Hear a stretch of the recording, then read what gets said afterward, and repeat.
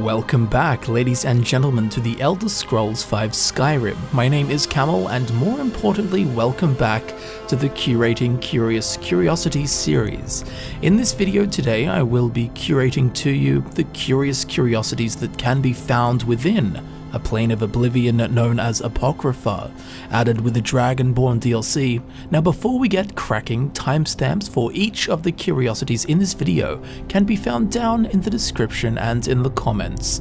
Down there are also links to my other Curating Curious Curiosities videos, my social media links, and my brand new merch store which is launching with this video's release. I have personally created designs for four weeks and have enlisted the skills of talented artists to bring you a wide range of cool and most importantly, at least to me, creative items that any Elder Scrolls fan will love. So please feel free to check that out. There is currently a selection of over 100 items, so there are plenty of genuinely curious and interesting pieces to choose from. It ain't no random level loot, but you'll see all that for yourself when you follow the link down in the description. Speaking of random leveled loot, Apocrypha. It is a strange, unfamiliar, and fantastically nightmarish place, and extraordinarily unique in its own arcanely alien way. But to understand Apocrypha, we must understand its ruler, the Daedric Prince of Knowledge and Memory, the scryer of the tides of fate, both future, past, and present, as read in the stars and heavens most commonly known on Nirn as Hermaeus Mora, although throughout the ages he has been given many other titles by the various cultures and peoples of Mundus, designations such as Hoermius, Hormaius, Hermora, Herma Mora, the Woodland Man, the Gardener of Men, the Demon of Knowledge, the Master of the Tides of Fate, the Lord of Secrets, the Keeper of Forbidden Knowledge, the Golden Eye, Ur-Daedra, the Prince of Fate, the Abyssal Cephaliarch, the Old Antecedent, the Scryer, the Inevitable Knower, the Guardian of the Unseen, and the Knower of the Unknown, among other ancient epithets which we shall not dare murmur, as they are too abstractly esoteric for mortal minds to muster and mortal mouths to mimic. Now, Hermaeus Mora is commonly considered the wisest of the Daedric princes. Not being known as good or evil, he is neither protagonistic nor antagonistic simply keeping and providing both constructive and destructive knowledge. He describes himself as the riddle unsolvable, the door unopenable, the book unreadable, the question unanswerable, a description that feels unfulfilling at face value, yet seems apt for an entity who is holder, herald, and harbinger of unknown and unknowable knowledge. When encountered, Hermaeus Mora most commonly takes the physical form, if you could even call it that, of an abyssally wretched and writhing eldritch horror, forged of midnight slime smoke, dotted with innumerable and eerily ephemeral eyes that blink and stare as they fade in and out of reality timelessly and effervescently floating on a bed of dancing tentacles and a shifting pool of ebon shade that stinks of a nameless Abaddon. The demon of knowledge, Hermaeus Mora, is a truly unfamiliar, unsettling, and an ununderstandable entity to be sure. So now with a general appreciation of Apocrypha's ruler, the Lord of Secrets, Hermaeus Mora, we can now begin to understand the rotten recherche that is this plane of oblivion. Now, in real life, the word Apocrypha is a plural for Apocryphon, which are ancient and secret writings. So, Apocrypha sure is a fitting name for a realm of occult knowledge.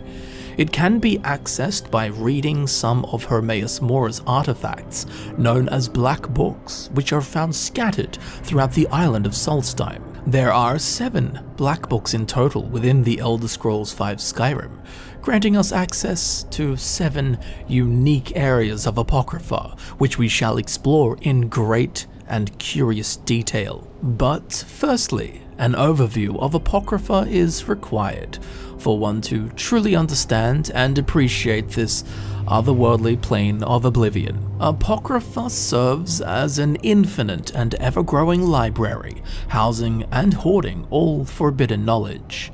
Mighty stacks of books and scrolls alike form labyrinths of spiraling and swaying pillars reaching into the vividly vivacious vert sky above. Carved ruins of an indecisively intricate nature nestle amongst the endlessly expanding archaic archive. It is said that the realm is haunted by the ghosts of mortals, forever hunting for knowledge, although no such ghosts are ever encountered. Most mortals that do enter Apocrypha are driven to insanity by means of unending and occult revelations, such as Morian Zenas, the founding member and professor of transliminal studies at the Arcane University, who vanished with an Apocrypha during his voyage as he traversed and documented the many planes of oblivion, no doubt falling prey like so many others to the pursuit of knowing all, which is unsurprising as even the soundscape alone is enough to drive the most fortified of mental fortitudes to the brink of schizophrenic psychosis as the air here is ripe with abandoned sounds, whispering and muttering eternally to an earless expanse.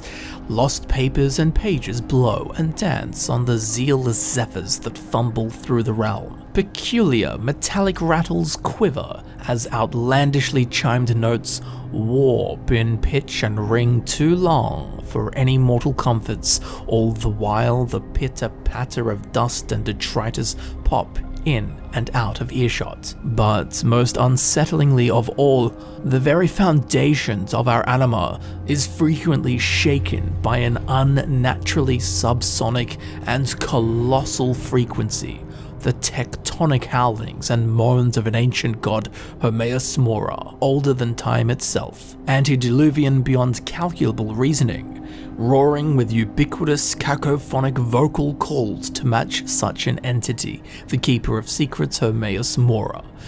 The air here sits heavy and is plagued thickly with a sickly green-grey haze that could be fog or even perhaps mold and must produced from the endless and eons-old athenaeum of knowledge, the labyrinthine library we find ourselves in. Now, geographically, Apocrypha is simple yet strange, as there are two variations in setting. Firstly and most commonly is this infinite sea, seeming to undulate with lazy turgidity, like a pit of endlessly lengthy serpents moving through each other, swollen and plump from feasting on forbidden knowledge, formed of an ungodly and sticky yet slick liquid, shining like natural oil yet moving like magma and mucidity have met in the middle. This sea bears a coloration which one instinctively dislikes, both a diseased black and a putrescent chartreuse, seeming to mimic an accursed inkwell from the boundless scribblings of the secret studies, which, while captivating to some extent, is also far from inviting in any sense of the word. And our instincts prevail in this case, as if we are unfortunate enough to fall into this heinous liquid, we will be killed within seconds, swallowed whole by the corrosive and poisonous grips of the Black Sea. From this mucific ooze ocean, bulging tentacles wave and slither in abnormal profusion. For what purpose is unknown, although occasionally if an unwelcome explorer, like ourselves, gets too close to the water's edge, a tentacle will burst from the cohesive surface, delivering punishing whips, smacks, and slaps onto the player, causing devastating damage. So these tentacles are to be feared and avoided at all costs. Unless you're into that, of course. Also, occasionally appearing to observe the realm with literal utter omniscience are huge, sluggishly blinking eyes that emerge from the darkened diabolical depths, kraken-like in appearance, exactly matching the central inquisitorial eye of the abyssal Cephaliarch himself, old Herma Mora Because of this, both the tentacles and eyes are thought to be infinite extensions of the scryer, Hermaeus Mora himself, forever observing, learning, absorbing, prying, groping, and watching. He's always watching. Now, if we turn our gaze upward, we'll see the sky in this oceanic, onerodinic infinity ripples with a venomous green energy, blinding whites in some areas of higher concentration. This is thought to be pure knowledge coursing through the very fabric of this reality, spreading its learned teachings throughout this plane of oblivion both antidotes and toxins of the metaphysical, existential, and philosophical alike. Some segments of the wretched Welkin above are voided with night smog portals, from which huge, inquisitive tentacles writhe forth in search of any and all knowledge that they can grasp. These pose no immediate threat other than the constant reminder that we are but helpless ants within an alien reality lorded by the gardener of men, Hermaeus Mora. Now, the second geographical setting which we are able to experience in Apocrypha is slightly less welcoming, and much more abysm and conceptually hollow. In fact, literally hollow. It can only be described as an infinite abyss and endless void, tarnished pewter in shade, the location of which is unknown. All we do know is that it is somewhere within the plane of Oblivion Apocrypha. Structures do exist here and will be explored in due course, but the space within which they exist is simply an ashy darkness, with no observable edges in any direction. Tentacles sway in the distance, and the only light to pierce the lambentless space are produced by artificial sources, which do actually serve as a lifeline in such an area, as traversing this dusky depth can be deadly, because the darkness will quite actually kill you Standing in an area non-illuminated will rapidly and grievously damage the player. This seems to be some shaded, sanguine simulacrum of a metaphor of knowledge equaling purpose. As without light you cannot read, and without reading you cannot learn, and without learning there is no knowledge. And with no knowledge there is no purpose because we are within a realm that is pure knowledge. So, no light, no knowledge, no purpose, no life, no meaning.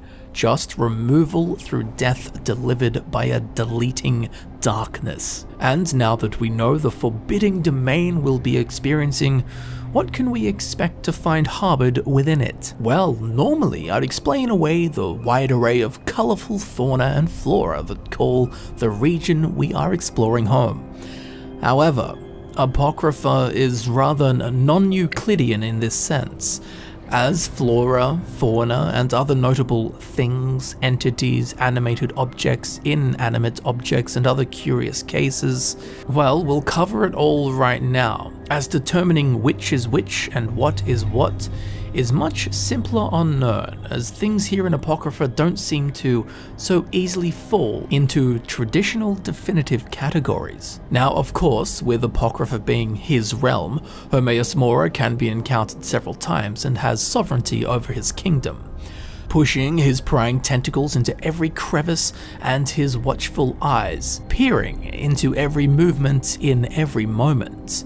Imprisoned in servitude here is also Miraak, the first Dragonborn, an ancient dragon priest whom Hermaeus Mora taught the forbidden knowledge of bending the wills of dragons in the form of a shout. During the Dragon War of the Mythic era, Miraak led a personal rebellion against his dragon masters, which led to his temple being razed by the Dovah overlords, and to Miraak's defeat by another dragon priest named Vahlok, who bound Miraak to Solstheim. But before Vahlok was able to kill the first Dragonborn Miraak, it is said that Hermaeus Mora transported Miraak to Apocrypha, where he has remained for thousands of years, gaining power and knowledge as the champion of old Herma Mora. Now aiding Miraak in this realm is also a serpentine dragon named Sahrotaar, which translates to mighty slave from Dovahzul the dragon tongue. Now along with these mighty additions to the bestiary of Apocrypha, We also have the more simply defined fauna, or in this case, Daedra. There are two main species of Daedra, with uh, subcategories of course, that serve Daddy Ur Daedra Hermaeus Mora in his realm. Seekers, High Seekers, and Seeker Aspirants are the most common to be found, horrifying beings with squiddish faces, tattered robes, older than one cares to consider, levitating about the place on languidly swaying tentacles.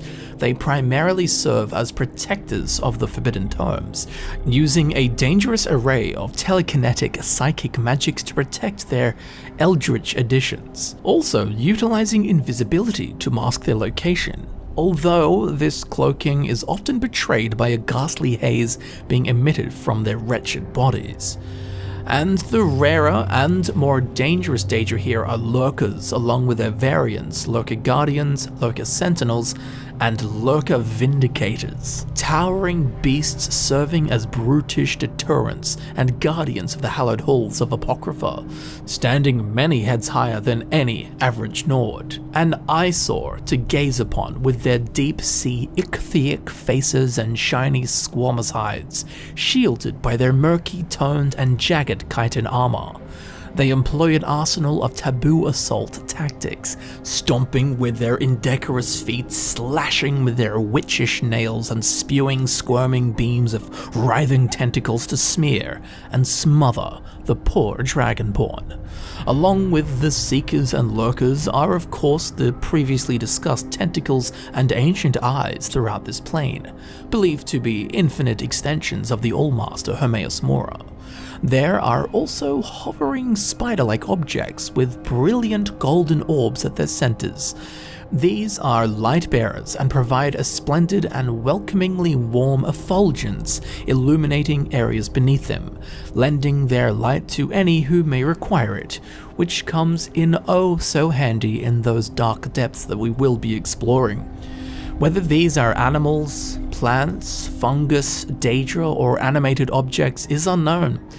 They are organic in appearance and float around seemingly independent of a puppeteer, but they do not register as neither alive nor dead. All I can confirm is that these light bearers are present and are a friendly sight to behold in this dim kingdom of darkest secrets. Now, moving in a similar fashion to these light bearers are clusters of dirty diaries and mustering novels, flying and placidly flapping through the heavy, dank air. Interestingly, the books in these groups that are open are not a rotten black like the other open books that we find within Apocrypha. Instead, they are blazon and busy with unknown texts, much like what we find within the pages of the black books themselves. These strange terms are constantly shuffling and reorganizing over and over again, seemingly all on their own. They are neither alive nor dead, and it is not known who controls them, if anyone, that is appearing to us as sentient drone tomes going about their ceaseless categorization and sorting, like a flock of birds fluttering between their fleeting roosts. Now, dotting pathways and shadowed corners, we will frequently stumble upon what is most easily described as a lamppost or lampposts. Their poles seem stalk-like and pulsate with a golden luminescence. The tops bear a hooded, leaf-shaped tip, much like those found at the end of a cephalopod's feeding tentacle, at the center of which is a glowing orb, black-based and primarily covered in ethereal blue circles, which throw a large amount of light. I am unsure if these lampposts are organic or inorganic, as the bases are certainly sculpted stone, yet the stems and bulbs appear to be naturalistic. Nevertheless, and with attempts at biological definitions aside, these flower lights or street lamps or whatever pleases you to call them are one of the few objects to provide comfort within Apocrypha, and are always a welcome sight to the plain walking explorer like ourselves. Now, offering a similar confusion of organic or inorganic are these obscure tentacle totems that we will run across on rare occasion. I am unsure if they are like the rest of the tentacles and part of Hermaeus Mora, or if they are structural, as after all they do appear to be static, or perhaps they're some kind of special plant.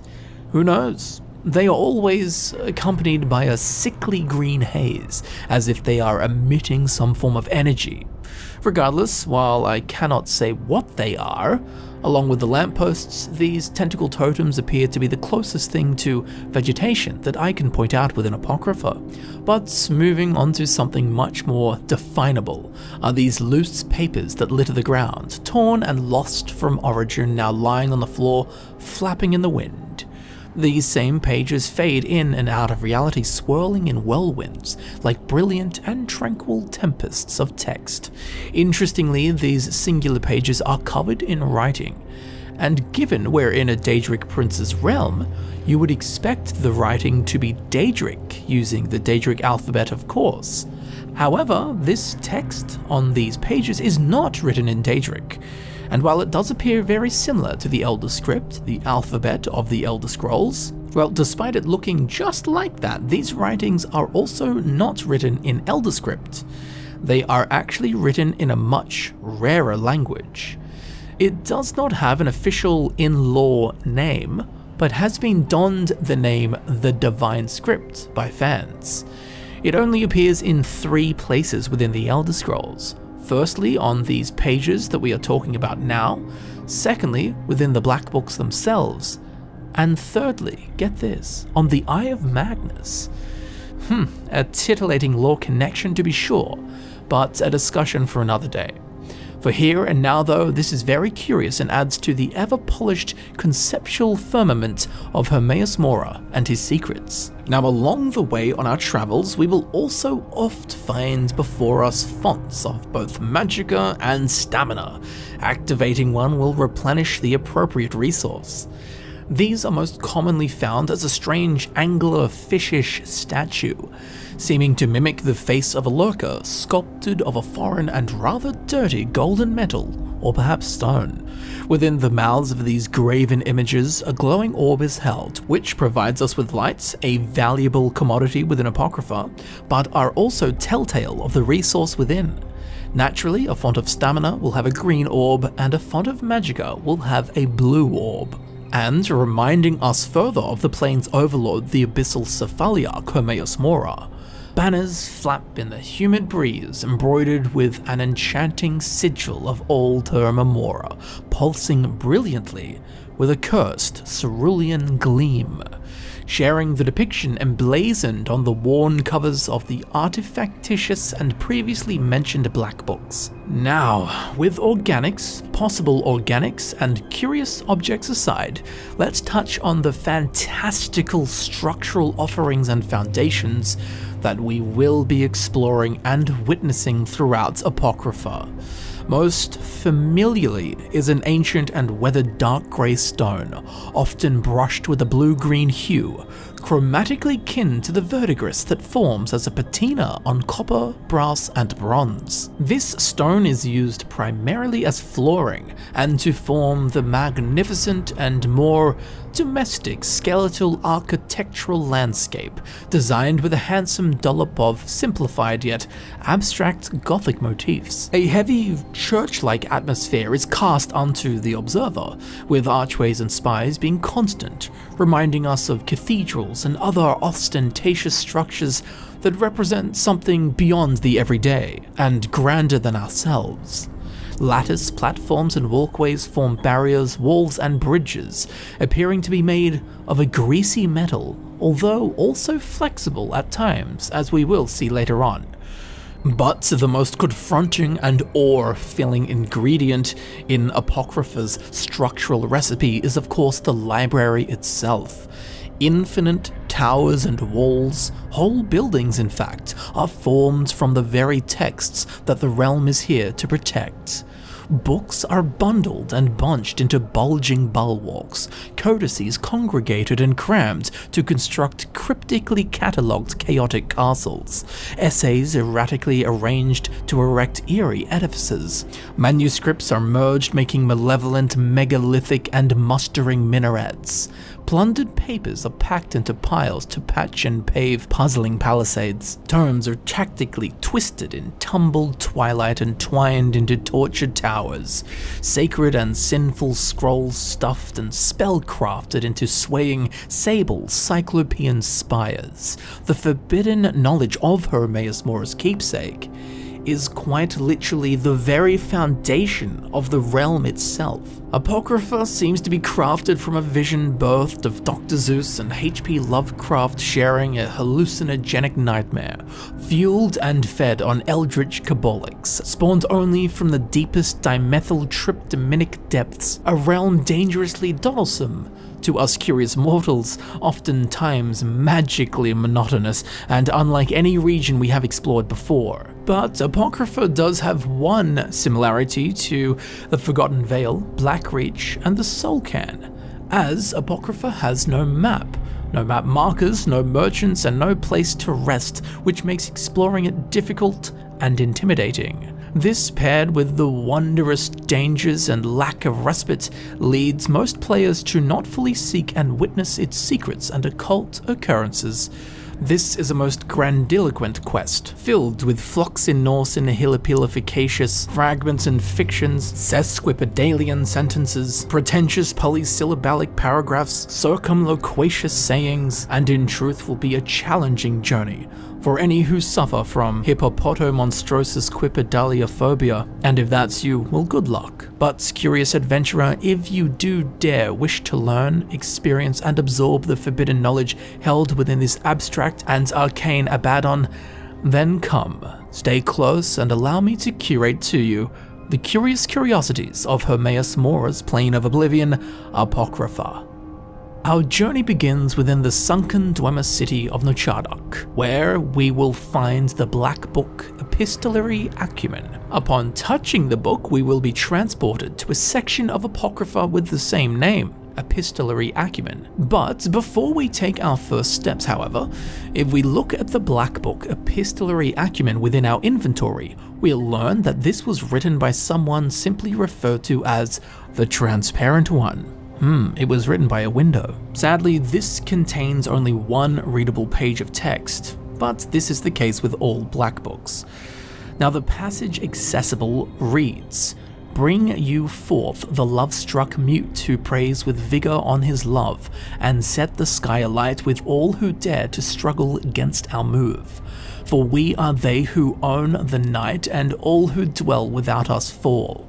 We drink the mind grapes formed of thought and wail a tumult on the wall, to sweep, at which point we can read no further. Now this book is actually mentioned in another, called The Library of Dusk, Rare Books, and is said to contain forbidden invocations of very destructive Daedra, who are suspected enemies of Molag Bal. And as interesting as that is, what forbidden knowledge does this Black Book's apocryphal realm have to teach? Well, let us find out.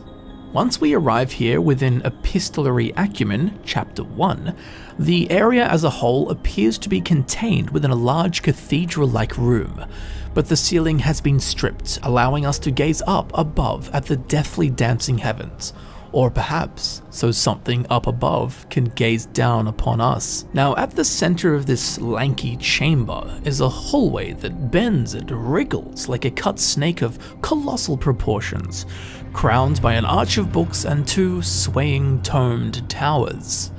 The stone walls are high and foreboding. At the back of the room, there are two lattice traceries with a central hollow arch above from which spills the deathly ancient night smog of Hermaeus Mora, as do the fondling and ever-searching juniper green tentacles of old Herma Mora, prying and prodding through space and time, seeking to hoard all knowledge. Now, where we will first appear is a moderately sized circular stone island fenced with shallow stone arches, with two fonts of magicka that surely we will not require just yet, we'll notice there is a strange device in front of a strip of curled up lattice pathing. This device is a scryer, and they are used to activate certain traversal obstacles throughout Apocrypha, such as walkways and gates among other curious feats of Daedric engineering found within the realm. Activating this scryer will unravel the lattice petal, allowing us to walk over the Black Sea, but more importantly, get us close enough so that we may leap forward and into the undulating hallway as it swings from left to right, passing through such a hideous floundering passageway may induce an insipid case of motion sickness. Now once the furthest exit of the book serpent has stretched as far as it will to the right, we can safely hop out and onto a small spit of stone, above which is a font of magicka. Here also is another scryer. Operating this will trigger the distant lattice petal to unravel, just as before. Now we can step back into the swaying serpentine hallway of scripts and wait for it to make half of its full movements, upon which time we can step off and onto the newly flattened lattice, where we will find ourselves on an island almost mimicking that of which we started on, but this one sits at the base of an ever damning wall, surmounted upon which is the void arch we spoke of just a few paragraphs ago. Now at the center of this atoll is a podium that rests at the base of a font of stamina, pried open and presented, spinning texts of chaotic and chthonic scriptures is a book that will lead us to chapter 2 of Epistolary Acumen. Once we are transported to Chapter 2, we will find ourselves within a hypnotic tunnel forged of furled lattice petals, filled with turbulently tumbling texts, pages swirl in vortexes, sliding in and out of visible reality, flapping and fluttering before our very eyes with texts not meant for mortal sight. At the end of this dazzling display of dancing forbidden writings, we'll notice there are two golden ichthyic head busts with a scryer between them. Activating this scryer will bestow us with quite a sight, as the turbulent tube of lattice unfurls like a flower during the day to greet and welcome the apricity of Magnus's rays. Magnus being the sun, of course. The pages locked within spin in wild pirouettes upwards with great gusts as they are released like pollen to fertilize and fray far off minds in search of such knowledge. But do not be bedazzled for a moment too long, as this area bears immediate dangers such as the two seekers that stand in wait, anxious to annihilate intruders with their equivocal kinetic magics. Along with them, however, is a much more foreboding force, the Lurker. He stands guard and is prepared to eject us from his master's realm. But once these threats are subdued, we may inspect the area.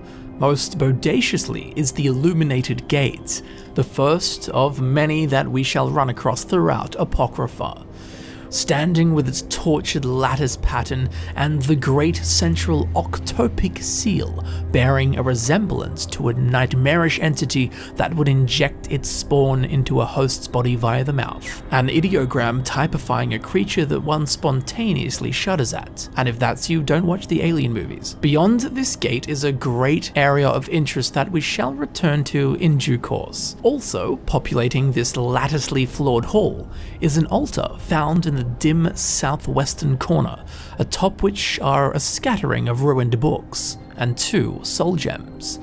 Firstly, we have a petty soul gem that remains unfilled, and a lesser soul gem that is filled with the anima of some poor fool. In the southeastern corner, we will spy a pedestal. At its crest is a new encounter for us, but one that will soon become very familiar and potentially fatiguing. But then again, Apocrypha is only fit for those with the most fortified of minds. This is a pod, the chest equivalent of this realm.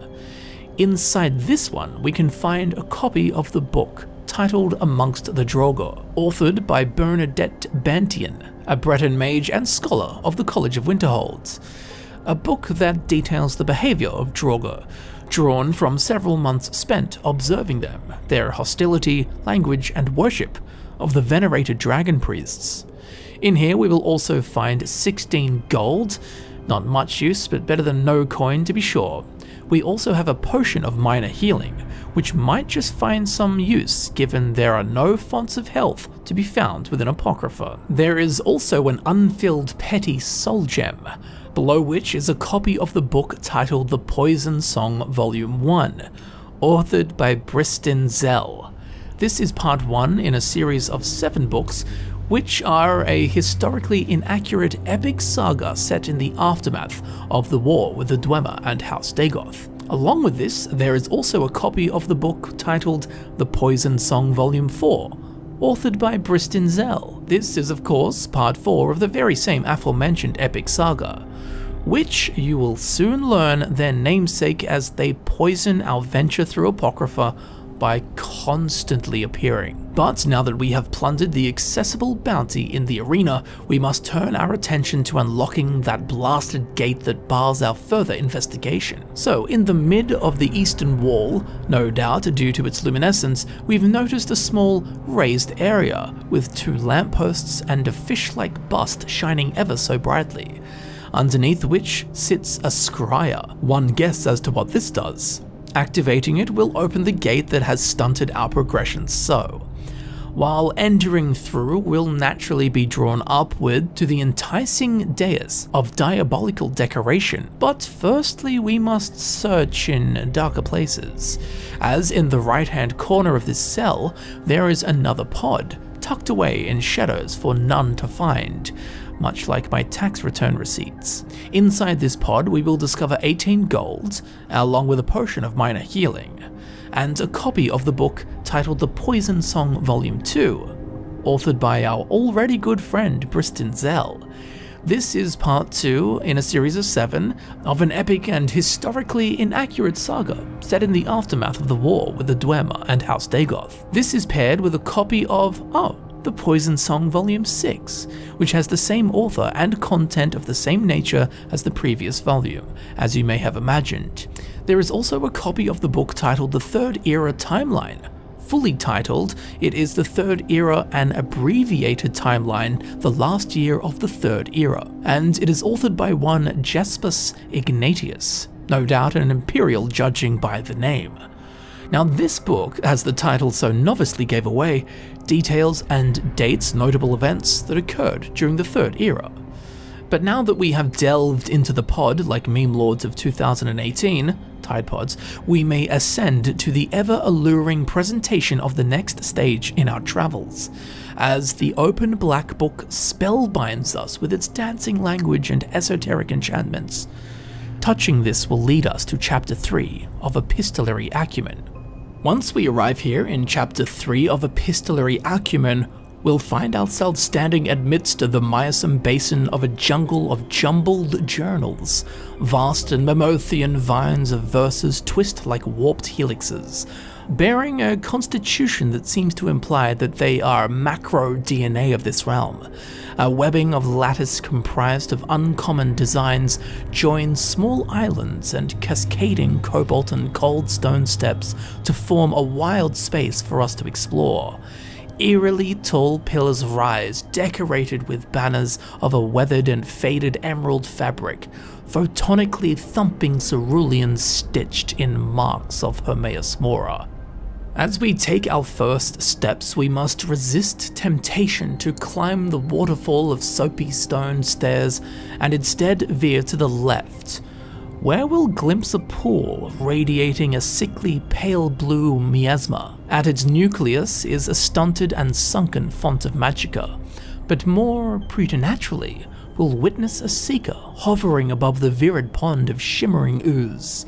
What is rather striking and awe-filling is the fact that this seeker appears to be reading a book, absorbing forbidden knowledge from the library of Apocrypha, with its hands outstretched and palms facing the hellscape above, telekinetically levitating the open tome primed for study. Even more curiously is the state and make of this codex, as while its pages are visible, they seem uh, tainted beyond any condition fit for mortal eyes.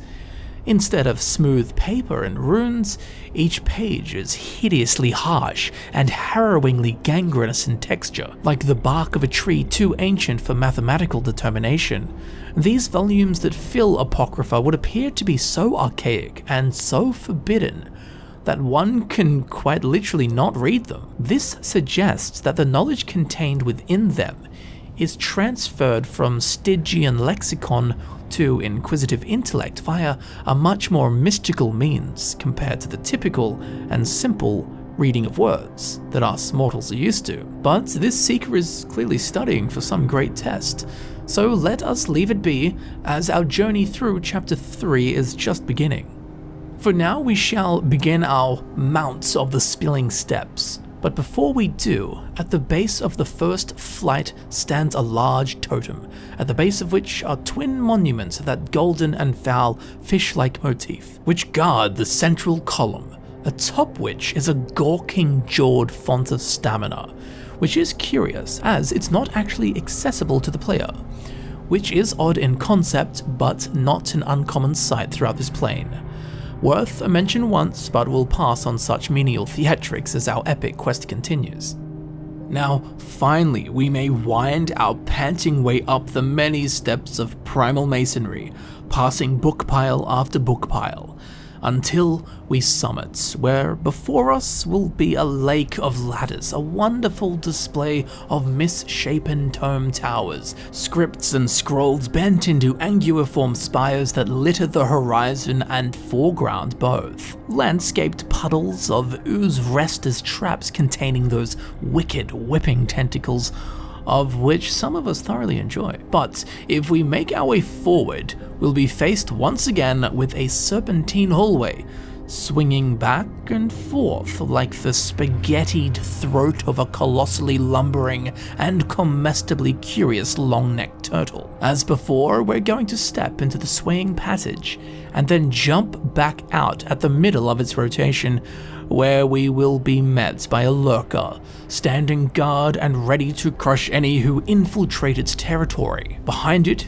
is a circular stone island the central pillar displays a ghoulishly geometric arrangement of golden ichthyic figures, snarling, slack-jawed. Beyond this is a large courtyard forged of the now familiar blue and texturally butyraceous lattice alloy. This nigerous patio is peppered with pale piles of papers, sorted and ordered in a fashion that seems to lack any terrestrial logic rather like the current state of my room, actually. But as I'm sure you have observed, and as I am sure has piqued your most persistent curiosity, is the peculiar and sizable lattice hull that stands as the central and most illustrious frill of the yard.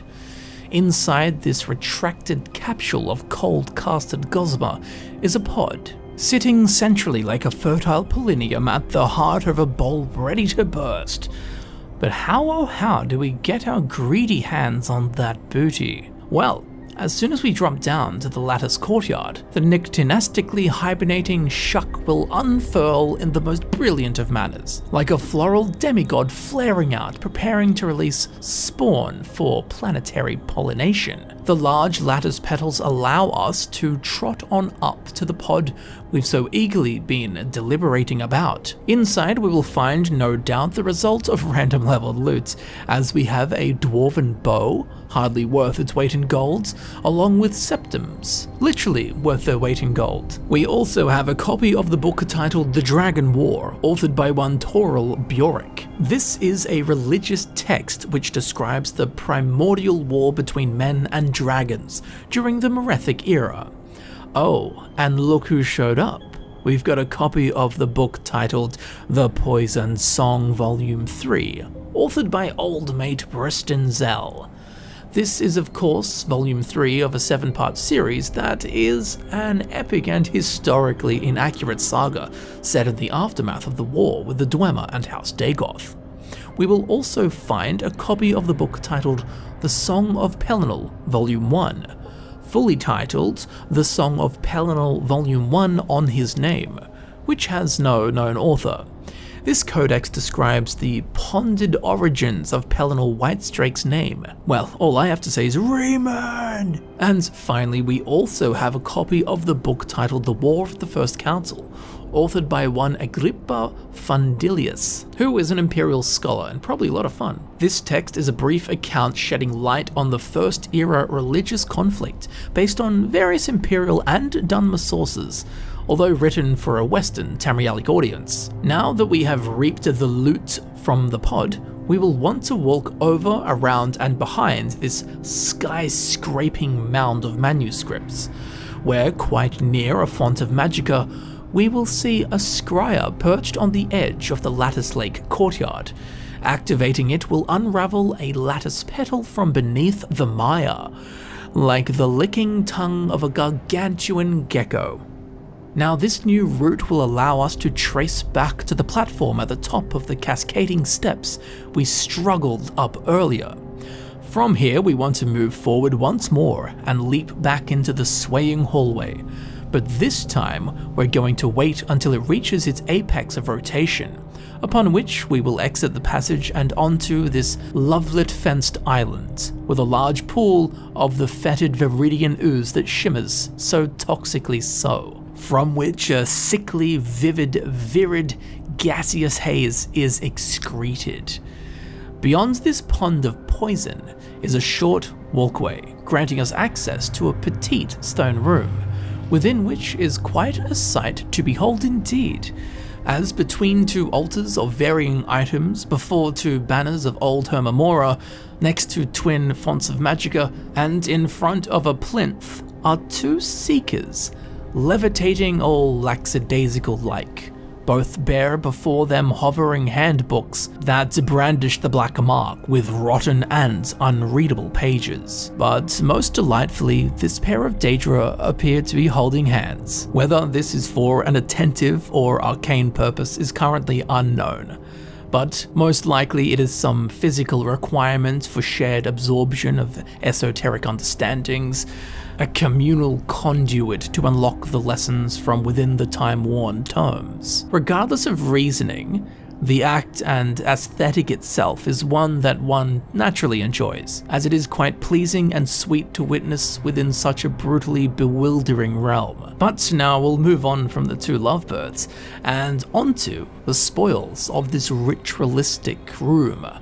Firstly, the altar on the western wall. It is sprinkled with seemingly thoroughly ruined books. It also presents three soul gems. One is a filled lesser soul gem, we also have a filled black soul gem, and an unfilled greater soul gem.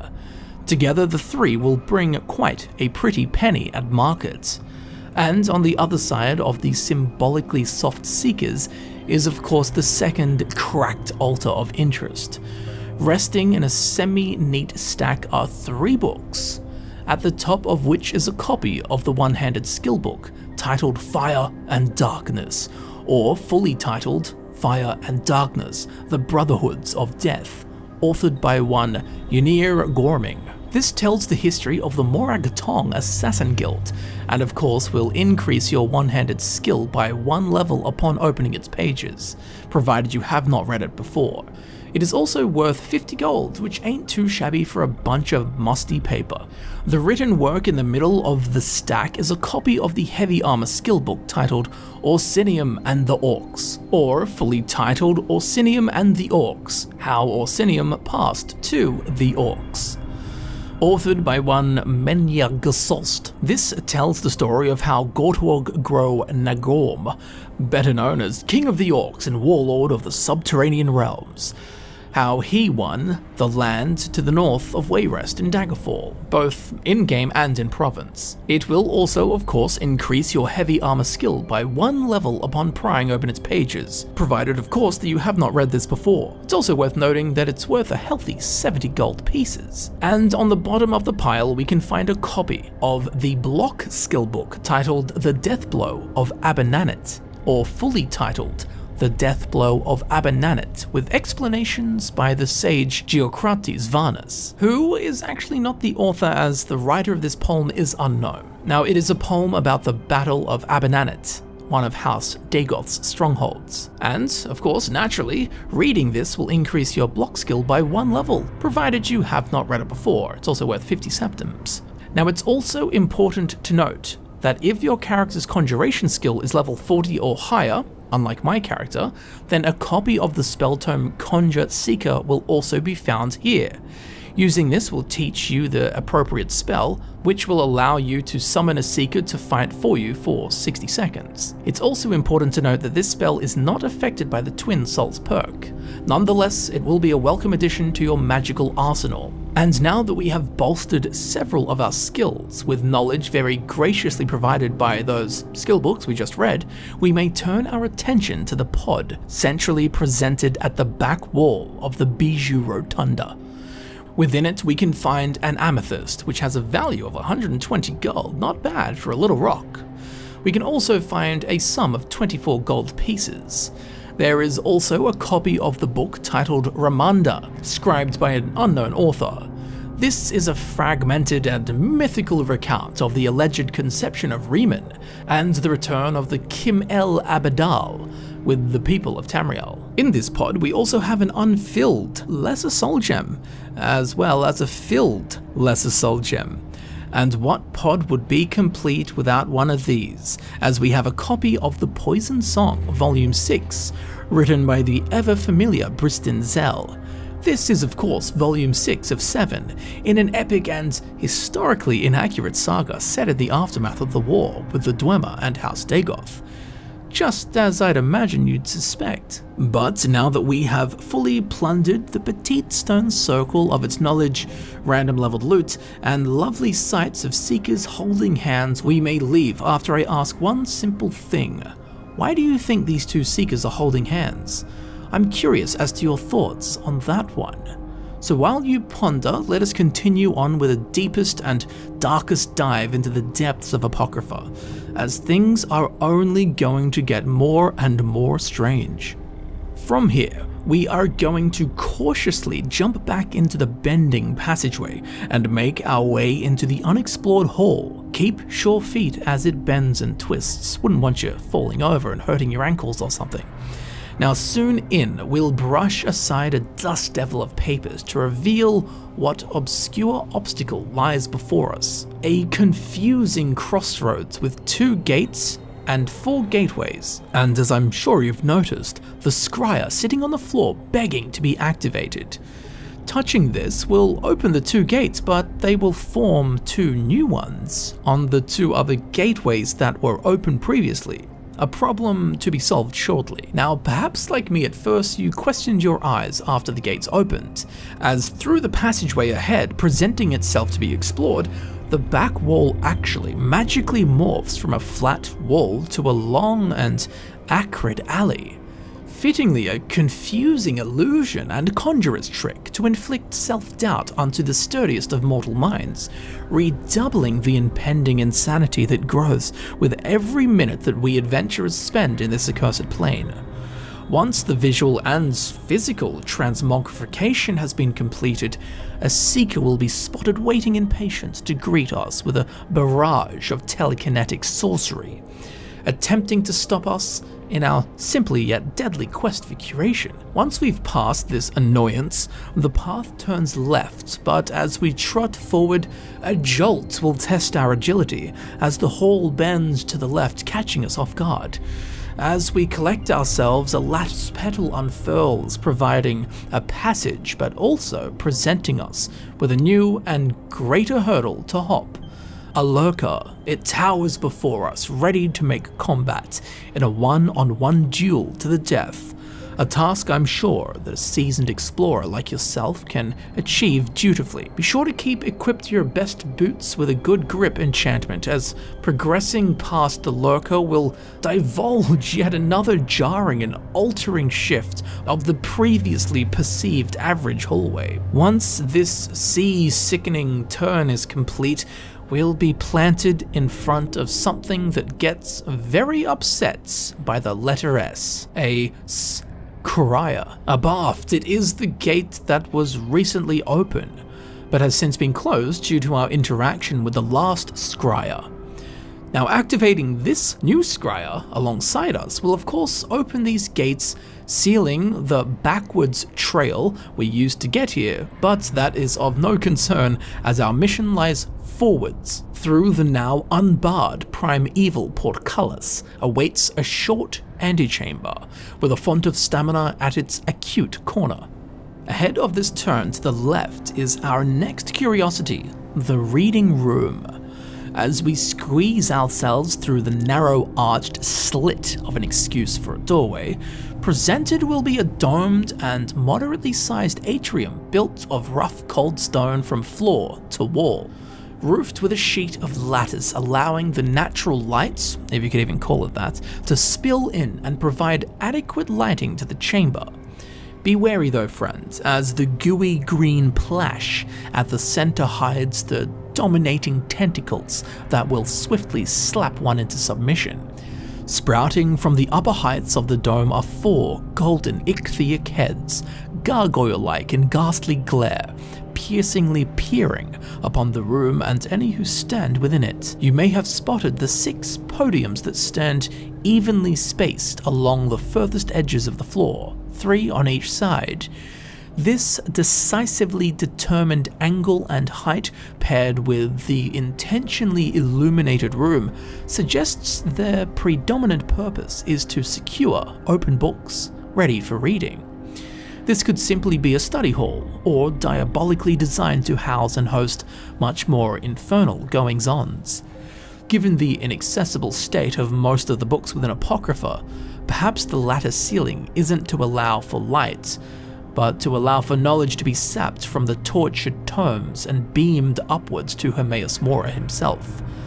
As curious as we are, I do not believe sticking around to learn of the reading room's reason to be a wise choice. So let's push on. Push on through the back door and into the corridor of concentration. Stomach-like, rounded and winding, rough curved wall ceilings crafted of crusty chronicles. They conjure mighty manifestations of a huge and moulded ribcage, the jagged book corners symbolically suggested as emancipating enzymes in wait to masticate neophytic minds from their prolificacy. The air swills heavy with blue and green ghost gases, bile-like to this intestine of insight, dissolving, absorbing, and cataloguing new entries that pass through its entrails. The digestive workings of a god. Hmm, might just find Trinimac in here fonts of magicka and stamina chromatically cast enchanted hues through sections of the sinuous tunnel. Less metaphorically, the corridor of concentration is occupied by seekers, who, true to their name, seek and repetitiously rend wisdom from archived essays. Lingering in stationary flight, their hands supinated and open, palms skyward, meditatively holding pried volumes free of physical touch, telekinetically transcribing thaumaturgically encrypted tomes. It's certain that these seekers would be brimming with acrimony to any who would disrupt their Orphic concentration. So, we shall move past them and finalize our stroll through this here corridor, dodging seekers and parties of flittering novels that float by our heads. Soon we'll spy a rather well lit dead end, where in the middle, against the back wall, between two golden busts, rests an open book. Chaotically animated runes kaleidoscopically course across the weathered parchment. This will lead us to chapter 4 of the epistolary acumen, the ultimate sector of this black book. Once we arrive here at chapter 4, we'll find ourselves on a circular and stone arch rimmed tower top, standing high above areas we have previously explored, which now lie down below. A grand and most illustrious illumination brings this place to a stunning brightness, although the source of such light is not visible. Now, at the back of this apex terrace is the book that will return us to chapter 3 if one so chooses to return, which we will not be doing. Anyway, next to this book is an altar Common as ever, it is topped with a smattering of ruined books and soul gems. We have one unfilled petty soul gem, one unfilled lesser soul gem, and one filled black soul gem which is an item with great potential in both the arcane arts and mercantile trades. But at the opposite end of the ooze pool is something we have not yet seen with an Apocrypha, but we will be seeing more of. This is a container known as a vessel. Vessels are essentially the equivalent of boss level loot chests, the likes of which one would primarily find at the end of a dungeon hoarding better than average quantities and qualities of random leveled loots, although this particular vessel is no accurate reflection of that characteristic, as within it we can find a copy of the book titled Azura and the Box, or fully titled Azura and the Box Ancient Tales of the Dwemer Part 11, authored by one Marobar Sul. As the previous number mentioned might have spoilt, this is part 11 in a series of fictional stories about the Dwemer.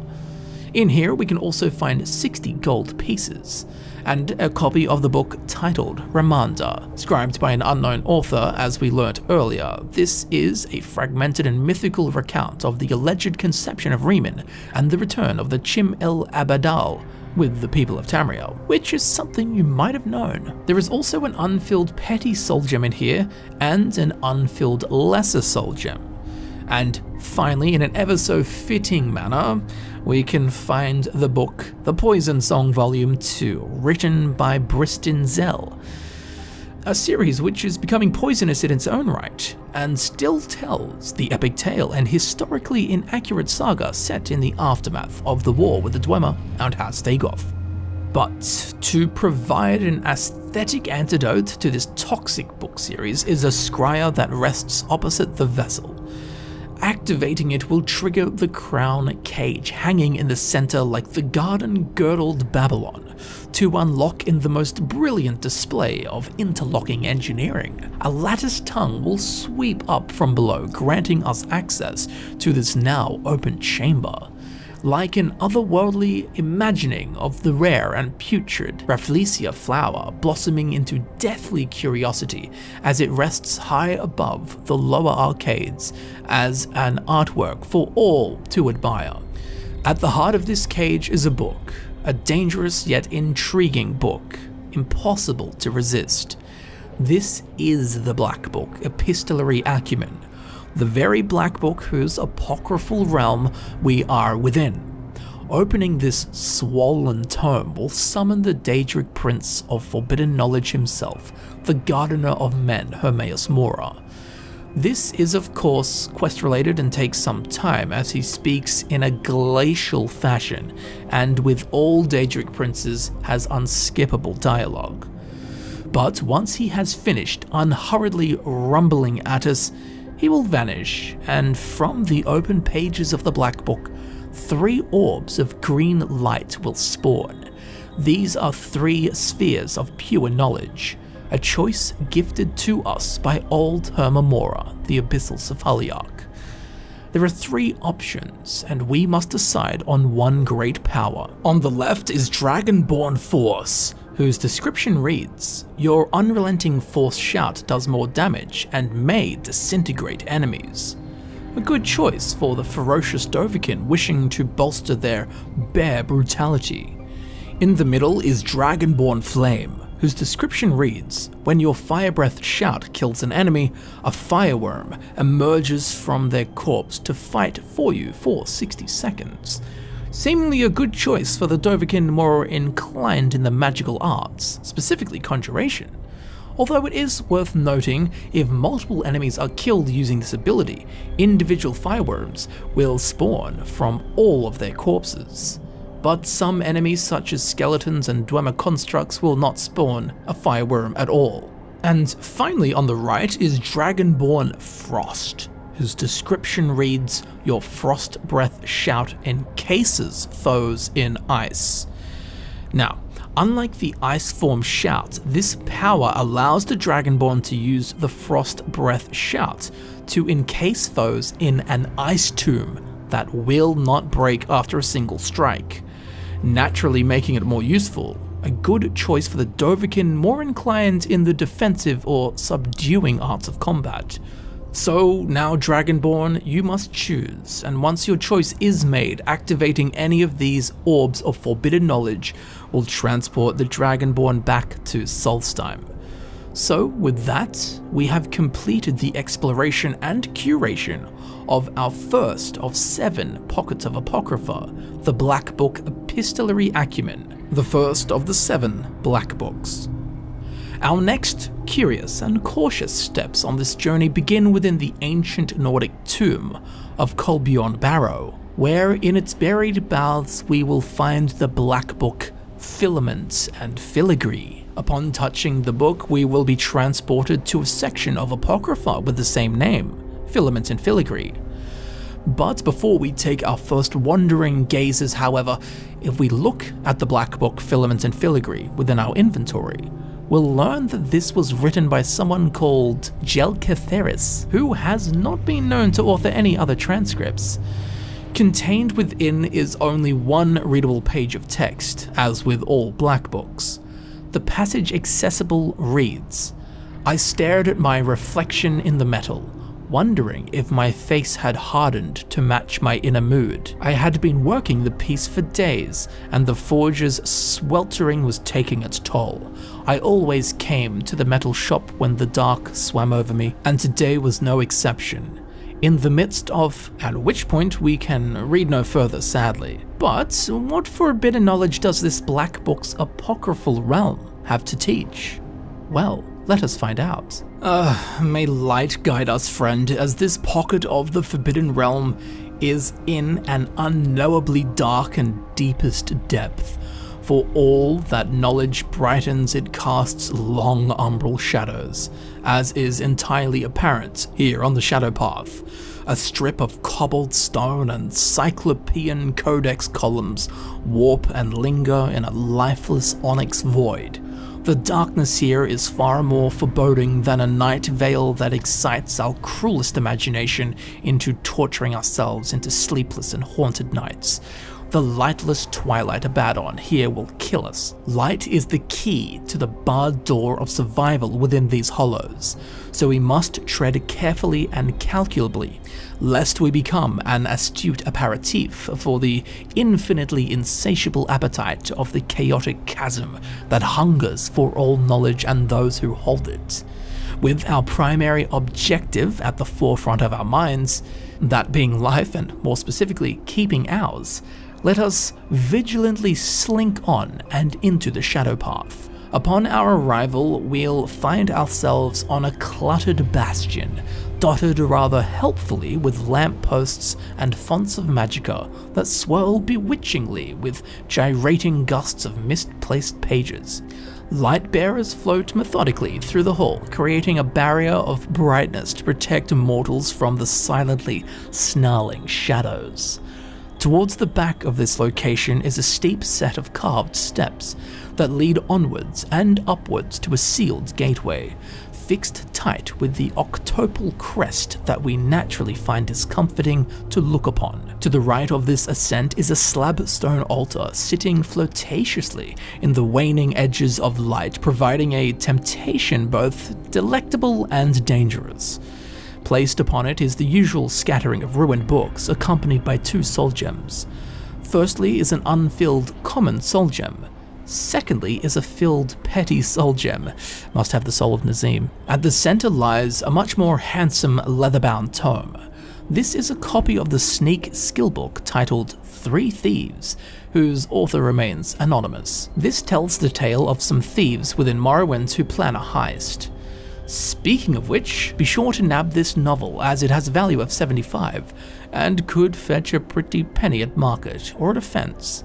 Now that our pockets are a little heavier with a petite perquisite of Apocrypha, we'll now face our next challenge. Climbing the shadowed stairs that rise before us, wading through a curtain of indigo fog, doing our also very best to remain protected by the light bearers and their lifeline of illumination remembering that a brush with shade could be deadly. Once at the crest of the staircase, we will find a locked gate with a scryer resting to its right. But before we activate it, over to the left, we can find our first pod of this apocryphal pocket, and sitting on the ground next to it is a not so invisible scroll of invisibility. Rather than invisibility, it is within visibility. And like a ruby red bushel of berries, it's ripe for the picking, so be sure to gather this up, as it has a value of 500, well worth its weight in gold. One problem though, you might not be able to find it within your bag. Now, of course, using this scroll will make the caster invisible for 30 seconds. Naturally, activating an object or attacking will break the spell, as with all invisibility effects. Now to the pod. Inside we can find a copy of the book titled A Dance in Fire, Volume 5, authored by one Waughin Jarth, a notable Breton writer having 25 publications under his belt. That must be uncomfortable. Now this entry in particular retells a clerk's adventures through Valenwood, home of the Bosmer, the Wood Elves. Now along with this we can also find a copy of the book titled Confessions of a Dunmer Skooma Eater, with no declared author in the Elder Scrolls V Skyrim, however in the Elder Scrolls 3 Morrowind it is known to be authored by one Tilsi Sendis. This is a narrative recount of a cured skooma addict. We can also find in here a copy of the book titled The Five Songs of King Wulfharth, which has no known author. This is a summary of five epic songs of King Wulfharth, plus an additional and rather fittingly apocryphal song of the Tribunal, Dagoth Ur and Indoril Nerevar.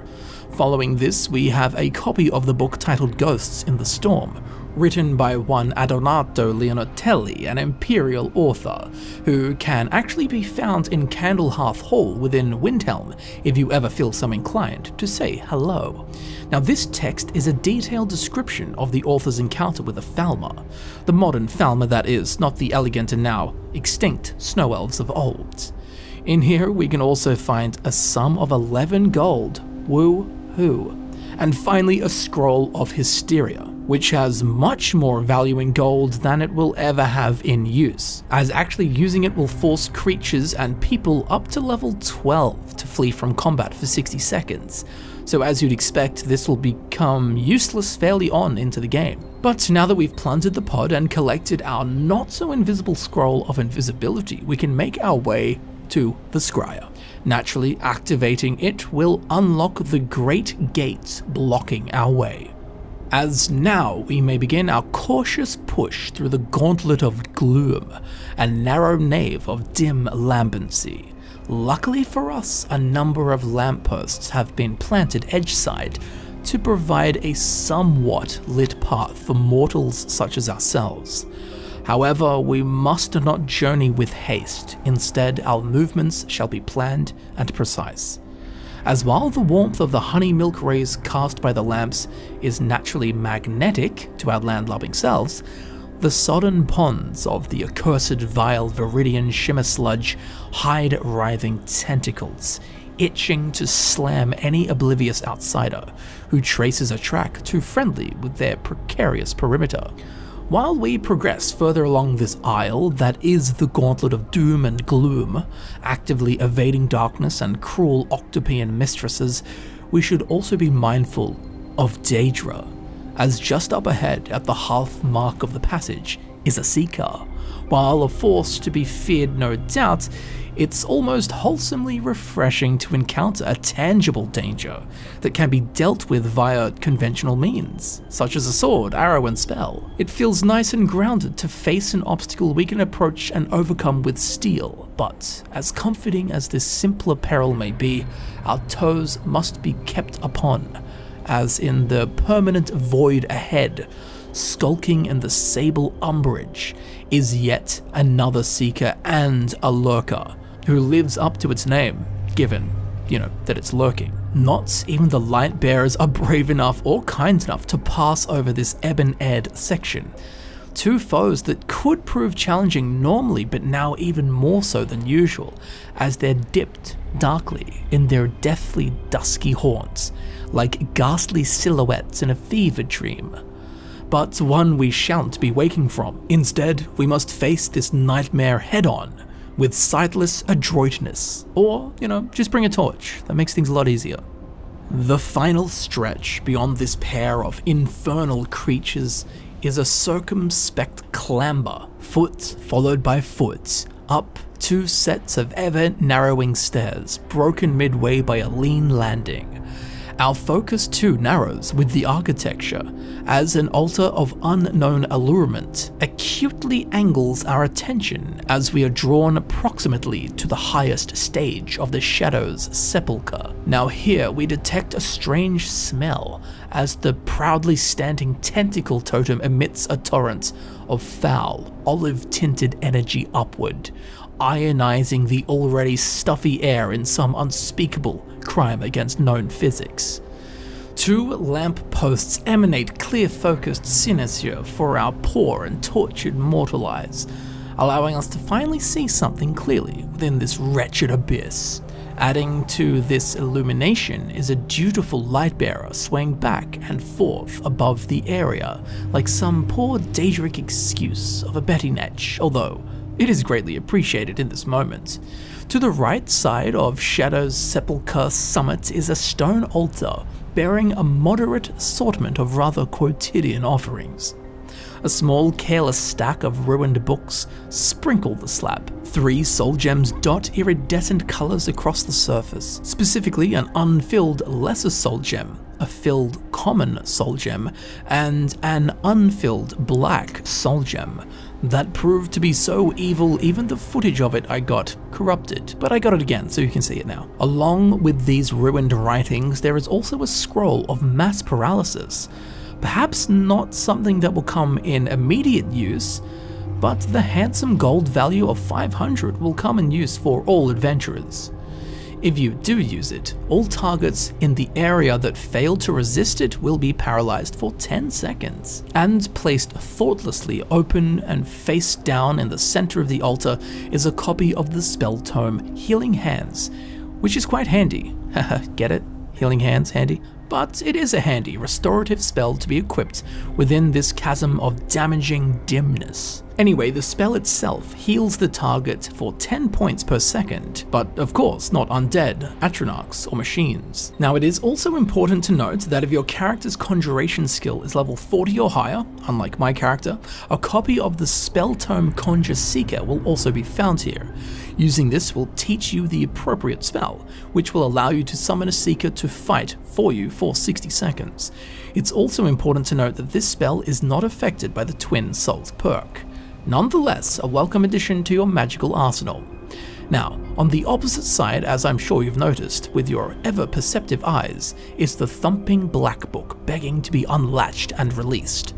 However, before we get our greedy hands on that knowledge bomb, we have some more rambunctious ransacking to do.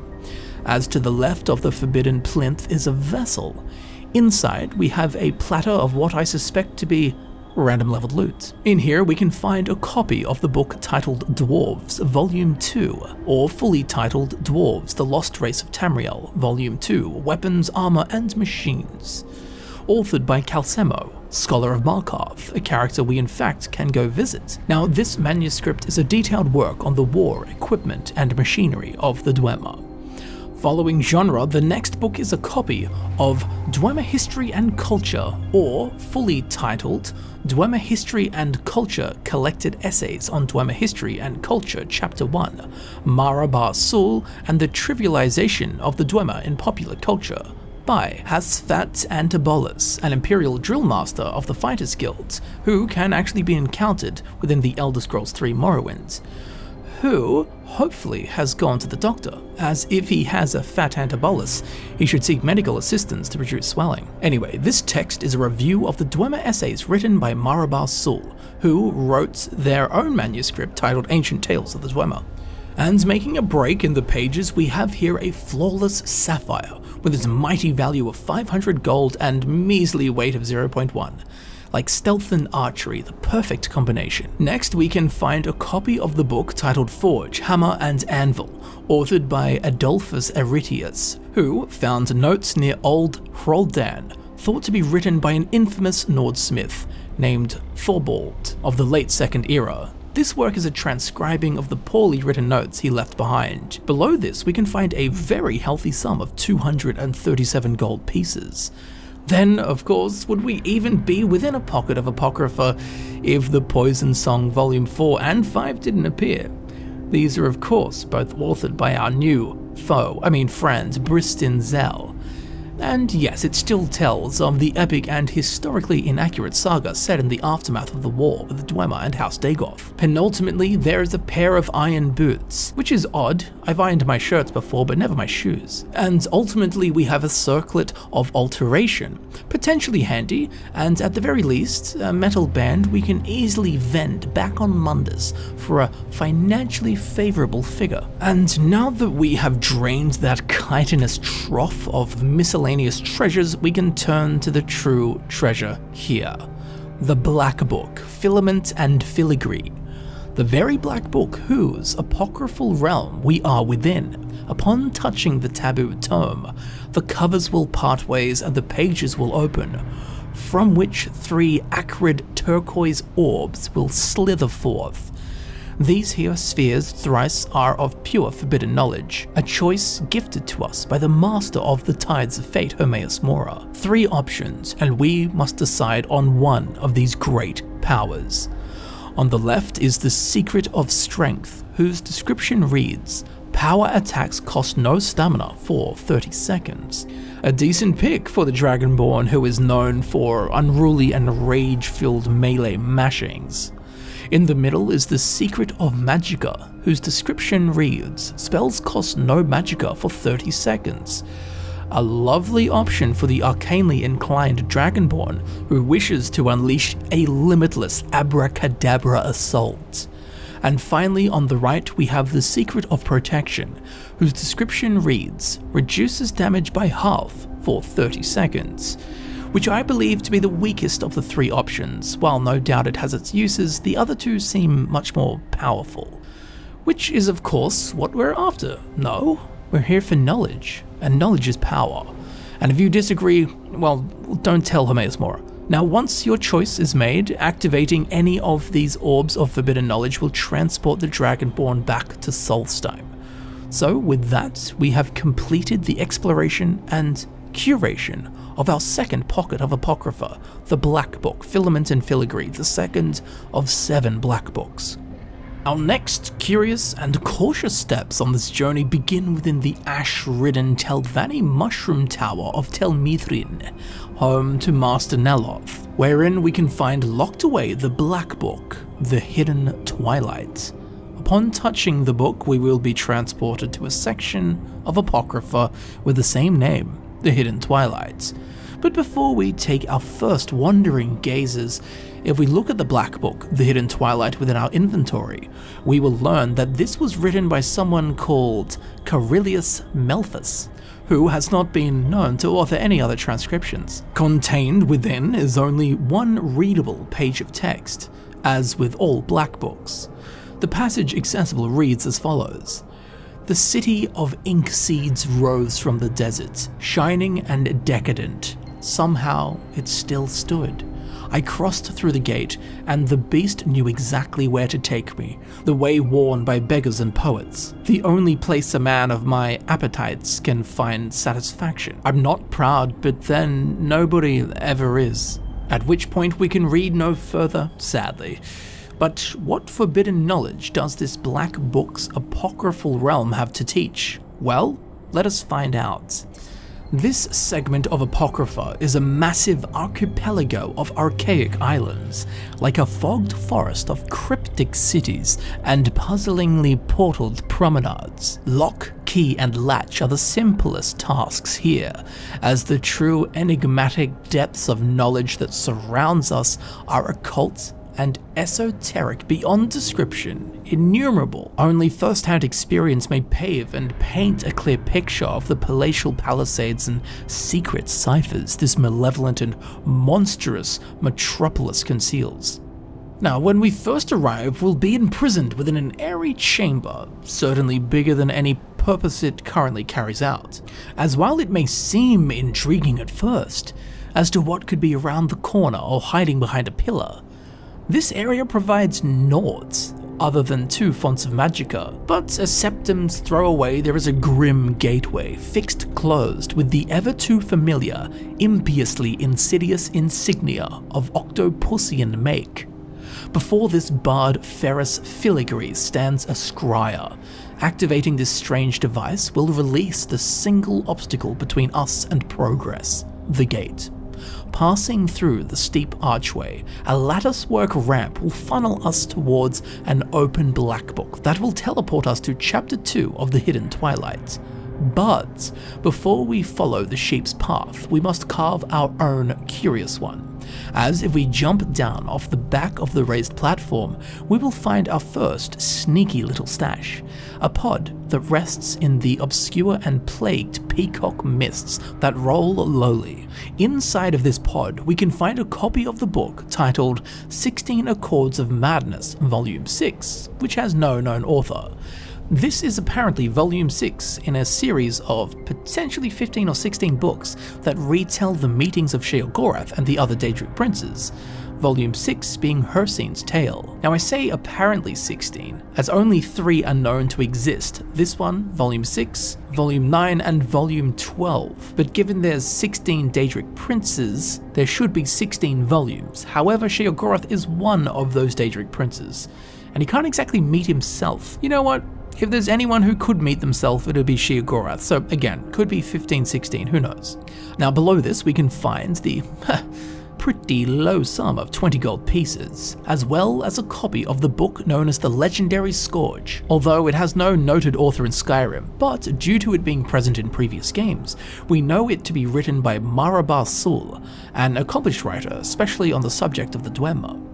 This novel, however, is a short story and poem about Scourge, the artifact mace of Malacath, Daedric Prince of Curses. Every time you hear that guy speak, it's just bleep this and bleep that. He just cannot stop cursing. Now, in here, we could also find a copy of The Wolf Queen Volume 6, written by renowned author Waughin Jarth, a Breton writer primarily known for historical works. This particular text is volume 6 in an 8-part series recounting the life of Queen Potema Septim of Solitude, better known as the Wolf Queen.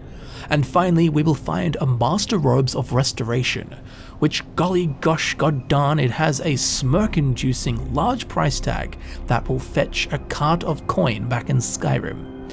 And now that we have snatched up these goodies, we can walk back up to the open book of chapter 2 and press on with our epic expedition. Now where we materialize is within busy halls built of bygone books. A peeking turn left, then a cautious turn right, then left again at the font of Magicka and we'll find ourselves peering through the scantily clad screen of lattice into the barren bookyard. A few more twists and turns following the only available path, and we'll emerge to, well, exactly what I said before, a barren bookyard, offering little more than boredom and disappointment. It's a rather large area with alluring stacked columns, bearing nooks and crannies that seem to have been forgotten.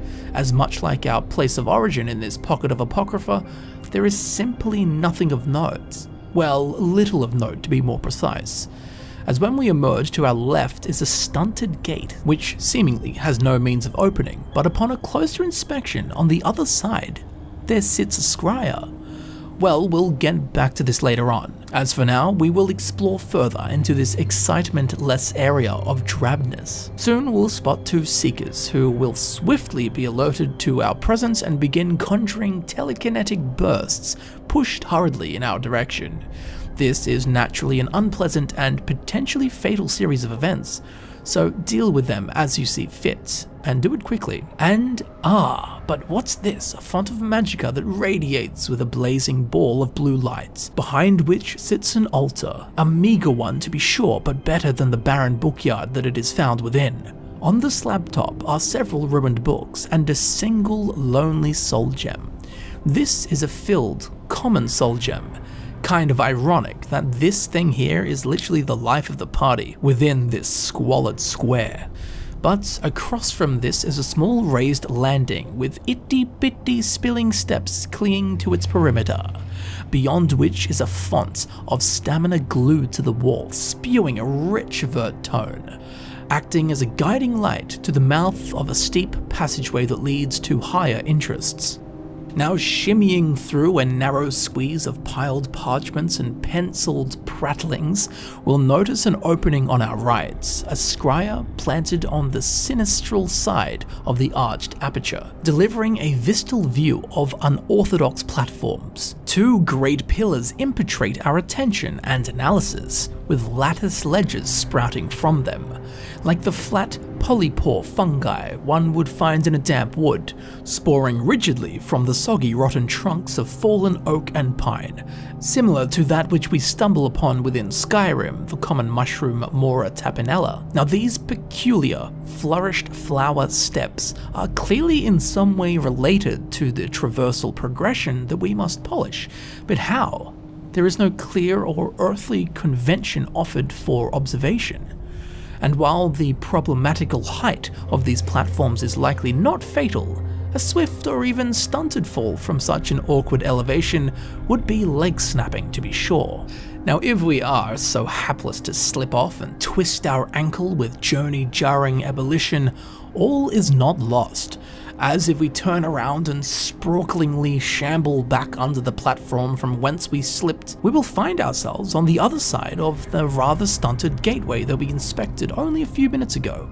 But this time we can access the scryer, which will prompt the squeaking hinges to let go and let us through so we may retrace our steps and attempt to best this platforming puzzle once again.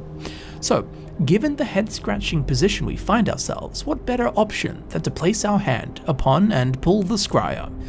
While not knowing what it will result in, there isn't much other to do. But oh, just look at this. In front of us and on the furthest side, two lattice bridges unfurl to their apex point of erection, before curling back down to their resting position, whereafter they will repeat their slurping cycle massaging the mephitic chasm like two monstrous mosquito proboscises, sardonically searching for a sanguineous snack. Now, with our wits about us, we must wait for the walkway to rise up, at which time we can quickly dash across it, landing in respite on the first lattice ledge, then jumping cautiously to the second, ensuring to do so with the most certain of footing as not to fall. Then, with a well-timed hop and bolt, we will pass between two lampposts, like a finishing line at a meddlesome marathon. Ah yes, now in our forevision is a glassless window, teasing an area we will later tread. For now though, we are at the Twin Downs, as ramps descend on either side of us. Firstly, we'll head to the left to a sunken pocket that leads nowhere, cramped with rubble and detritus, but it does house a few items of interest and potential pelf. Resting on the cracked stone slabs before a sporadically stacked accumulation of hardbacks is a pod, within which we may find a copy of the book titled An Explorer's Guide to Skyrim, authored by one Marcius Carvain, who is or was the Viscount of Bruma. As the title may have heavily implied, this is a brief guide for adventurers and tourists alike who wish to travel to Skyrim. We also have a copy of the book titled Boethiah's Proving, with no known author. This is an ancient text dating back to at least the Second Era, retelling the events of a fatal summoning of Boethiah, the Daedric Prince of Plots.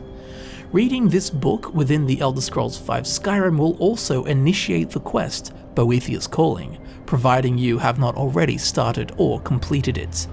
In here we can also find 15 gold pieces, along with a potion of extreme magicka, which in my opinion is the only way to have magicka extremely. And lastly, there is a copy of the book titled The Rising Threat Volume 4, written by Lathenil of Sunhold, an Altmer refugee who fled Summerset due to, and I quote, the darkening shadow of the Thalmor upon my beloved homeland. And if you too hate the Thalmor, I do have a Thalmor Tears mug in my store, link below. This is the fourth and final volume in a tetralogy describing the rising threat posed by the Thalmor. But now that we're done rummaging through the poor little pod, we can turn our attention to the altar against the back wall And as predictably as a stealth archer playthrough, we can find scattered scantily across the surface of the slab are some ruined books and two soul gems.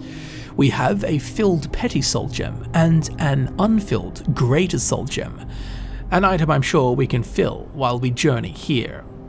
Also important to note that if your character's conjuration skill is level 40 or higher, unlike my character, a copy of the spell tome Conjure Seeker will also be found here. Using this will teach you the appropriate spell which will allow you to summon a Seeker to fight for 60 seconds. It's also important to note that this spell is not affected by the Twin Souls perk. Nonetheless, a welcoming addition to your magical arsenal. Now with our pockets clinking, and our conjuration spells bolstered, we may retake the ramp upwards to the crest and then trot merrily down the other side drawn to the bright light like a moth priest to an elder scroll, where in a small room lit brilliantly by a font of magicka brimming with preternatural potency and a willy-willy of rustling pages eddies animatedly, there is an ornate display stand upon which rests opened and with dancing diction a book that will transport us to chapter 3 of this apocryphal realm, Hidden Twilight. Huh. Now, the narthex of Chapter 3 is a busy entryway with tilting tome towers, tempted to topple at any moment as they sway strangely. Papers blend in unordered squalls, and the musty air smells of an unknown yet familiar musk. Here we find ourselves in a library of layers, lean passages of leaning rickles, cobbled variably to shape vertiginous vestibules. As we mourned through the first few twists and turns, a large opening will bear itself before us. But before we push forth, we must turn to the left at the font of stamina, as nestled snugly into a nocturnal nook is a pod hiding from unattentive eyes, within which we can find a sum of 18 gold pieces, along with a lesser soul gem, which is currently unfilled. Oh, and look, an old friend a copy of the book titled The Poison Song Volume 2, written by none other than Bristin Zell. This is part 2 of 7 in a series that is an epic and historically inaccurate saga set in the aftermath of the war with the Dwemer and House Dagoth. Oh, and it looks like the postman really cocked up, as we also have the Windhelm letters authored by a lady named Raylia. How did the courier get that so wrong? Apocrypha and Skyrim not even the same postcode. Anyway, this is a collection of letters written in the Second Era by a woman who lived in Windhelm addressed to her husband who lived in Solitude. And finally, we can find a copy of the book titled Words of Clan Mother Ahnissi, or fully titled Words of Clan Mother Ahnissi to her favored daughter, authored by a Khajiit clan mother named Ahnissi, who would have guessed? This tells of Khajiit's explanations of the origins of the world. But now that we've prodded the pod, we will walk on out into the inland lake presented before us, with a narrow ford that leads to an island, beyond which is an extremely menacing and fortified facade of scaled and filled stone arches, forming a stern bulwark of biblical proportions. But such impositions are backseat, as when we arrive at the raised island which swims within the lapping lethiferous lock of lichen pitch sludge, we'll notice that the stairway forward is fully retracted and not a single step up or down can be made. Yet another of Apocrypha's jaunt, halting obstacles for us to correct. So, spinning elegantly 180 degrees around and inspecting the strange structure we originated from, we'll notice there are actually lattice ramps leading upward on both sides to the rooftop of the layered library, a feature that birthed its name. Gauze sheets have been molded and formed into a gambrel canopy, which one can walk upon, at the central edge, acting like a rostrum, there is a scryer placed with such symmetrical precision it stinks of a mantic mechanism. Activating it will initiate the needed stretching of the retracted steps, pushing four sets of stone stairs out from the base of the island in all directions. Now, we may climb up and inspect the enticing atoll, where we'll be suddenly met by a seeker, seemingly seeking to only do one thing, that being annoying us and our otherwise pleasant sojourn. While our personal endeavour and aspirations are blinding, in reality this Daedra is just fulfilling its purpose. With that said, however, it will need to be dealt with for our best interests, as being subject to a bludgeoning of telepathic blasts is not currently on our to-do list. Now this ring of rock effuses a ghastly green fume, which appears to illume the area with that accursed toxic lime coloration. On the western side of the platform beneath Beneath the hollow stone spire rests two altars, split by an ichthyic totem and a plinth between them. The ancient table on the right is devoid of anything interesting, just three ruined books. Now the plinth in the middle bears some more scrappy and beaten books, but also has atop it a soul gem. This is a filled grand soul gem, handsomely valued at 500 septims and the altar on the left bears two soul gems. One is an unfilled greater soul gem and the other an unfilled grand soul gem. Welcome additions to our soul harvesting repertoires, and with the scant treasures collected, we will trot on and through the opening in the ever foreboding edifice that we face. Once we pass through, we'll find ourselves in a room filled with stimulation. Mountains of manuscripts form visually malefic mounds, seeming to grow endlessly from the complex marbled stone substructures. Concourses, levels, fences, and gateways smacked together to form a rat's maze of knowledge. This is the same area that we briefly spied through the lattice window previously after we successfully traversed the licking lattice tongues. But before we explore the ins and the outs of this busy arena, there is a secret room that we're going to discover.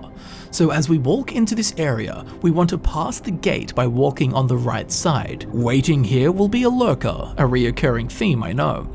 But deathly dangerous nonetheless and should be treated with great caution and wit and met with the sharpest of combat tactics.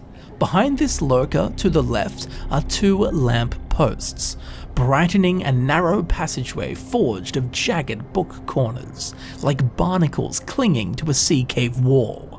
Through here and around an occult bend to the right, we'll find a tiny alcove, the secret room, which is lit alluringly with the pastoral perfume emitted from the font of stamina. Next to this, however, is a hidden chapter, a secret page in the story of Apocrypha, reserved for the curious explorer willing to probe the rarest recesses others dare not even contemplate. Touching this book will transport us to chapter 4, where we will find ourselves immured within a lean and shallow hallway, with a seeker awaiting our arrival, as so he may test some new spells. Now beyond the speaker is a lamp post, which would seem to produce no light. While the bulb is glowing, the area at the base is dim and unlit by its overarching lamp. Along with the lightlessness, also at the foot of the post is a scryer. Now backed up behind the two are several layers of lattice, two of which appear as gates, but the closest to us is nothing more than a wall. Now if we activate this scryer, the gateway on the right will unlock and be swung open, just as its mechanisms intended. But that doesn't do much for us here and now. It would seem this is a secret puzzle we will have to complete later on, and oh, we will. But given that we have done all we can for the time, we'll want to about face and use the Black Book chapter where we entered to exit back into chapter 3. We will now walk the same path as before, just backwards. Or more, we will walk forwards, just going back the way we came. Although you could literally walk backwards if such things interested you. Anyway, once we reach the very spot where the lurker is or was, depending on whether or not you have dealt with that particular danger already, above this very spot, if we tilt our heads back and gaze on up, we'll see there is a platform with a scryer on it. Luckily, there is a stunted series of short steps, followed by a steep serrated ramp providing access to this upper balcony. Now placing our hand on the strange mechanism and activating the fleshy scryer will trigger a low screech in the distance as the locked gateway binding shut the fenced hexagonal narthex which was blocking our way is unlatched and the corroded doors swing open, through which we will wander onwards, conquering worn step after worn step. Once we reach the lattice floored ballroom, the gate ahead is sealed shut. Hmm, someone needs to stop closing these doors. Now, instead, we will have to veer to the right and pass under the raised platform. Shortly thereafter, yet another set of steps and ancient stairs will be revealed. Connected to the landing is a lattice ledge sticking to some stone like some organic membrane. Following this slightly inclined pathway around the cyclopean spire of tome and codex, we'll find ourselves on a poor excuse of a mezzanine. At the furthest edge is a lamp post, beneath which is a scryer Activating this will unlock the Lich Gate that mitigated us from further exploration of the unknown. Now we may progress freely, climbing this final set of archaic, chipped, and time tortured stairs will lead us into a small maze of corridors and passageways, laid out rather geometrically and symmetrically but there are many dead ends, walls, and fallen structures to hamstring our journey. Also be careful, as there is a seeker that lingers within these halls, waiting for a poor fellow to prey upon. Soon we will find the true path and see a book-swollen aisle with a light bearer hovering above some objects of interest but as we approach, a dizzying display of hypnotic architectural engineering will unravel before our eyes, creating an illusion that makes us question our depth perception and our very own sight, as a wall extends backwards like a cursed and colossal accordion. But shortly after completing its mystical performance, we'll see two open black book chapters at the finality of the lattice lock labyrinth, but before we get to them, however, we must inspect the area which we originally thought was the terminal point of this passage. To be frank, there isn't much of Excite, with two plinths bearing nothing more than a handful of ruined books that serve no purpose at all to us mortals, but sitting against the stone corner is a pod. Within its wretched glowing golden jaws we can find a copy of the book titled Feyfolken, Volume 3, authored by one Waughin Jarth, a notable Breton writer having 25 publications under his belt. He must have one big belt to fit all those books under. Now this is a retelling of the great sage and immortal Breton wizard of legend, Gyron Varden Groet's tale of Artaeum, Psijics, and robotic enchanters. In here we can also find 13 gold pieces, and also one common soul gem that is currently unfilled there is also a copy of the ever-present Poison Song Volume 2, authored by our already good friend Bristin Zell. Now this is of course part 2 in a 7-part series, which is an epic and historically inaccurate saga set in the aftermath of the war with the Dwemer and House Dagoth. And finally, there is a copy of the book titled The Red Book of Riddles, which has no known author. As the name suggests, it is a red book and contains some riddles, and terrible ones at that. But now we can stroll on up to the end of the illusory vestibule, where we will face two choices. Chapter 5 on the left and Chapter 6 on the right. Chapter 6 will take us on our journey towards the end of this black book, but first we're going to explore Chapter 5, as this will take us to somewhere we've seen before.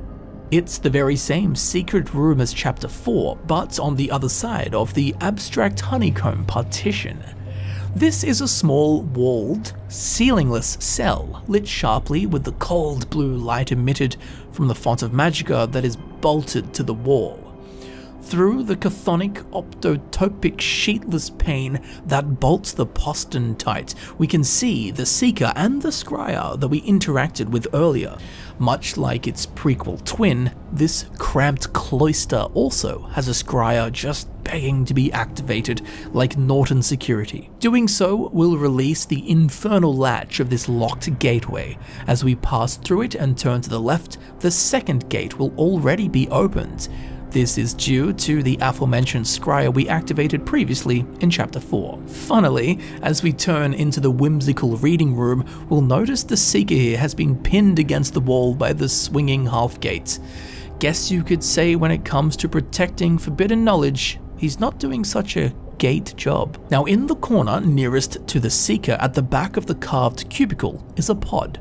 Inside it we may find seven gold pieces, along with a copy of the book titled A Short History of Morrowind, authored by one Jeanette Sitte. This is comprised of several brief sections describing a broad overview of Morrowind, and a large section specifically detailing the island of Vvardenfell my home. We can also find in here a common soul gem, which is currently unfilled. There is also the spell term Oak Flesh. Using this will teach us the alteration spell of the same name, which when used will improve the caster's armor rating by 40 points for 60 seconds, the most basic of mage armor spells. We also have a copy. Oh, look at this! The Poison Song Volume 4, authored by. Oh, who knew? Bristin Zell. Haven't heard that name before. Now this is of course part 4 in a series of 7, which is a historically inaccurate epic saga set in the aftermath of the war with the Dwemer and House Dagoth. And finally we have a copy of the Poison Song Volume 6, which I'm sure you can fill in the rest of the info for yourself. What's that? You can't? Okay, well, it was authored by Bristin Zell and is part 6 in a 7 part series, which is a historically inaccurate epic saga set in the aftermath of the war with the Dwemer and House Dagoth. But now that we have all of that completely new information, definitely nothing in there we heard before, we can turn with our attention ablaze to the true hidden gem of this secret room, the Altar of Arcane Articulation, an enormous ingot of time-worn stone, atop which is five books, and not just any books, as here rests the most particularly peculiar pentalogical parchment platter of preternaturally perdued prestidigitations. We will return to the specific significance of this sorcerous selection after we learn exactly what we have laid before us. So firstly, on the left of the literary line is a copy of the Illusion Skillbook titled Before the Ages of Man, or fully titled Timeless Series Volume 1, Before the Ages of Man, authored by one Aicantar of Shimmerene, an Altmer active during the early Second Era, and Sapiarch of Indoctrination of the Lillandril-based College of Sapiarchs. This text chronicles the major events of the Dawn and Merithic eras, and will naturally increase your illusion skill by 1 upon reading, provided of course that your eyes are virgin to its teachings. It also has a very nice value of 60 gold, which is a great contrast to the majority of books here, which are ruined. To its right we have a copy of the Conjuration skill book titled 2920 Volume 9 Hearthfire, or fully titled Hearthfire Book 9 of 2920, the last year of the First Era, authored by one Carlovac Townway. This is part 9 of a series of 12 that relate the historical happenings of Vivec and the Empire at the end of the First Era. And although in the Elder Scrolls V Skyrim there are 12 books in the series, known as a dodecology, within the Elder Scrolls Online an additional 15 books have been added, making the series 27 books, which is known as a heptaicosalogy, a technical phrase I doubt you'll ever hear again, for good reason. But back to this book. Of course, if you read it and you haven't read it before, it will increase your conjuration skill by one point which is lovely, and so is its value of 50 gold. To its right rests the Alteration skillbook titled Breathing Water, authored by Haliel Myrm. This retells events of adventure through Morrowind and certain lessons on water breathing. Naturally, reading this book will increase your alteration skill by one point, provided you haven't read this book before. It also has a handsome value of 60 gold. Lying on top of this is a copy of the Restoration Skill Book titled Racial Phylogeny, or fully titled Notes on Racial Phylogeny and Biology 7th edition, published by the Council of Healers from the Imperial University, of course located in Cyrodiil. This codex muses on the similarities and differences between the races of Tamriel. It has a rather unusual but not alien value of 55 gold, and reading it will increase your restoration skill by one point unless of course you have read this before. And finally on the very right side in this line of publications is a copy of the Destruction skill book titled A Hypothetical Treachery, or fully titled A Hypothetical Treachery, a one act play authored by Anthil Morvir. This is a rather lengthy one-act play involving two battle mages, a healer, a barbarian, a ghost, and some bandits set in Eldenwood. It also sounds like the start to a weird Tamrielic joke. Now picking up this book for the very first time will increase your destruction skill by one point, unless of course you have read this before, and it also has that strange value of 55. Anyway, now that our magical skills have been boosted, let's discuss the curious nature of this selection of tomes. Each five books are skill books for the five arcane arts that involve spellcasting, those being alteration, conjuration, destruction, illusion, and restoration. This is a hidden pocket of Apocrypha reserved for the most inquisitive explorers, housing a broad array of magical knowledge hence the name of the finds, the Altar of Arcane Articulation. Curious how such teachings have been selectively hidden, given the rest of the realm seems to be orderless, at least from a mortal perspective. I just wonder who locked these away with such secrecy and why they did so. Very curious indeed, but a lovely find to satiate our spell-binding sojourn into the most occult corners of Hermaeus Mora's Plane of Oblivion, Apocrypha. But now that we're done here and have sapped the wizardry from these works, we may exit this secret hidden room the same way we came, by entering the open black book that will return us to the end of chapter 3. Here we will have the same two options as before, but given that we have gone left and finished chapter 5, we will now delve into the dull doorway of chapter 6 on the right. This will transport our meager mortal selves to an area I can only describe as the uninteresting arcade. A small, crooked colonnade filled with debris and rubble as sections of the upper structures have collapsed due to some dire erosion native to this plane. Inert fonts gasp lifeless and useless and meaningless passages lead to sudden terminations at the end of which, however, the walls will open up and enclose an outdoor and most magnificent Maxura, it would seem, lit in contrast to the rest of the area by the vile green gleam from the font of stamina. Here on two plinths sit yet two more chapters for us to choose between, chapter 7 on the right and chapter 8 on the left we will first slipstream through the spinning script into Chapter 7, as is required for completion of this realm. This will take us to a tilted atoll at the edge of the greasy grime sea, a final bastion before an infinity of toxic drownings. Here, on the opposite side to which we entered the island, there is a font of magicka burning brightly. Standing at its base is a seeker, prepared to defend this rather important location as it holds the keystone to finalizing our journey through the apocryphal realm of hidden twilight.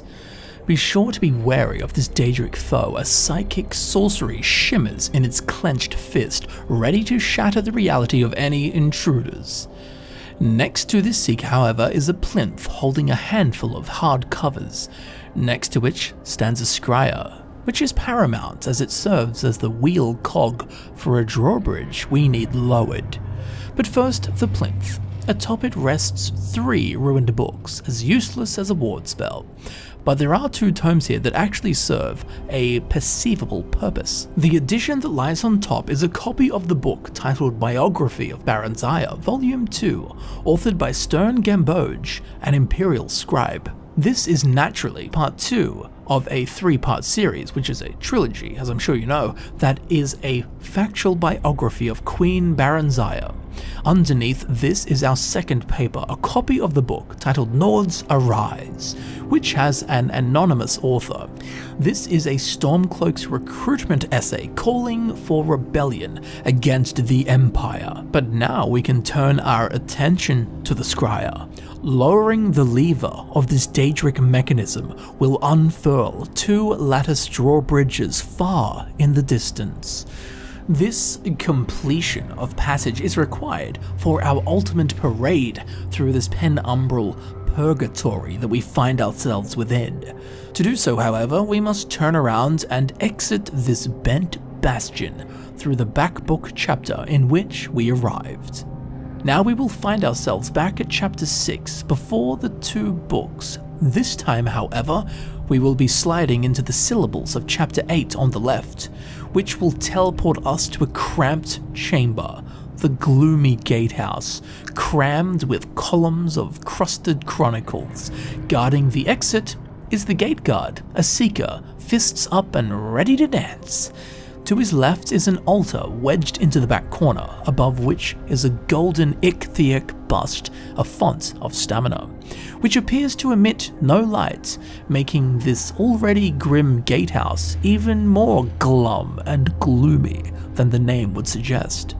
Upon this altar are a smattering of ruined books, barely visible in this eye-straining dimness. But we can also find two soul gems. One is a black soul gem which is filled and ready for the dark arts. The second is a filled grand soul gem, also ready to be used in the arcanium of enchanting. Once these bewitching baubles have been collected, we may pass the gatekeeper and pass across the drawbridge that we recently extended, walking over the moot moat of Mucilent Morass. Ah, now, at the other side of which is the Courtyard of Conclusion, a rather spacey paved pavilion where several golden statues of ungodly creatures stand, like columns or tombstones in an otherworldly graveyard. Also be warned of the small, inky Icarus ponds on either side of the nave, as they contain those perpetually punishing tentacles. Also note that sometimes here there will be a lurker, but as it would appear, not today, thank the Nine. At the center of the back wall is a huge gate with a scryer placed before it. Activating this will cause a metallic thud and low screech as the cursed carbon carved doors sway open, allowing us to proceed to our ultimate goal. Now, with fixed focus and determination of this extraterrestrial terrain within minutes of our grasp, we march sternly along this final stretch of lattice walkway, passing between two lamp posts at the mid and onward to the Shrine of Celestial Spoils a circular stone structure seemingly supported by a monstrous and swollen tube of piled writings. Sharp and simple arches form bizarre balustrades along the outer edge. A tentacle column vines skyward, seething silently with viridian vitality. Pure knowledge courses upwards as venomous green vapor, above which writhes the vilely vivacious void, spewing and spawning seas of succulent and eternally searching tentacles of the golden eye Hermaeus Mora. At the base of it all is a plinth holding a beating black book, but we will return to this in a minute or two, as there is a ripe feast of curious random leveled loot to be plundered and plucked. Firstly, the altar to the right of the Black Book. This lays claim to a meagre smattering of items, including a few specks of ruined books, which are as useless as ruined books. Funny that. There is also a filled Grand Soul Gem boasting a beautiful value of 500 gold, along with a scroll of Ebon Flesh, which is worth 250 gold. Not bad. Now using this will cast said spell, which will increase the caster's armor rating by 100 points for 60 seconds. Now the altar to the left of the Black Book bears a bit more of a bountiful selection. There are a few piles of ruined books to ruin our day, but at the leftmost edge of the slab is a scroll of Grand Healing, which has a value of 250 gold once again. Naturally using this will cast said spell, which will heal the Dragonborn along with allies close by for 100 points of health. To the right of this scroll rests two black soul gems. One is unfilled, and the other pulsates with anima of the soul trapped within. On the right side of the altar is a filled grand soul gem ready to be used to imbue an iron dagger for the purposes of power leveling enchanting. And on the rightmost edge of the stone is another papyrus. This is a scroll of paralyze, which has a value of 250 gold. Using this will cast said spell and will paralyze foes who fail to resist for 10 seconds. Interestingly, this scroll of Paralyze can only be found in one other place within all of the Elder Scrolls V Skyrim and all of its DLCs, that place being Mzulft. The second place it can be found right here, or now more accurately in my back pocket. But this rare scroll is rather reminiscent of the scroll of Stormthrall that we found within the Soul Cairn's Curating Curious Curiosities episode. Anyway, to the left of this altar there is a container known to contain copious booty. This is of course the ever-prized vessel. Within it we can find a pair of glass gauntlets, and as we know, people who wear glass gauntlets shouldn't throw stones. In here though, there is also a copy of the book titled Bone, Volume 2, authored by Tavi Dromio. This is the second and final volume in a duology explaining the invention of bone mold armor. In here we can also find a copy of the book titled Cleansing of the Fane, or also known as The Chronicles of the Holy Brothers of Marukh, Volume 4, which has no known author. This is essentially fragments of a script written by a member of the Alessian Order. We can also find a copy of the book titled Flight from the Thalmor, authored by Ashad ibn Khaled, High Scribe of the House of Quills in Hammerfell. This is the written epitaph of a Nord skald named Hadric Oakenheart. In here, there is also the sum of 185 gold pieces, some nice pennies to pinch. Now, there is also a copy of the book titled History of Raven Rock, Volume 2, authored by one Lirin Teleno. As the name may have hinted, this is a historical documentation of the history of the once East Empire Company mining village on Solstheim known as Raven Rock. And finally, we can also find a petty soul gem that is unfilled, but I'm sure we can find some meddlesome fool to put within it. And now that our pockets are bursting at the seams with plunder, we may turn our attention to the nexus of knowledge that rests before us, the Black Book, Hidden Twilight. When we, ever so daring, peel back the heavy corroded cover and peer into the cacographical cacophony of coded calligraphy, three orbs will muster from within and rise up taking full blinding form, hovering ethereally inches above the cryptic pages of the Black Book. Three spheres of forbidden knowledge, three rewards for us to choose between, gifts from the guardian of the unseen Hermaeus Mora.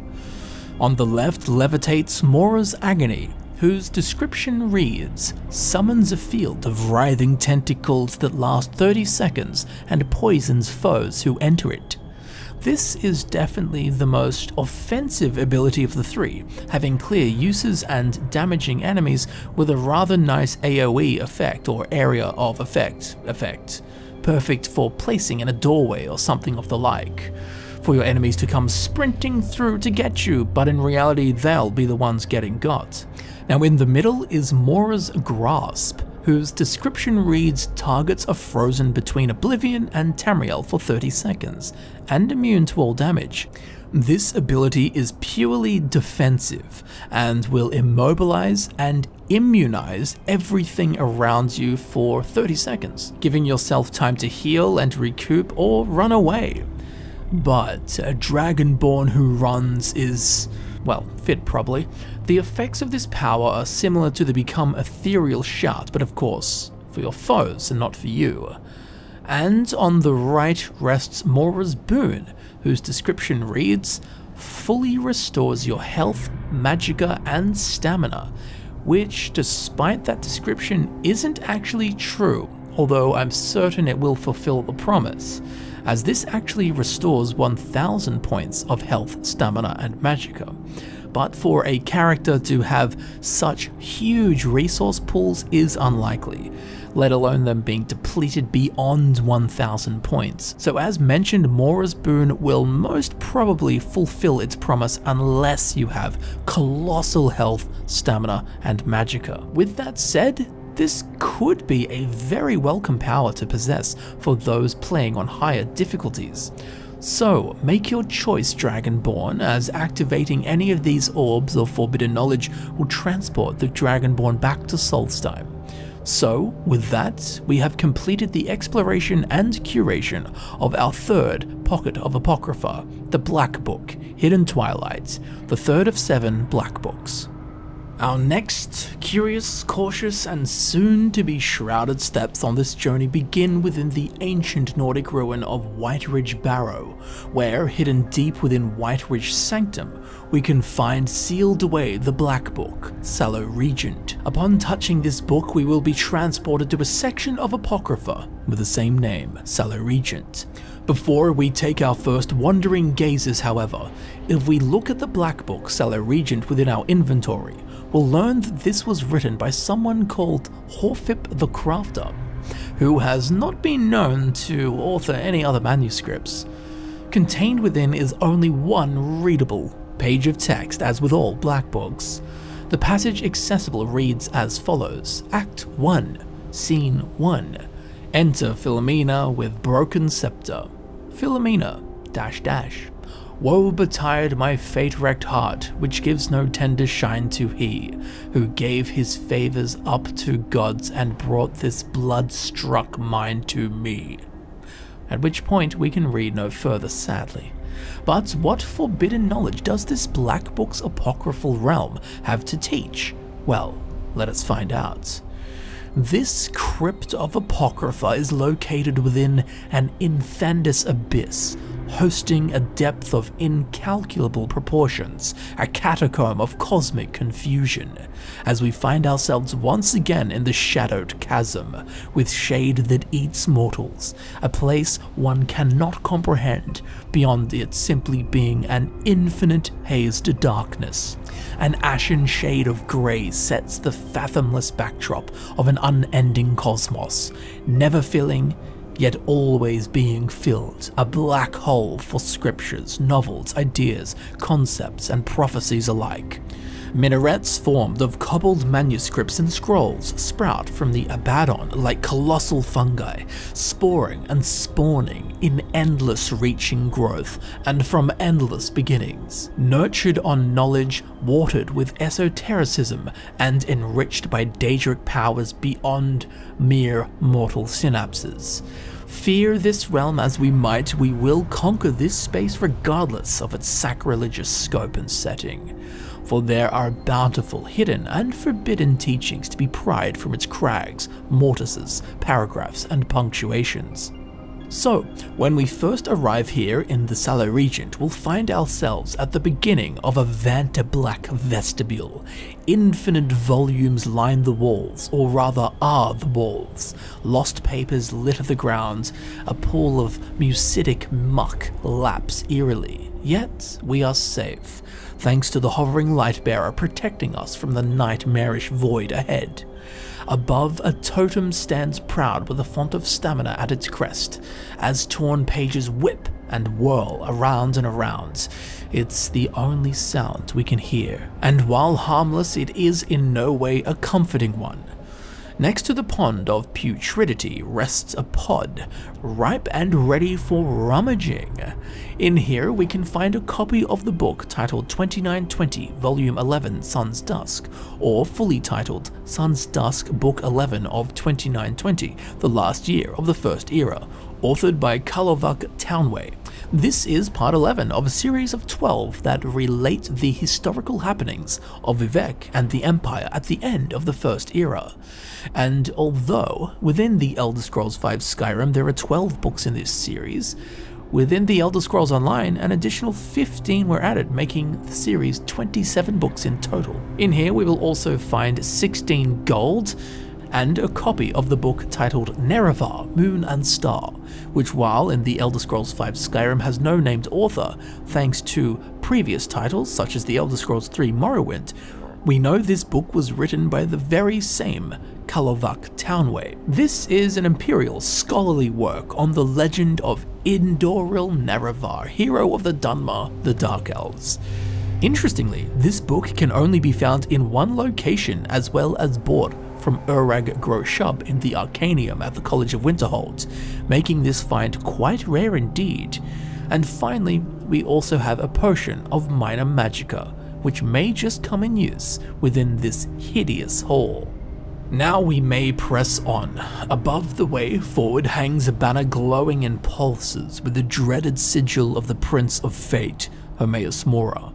While a light bearer does scoot swiftly up and down this passage, it's hardly a safe journey, as there is no light here, only the deathly darkness.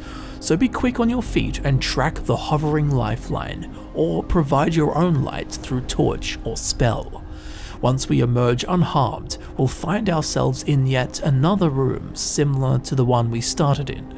A lamppost stands, bathing the surrounding area in supreme solace, casting its warm lambency unto our cold flesh. Several light bearers also dart and linger above our hair, helmets, and hoods, brightening this pocket even more so, giving us respite in this maleficent maze. The petite puddle of toxic sludge is almost entirely filled with the ever-gazing eye of the master of the tides of fate, Daedric Prince Hermaeus Mora. Glaring, blinking glacially, observing every action within every distant corner of this wretched bibliotheca. Now behind this omnipresent peeper, cloaked in shadow tucked into a rayless ingle nook is yet another pod, only to be picked by the most daring adventurer, willing to risk with flirting on the edge of light and darkness, just to pry open the ghastly jaws of this pod, within which we can find some random leveled loot, no doubts, such as a copy of the book titled Deathbrand, or fully titled Deathbrand, A Pirate's Tale, authored by Artis Drallin, a House Redoran scribe. This tells the final times of a famous Nord pirate named Haknir Deathbrand, who can be found in-game, and I do have full guides for his unique armor set and his two blades, Soul Render and Blood Scythe find those on my channel if you're interested, but reading this book will also begin the quest titled Deathbrand, provided of course you're not already on the quest or you have not already finished the quest.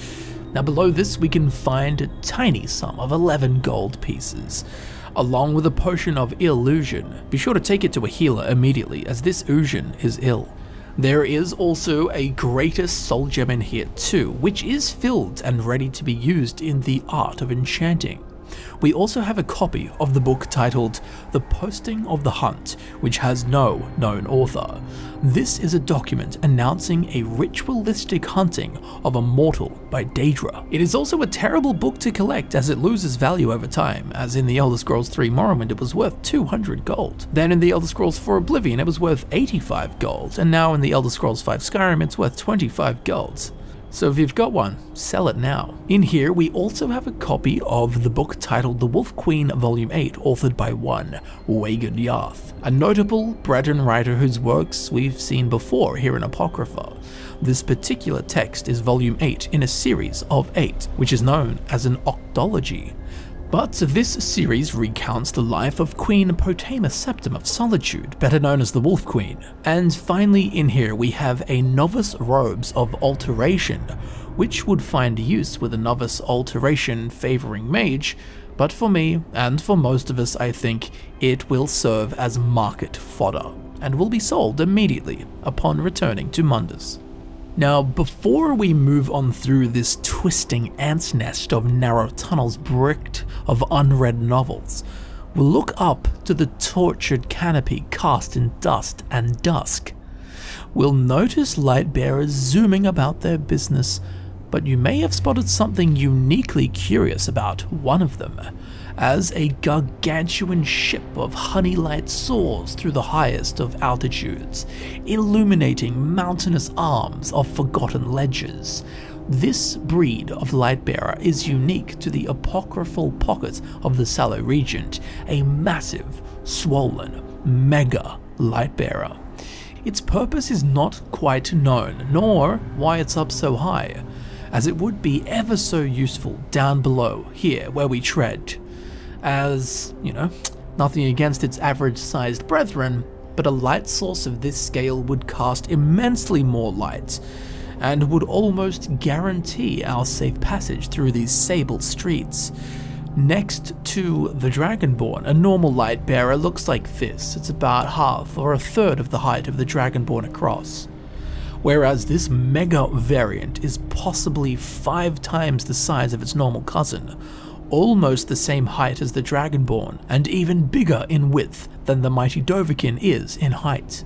Like some kind of deep sea jellyfish from another planet, or in this literal case, even more alien, as it is from a different dimension altogether, floating seemingly aimlessly, but with a distinct and set route, a path that it follows and circulates over and over into infinity like all light bearers. And while this giant object or creature is unique to the Sallow Regent, we will see a handful of others throughout our stay here, which I will point out when we come across them. For now though, we'll leave this colossal drone to go about its business, dancing high up in the steeples of scripture and scroll. Now though, it's time to push through the curtains of cold black death that cloak night-chilled network. We'll move through a short hall before turning right up a steep ramp, an incline inked in a mort absence of visibility. There is a light bearer every now and then that races swiftly up the passage. Staying within its basking glow is difficult but life-saving. You can of course use your own sources of light such as a torch or with a candlelight spell. Once we emerge from the darkness, well, we'll still be in darkness, just slightly less so, as we wander out into a reaching gallery of books piled so high they seem to fade into the chasm above or below, as we don't really know which direction is where just able to be made out is a huge void portal of tentacles slithering and searching for any new academic tokens to be gathered and stored in the never ending nexus of knowledge. Now, as soon as we exit the rampway, if we turn to the left at the base of an ever so comforting lamppost, we'll see that there is a pod Inside of it we can find a sum of 18 gold pieces, along with a copy of the book titled Nchunak's Fire and Faith, which has no known author within the Elder Scrolls V Skyrim. But thanks to the Elder Scrolls III Morrowind, we know this book to be written by Nchunak, who was a notable Dwemer believing in the teachings of Kagrenac's theories. This text follows Nchunak's journey among the Dwemer and his attempts to understand the teachings of Kagrenac. In here, we also have a potion of minor healing, not that helpful to us, but great for healing children, or people that dig tunnels. In here, we can also find a petty soul gem. Sadly, this is unfilled, but along with this, there is also a lesser soul gem that is filled, and ready to be used to enchant a dagger. I mean, what else do you do with soul gems? There is also two copies of the book titled The Poison Song Volume 1, just as I was beginning to miss these books. Here pops up two at once, what a lucky duck. These are of course authored by the most mentioned character after Hermaeus Mora in this video, the classic Bristin Zell. This is of course part 1 of a 7 part series that is an epic and historically inaccurate saga set in the aftermath of the war, with the Dwemer and House Dagoth, as you may have suspected. And finally, we can find a copy of the book titled The Real Barenziah, Volume 2, which has an anonymous author, but we know in lore that it was written by one Plitinius Mero, an imperial savant who can actually be encountered within the Elder Scrolls III Morrowind's expansion Tribunal. Now this book is part 2 of a 5 book series, which is known as a pentalogy, Interestingly, within the Elder Scrolls II Daggerfall, this series was originally a 10 book series, but has been condensed to 5 in later games. This book is an unauthorized biography of the famous Queen Mother of Morrowind, Barenziah, Karliah's grandmother.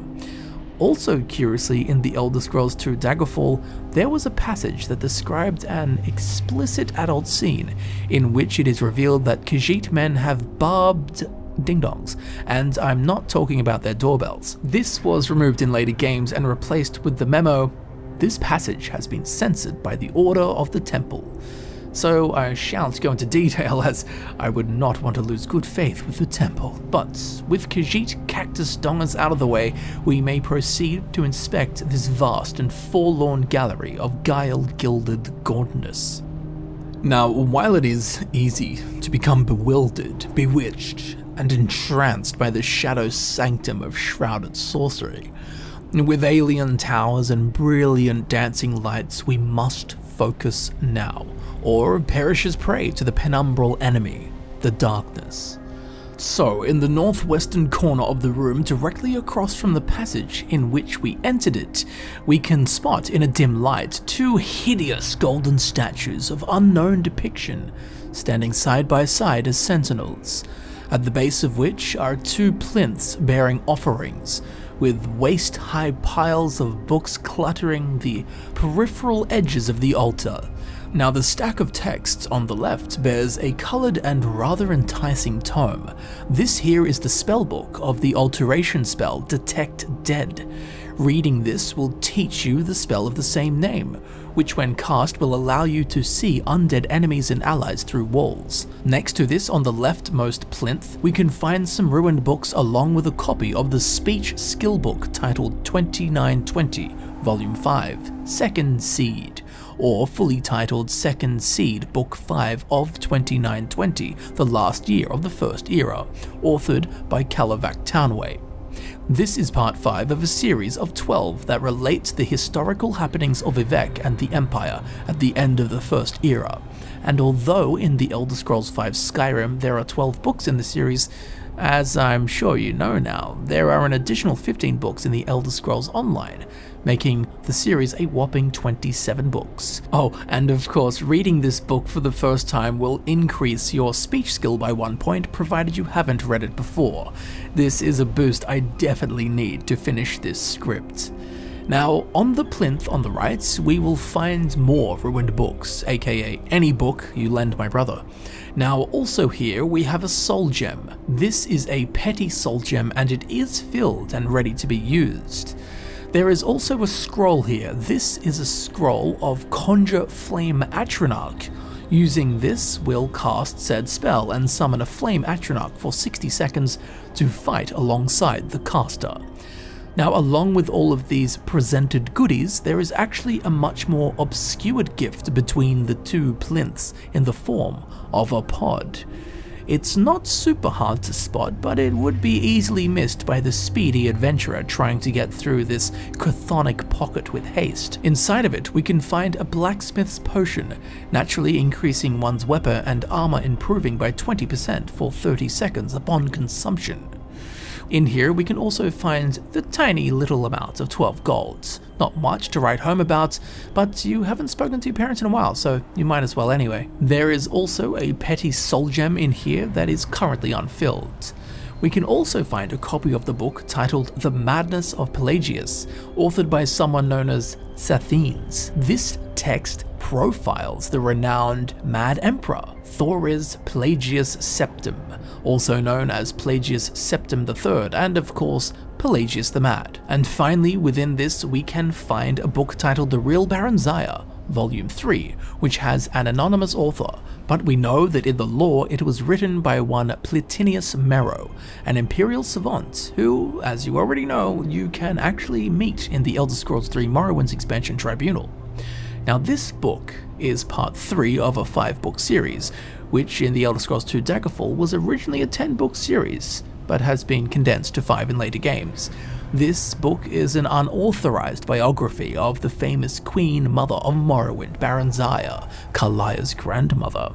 Now, along with all of these bits and pieces, there is also something unseen, lurking in the shadows, only to be found by the boldest adventurer willing to risk the consuming shadow. As behind the plinths and pillars, hiding out of sight like a shivering mouse in a cat owner's homestead, lying on the ground next to the pod is another scroll. This is a scroll of candle lights, which upon use will create a hovering light above the player that lasts for 60 seconds. No need to mention that this will come in great use within these wicked halls of torturous tenebrosity, providing a life source for the Dragonborn to traverse unharmed. For a time, of course. It's also interesting to mention that the Scroll of Candlelight can only be found in two other places within the game, those being Calcelmo's library and in the Tower of Mzark. So rather curious that we can find one here, but then again, Apocrypha does contain all known knowledge, well, most of it. At least that which Hermaeus Mora can get his hand, hmm, tentacles on, I should say. Finds like this just make me wonder what other curiosities are tucked away in occult alcoves and unreached recesses buried within this realm. Uh, now, if we gaze upward at the mesmerizing and measureless miasma muddled mausoleum of manuscripts, we'll notice a huge shaft of light that beams hastily across the onyx inked vaults.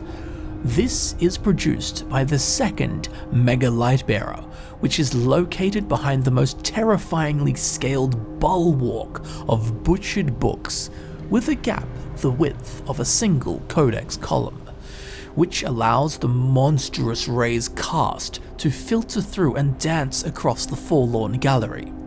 We already know of the oddity that this is, with its abnormally large size and all, so we shan't harp on it for too long, as we've already covered one of its larger kin. Regardless, the fact it exists at all is a curious notion nonetheless. Now, we may boondoggle cautiously through the forlorn gallery, straining our eyes in attempts to peer into the pierceless darkness before us, as misshapen swaths of decaying light canter across the void before us, revealing pugnacious problems amidst the knavery blackness, as through the bosks of books lay Octopian Daedra, seekers, meditating eternally, waiting for foreigners like ourselves, as so they may test their unorthodox arsenal of obscure occultism so be sure to unsheath and display your largest lantern and longest sword, to tread safely through this treacherous trench of total tonalless twilight. But before we slink into the safety of the lamppost on the far side of the gallery, there is something we must inspect. As in the southwestern corner of this moonless mortuary, we can see faint glows of light like fading stars at the edge of the universe, resting below a zephyrinely waggling banner bearing the hideous mark of old Herma With the power of light, we will see that there is in fact an altar here, harboring rather predictable items as usual. But there are some strangenesses here to pique our purient probing of oblivion. A smattering of ruined books linger like receipts in a wallet. There are also two soul gems. One is an unfilled grand soul gem, which will be happy to fill with some foul hellspawn from this realm. Accompanying it is a filled black soul gem ready to be used. It's also important to note that if your character's conjuration skill is level 40 or higher, unlike my character, a copy of the spell tome Conjure Seeker will also be found here. Using this will teach you the appropriate spell, which will allow you to summon a Seeker to fight for you for 60 seconds. As I have already noted before, it is important to note that this spell is not affected by the Twin Souls perk for whatever reason. Nonetheless, a welcome addition to our magic arsenal as it will be nice to put these annoyances, the Seekers, to use and not be battered by them for once. But before we go on, there is one more thing. As if we look behind the altar in a tiny gap between the stone block and the book-bound buttress, there is another soul gem, hidden and almost impossible to reach with our hands. This is an unfilled lesser soul gem, and almost certainly not worth the effort of collecting, but I'm sure that like me, you just can't help it. Curious that this would be here. Did a developer put this here, or perhaps it fell? Hmm, I'm not sure, but with that rather literal hidden gem, we can begin to make our exit from the Forlorn Gallery. As we move between the two lampposts like a portal to the greener grass on the other side, we'll notice that there is actually a pod resting on the ground, like pleasantly placed shrubbery in this wildwood of forbidden files. Inside of it, we can find some random level loot, consisting of 19 gold pieces. There is also a copy of the book titled Nerevar, Moon and Star, which while in the Elder Scrolls V Skyrim has no named author, thanks to previous titles, such as the Elder Scrolls III Morrowind, we know this book was written by the very same Carlovac Townway. This is an imperial scholarly work on the legend of Indoril Nerevar, hero of the Dunmer, the Dark Elves, and the person that our character in the Elder Scrolls 3 Morrowind, the Nerevarine, is the reincarnation of. Interestingly, this book can also only be found in one other location as well as bought from Urag gro-Shub in the Arcanaeum at the College of Winterhold, making this find quite rare indeed. And finally, in here we also have a copy of the book titled Remanada, scribed by an unknown author. This is a fragmented and mythical recount of the alleged conception of Reman and the return of the Chim el Adabal with the people of Tamriel. But now that we've pilfered these goods, we may absquatulate and move forward. Now, passing between two lampposts, we begin our ascent up the ramp shadowed in a hungering darkness. Following a darting light bearer is the only provided way of surpassing such a hurting hurdle. Although of course we can use our own means of illumination such as the classic torch or an alteration spell such as candlelight. Once we exit this tunnel, however, we will emerge into the most fantastic and fractured, fuliginous forest, an infinite chasm populated with indefinably tall columns forged of nothing other than the building blocks of Apocrypha, books and scrolls, standing like the trunks of trees in a wilderness within a giant's world. Lamp posts dot the leather-bound bark like glowing mushrooms. Strings of ladders form walkways like spiders' webs between branches. Totems of stamina sprout like vivid wilderflowers as poisoned pages tumble above like vernal pollens released to spread their sorcerous seed. From varied sources, both indefinable and unknown, luminous pockets of this abstract and Abaddon abashed woodland glow in amber, emerald, and indigo, painting an atmosphere rich with a chromatically enchanting and mystical prismatic palette. Light bearers dart between the megalithic masts like fireflies, illume spectres gliding through the soupy air of the dense underworld underwood. Floating through the colossal fictional fingers are also three mega bearers, the last we'll see here within the Black Book, and in all of Apocrypha for that matter. We know their special qualities at this point, but worth mentioning as they are ever so curious, unique to this area, and rare within this area. So, as we wander out into this willowy wonderland, we will be consumed by darkness. As we push forward, a lattice petal will unfurl like a night blooming flower, creating a bridge for us to cross, where we will find a small platform that is normally entirely engulfed in shadow. But thanks to a torch, we can now see it fully over against the tremendous tendon of text. Surrounded by littered pages is the altar of the edge. Light bearers will occasionally patrol through here, but personal illumination is most certainly the way to go. And by way to go, I mean the way to avoid an agonizing, torturing death via darkness. Now placed upon the cracked marbled sheet is a variety of items for us to inspect. Firstly, a handful of ruined books clutter the corners. Who saw that coming? But most interestingly, there is a copy of the Restoration spell tome, Fast Healing. Using this book, funnily enough, will teach the Dragonborn the Restoration spell, Fast Healing, which when used will heal the caster for 50 points. Which now that I think about it, could in fact be another way to traverse the unlit passageways of this realm. You will just have to heal yourself faster than the void consumes you. Also here, we can find one filled Grand Soul Gem ripe for the picking.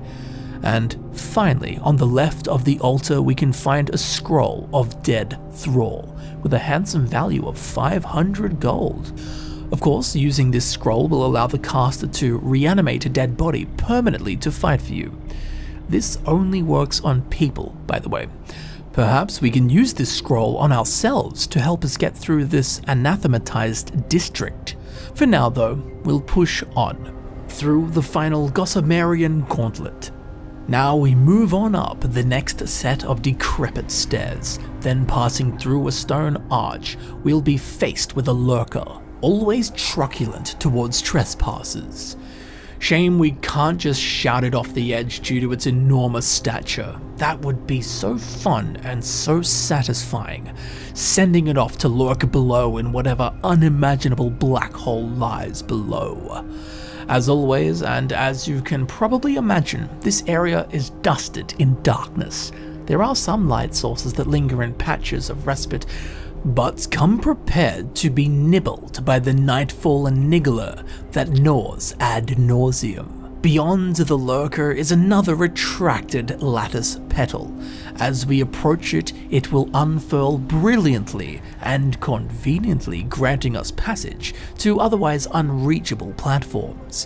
While resting in the lamppost circle of safety, we will turn and see the violent ascent before us shrouded in death. Light bearers do intermittently float nearby, but they are of no help. Only a mortal with a self-sustained light source or a very big health bar can pass through this penumbral portico. At the top of the ramp is a large lattice terrace encasing central pillars of piled papers and publications. Rather fittingly, lurking behind the small spire is a lurker, living up to its namesake. Naturally, be wary and ready to rend this wretched foe back into the void streams of oblivion. But now we climb the ultimate zygomorphic ziggurat, like Zwada zealots and zealotrixes zombified on the zestless zeal of Zany zeitgeists as zeroized Zemiroths zigzag on Zawa swapped zephyrs, we summit the zenithal nexus. Two tentacle columns burst from the floor, surging with sardonic toxic green energy, behind which rests a palatial treasury plump with piquant plunder. A light bearer rocks to and fro above the patio, providing phosphorescence, allowing us to peer upon the two altars, vessel, and black book that await us in reward for completing this cheerless chapter. Firstly, we will inspect the altar at the back left, dotted with ruined books and a smattering of soul gems. Here we can find two black soul gems, one is filled and one is unfilled. And they are balanced out with two greater soul gems, one of which is filled and the other is unfilled. Now, the altar at the back right is stained by the presence of two ruined books, but there is also a scroll of Conjure Storm Atronach, which has a value of 250. Of course, using this scroll will cast that very spell, and will summon a Storm Atronach for 60 seconds to fight alongside the caster. But there is also a copy of the spell tome Flame Thrall, a very rare and sought after book with a value of 1260 gold. Reading this will teach the Dragonborn the spell Flame Thrall and add it to your magical repertoire. Now this is a special spell as casting it will summon a flame Atronach to fight alongside the caster. However, it has no duration and will stay by your side until it is killed or turned. It is also incredibly rare and can only be found out in the world right here, where we find it within Apocrypha. The only other way to learn this spell is to complete Phinis Gestor's Conjuration Ritual spell at the College of Winterhold, which requires at least a conjuration skill of 90 to acquire and complete. So finding this book right here for the taking well, it may seem easy now, but after what we have been through, this sporadic mystical manuscript is a most fitting reward. But adding to the wondrous windfall, we have a plump and bulging vessel between the Black Book and the altar on the left side. Inside of it, we can find a copy of the book titled Bone, Volume 1, authored by Tavi Dromio. This is the first volume in a duology explaining the invention of bone mold armor. Below it is a copy of the book titled The Fall of the Snow Prince, authored by one Lochheim, chronicler to Chieftain Ingildir White Eye during the Merethic era. This is an account of the Battle of Moesring, the final battle between Ysgramor's forces and the Snow Elves. we know how that turned out. Along with these books, we can also find one garnet, which is a gleaming gem that has a value of 100 gold. In here, we can also find 59 gold pieces, which is 10 short of being pretty funny. There is also a copy of the book titled Songs of the Return, Volume 24, or fully titled Songs of the Return, Volume 24, the first tale of the Krillot Loch, written by an anonymous author. This tells parts of the traditional legend of Ysgramor and his 500 companions. And despite being volume 24, there are only 5 volumes found within the Elder Scrolls V Skyrim, the highest number being volume 56. So who knows how many volumes there actually are. Also worth noting that this is one of four locations within the Elder Scrolls V Skyrim and all of its DLCs where this book can be found. But up next, look at this, it's our long lost friend, a copy of the book The Poison Song Volume 7, authored by one Bristin Zell. This is part 7 in a series of 7, which is a historically inaccurate epic saga set in the aftermath of the war with the Dwemer and House Dagoth. In here we can also find a copy of the book titled The Seed, or fully titled The Seed Ancient Tales of the Dwemer Part 2, authored by one Marobar Sul. This is the second book of a seemingly incomplete series of fictional stories about the Dwemer, and in here we have something that I am interested in, an Amulet of Dibella, which increases speech by 15 points. So this is something we need to put on, so that we can venerate Dibella by performing scandalous acts. And finally in here we have a pair of elven gauntlets. But the true prize awaits us, the Black Book of the Sallow Regent, now that we're fearless after passing through the hellish nightmare of this apocryphal pocket, we can tear open the thick, hideous covers and peer upon the paradoxical pages. When we do this, three orbs will muster from within and rise up, like the Nords, taking position perched above the dancing dialect below. Three spheres of forbidden knowledge, three rewards presented to us brave champions. On the left is the Seeker of Might, whose description reads 10% more effective combat skills, 10% improved smithing. This actually increases attack damage, block amount, tempering health, armor rating, and of course the smithing skill. An obvious choice for those who deem themselves as mighty warriors or seasoned smiths, at the center is Seeker of Sorcery, whose description reads, all spells cost 10% less magicka, enchantments are 10% more powerful. This does exactly as the description reads, making it a wonderfully powerful choice for any spell chuckers or those who consider themselves skilled enchanters.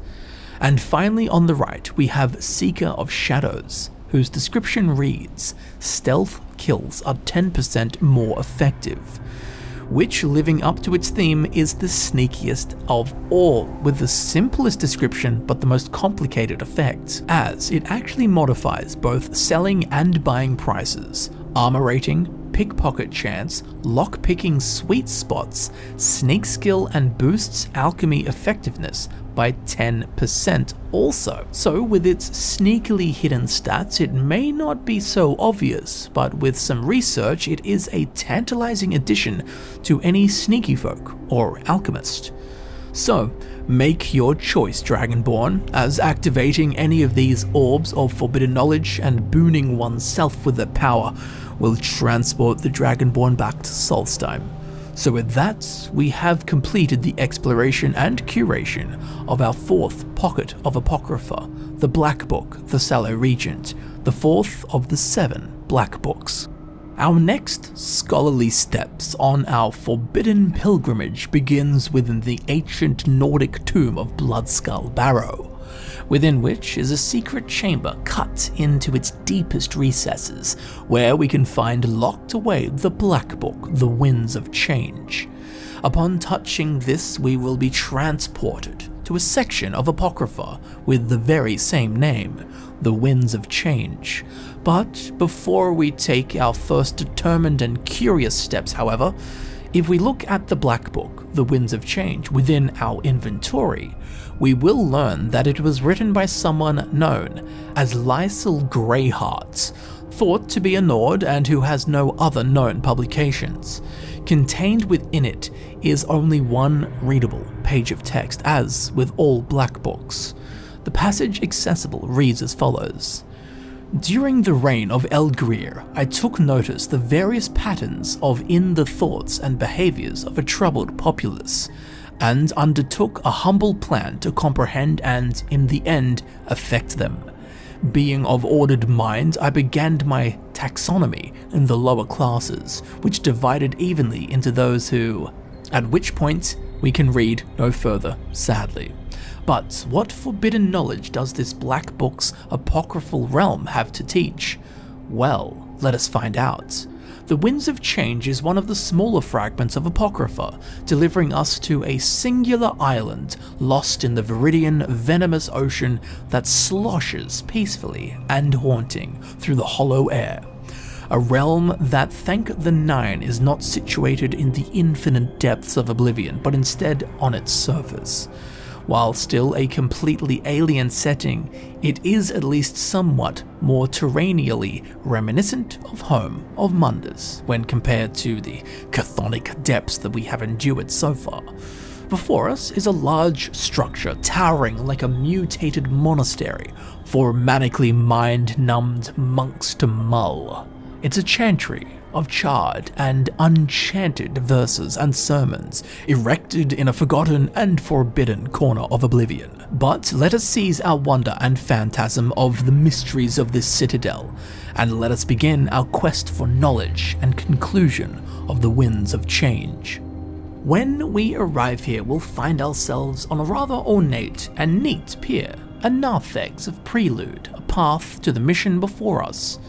Lamp posts light our way along the lattice webbings, forged of an unknown and corroded alloy, as the mucilaginous muckmire undulates below. Torn pages pepper the promenade, some rustling gently in the soft breezes of the heavy, stale air. Huge, cephalopodic eyes rise in slow motion, blinking dawdlesomely harvesting observations for the Lord of Secrets, old Hermaeus Mora, as he is ever watching, ever knowing. Soon we will ascend up two tiers of ancient stone steps, passing plinths ripe with ruined books. After we mount the stairway, we'll arrive at the Hermit's Henge, an open area with five plinths, four in a ring and one offset in a corner. At the center of the ring is a small pond of that meddlesome ooze, no doubt harboring cruel tentacles waiting to whip and wallop any who venture too close. Now, the northern plinth bears nothing more than a librarian's sorrow, a scattering of ruined books. It's also important to note that if your character's conjuration skill is level 40 or higher, unlike my character. A copy of the spell tome Conjure Seeker will also be found here. Using this will teach you the appropriate spell, which will allow you to summon a Seeker to fight for you for 60 seconds. As I have already noted before, it is important to note that this spell is not affected by the Twin Souls perk for whatever reason. Nonetheless, a welcome addition to our magic arsenal. The Western Plinth presents similar besotted books, but there is also a soul gem that can be found here. This is a common soul gem, and it is filled too, ready to be utilized in the arts of enchanting.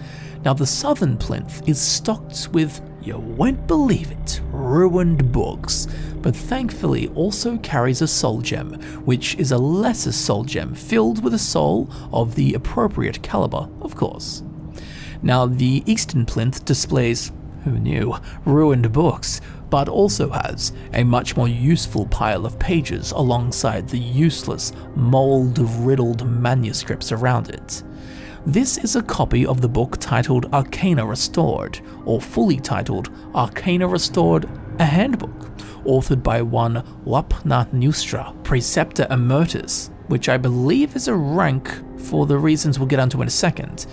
This book is filled with cryptic instructions for the restoration of Arcana, now, interestingly, this book was one of the few books within the Elder Scrolls series to be introduced in 1997's An Elder Scrolls Legend Battlespire, in which there is actually some additional text on the first page, and I quote, Arcana Restored, a handbook by Wapna Nustra, Preceptor Emeritus of the Imperial College which is what leads me to believe that Preceptor Emeritus is a rank or title within, of course, the Imperial College. No idea why that was removed in later iterations of the book. Anyway, just to the southeast of the eastern plinth is the fifth offset plinth. Guarding it is a seeker. Hands raised and clenched, seething with the forbidden magic of oblivion as telekinetic waves of energy emit from the center of its head, suggesting this seeker is currently performing some form of scrying ritual, the likes of which are too esoterically obscured for my mortal understanding. But in front of this meditating monstrosity is the fifth plinth, upon which are two tomes of interest that call this surface home. On top, we can find a copy of the book titled Walking the World, Volume 11, or fully titled Walking the World, Volume 11 Solitude, authored by one Spatior Munius. As the title may have suggested, this book is a comprehensive description of the City of Solitude. Now, despite it being volume 11 of the Walking the World series, there are no other volumes to be found within any of the Elder Scrolls games. So how many parts are there in this series? Well, that's just unknown. Now, underneath this book is a small green book, which is titled Rise and Fall of the Blades, written by an anonymous author. This tells of the history of the Blades, their origins, and their eventual fate and demise. But unlike the Blades, we will move forward. Ah, yes, now just to the northeast, a coin's toss away, is a locked gateway. Before it stands a scryer. Naturally, activating this will lower the orb and unlock the barred slammer, allowing us to venture into the fretwork canopied twisting Venel. As soon as we enter through the stone arch, to our left we will find an altar, atop which is a smattering of ruined books, which is ironic really given this place is meant to store knowledge and not destroy it. Anyway, there are also two soul gems resting peacefully here too. We have an unfilled lesser soul gem, which I am sure will put to good use later on, and the other is a filled grand soul gem. Quite a find. Now, as we follow the twisted passageway around to the right, we'll see that the next gate is sealed shut. So we'll need to find a way to pry this open and split that ghastly octopic sigil mockingly blazoned on the upper quadrant of the tarnished metal. Now if from this gate we turn to our left, we'll meet a lattice wall, beyond which is a celestially lit nook that we will no doubt be heading to. In fact, we will do that right now. We just need to retrace our steps a little and pass around the separated barrier, but as we do, we'll notice that there is a pod to our left. Inside of this, we can find a very small sum of 8 gold pieces, below which is a copy of the book titled Nerevar at Red Mountain, which, while the title page is blank within the Elder Scrolls V Skyrim, we do know that it was written by the Tribunal Temple, thanks to the Elder Scrolls III Morrowind. This is a scholarly description of the events occurring before, during, and after the battle at Red Mountain. It is also worth noting that this can only be found in one other location in the Elder Scrolls V Skyrim and all of its DLCs, which is within Tel Mithryn on Solstheim, the Telvanni Tower. In here, we also have a potion of Minor Magicka, which will restore 25 points of Magicka upon consumption. Not much.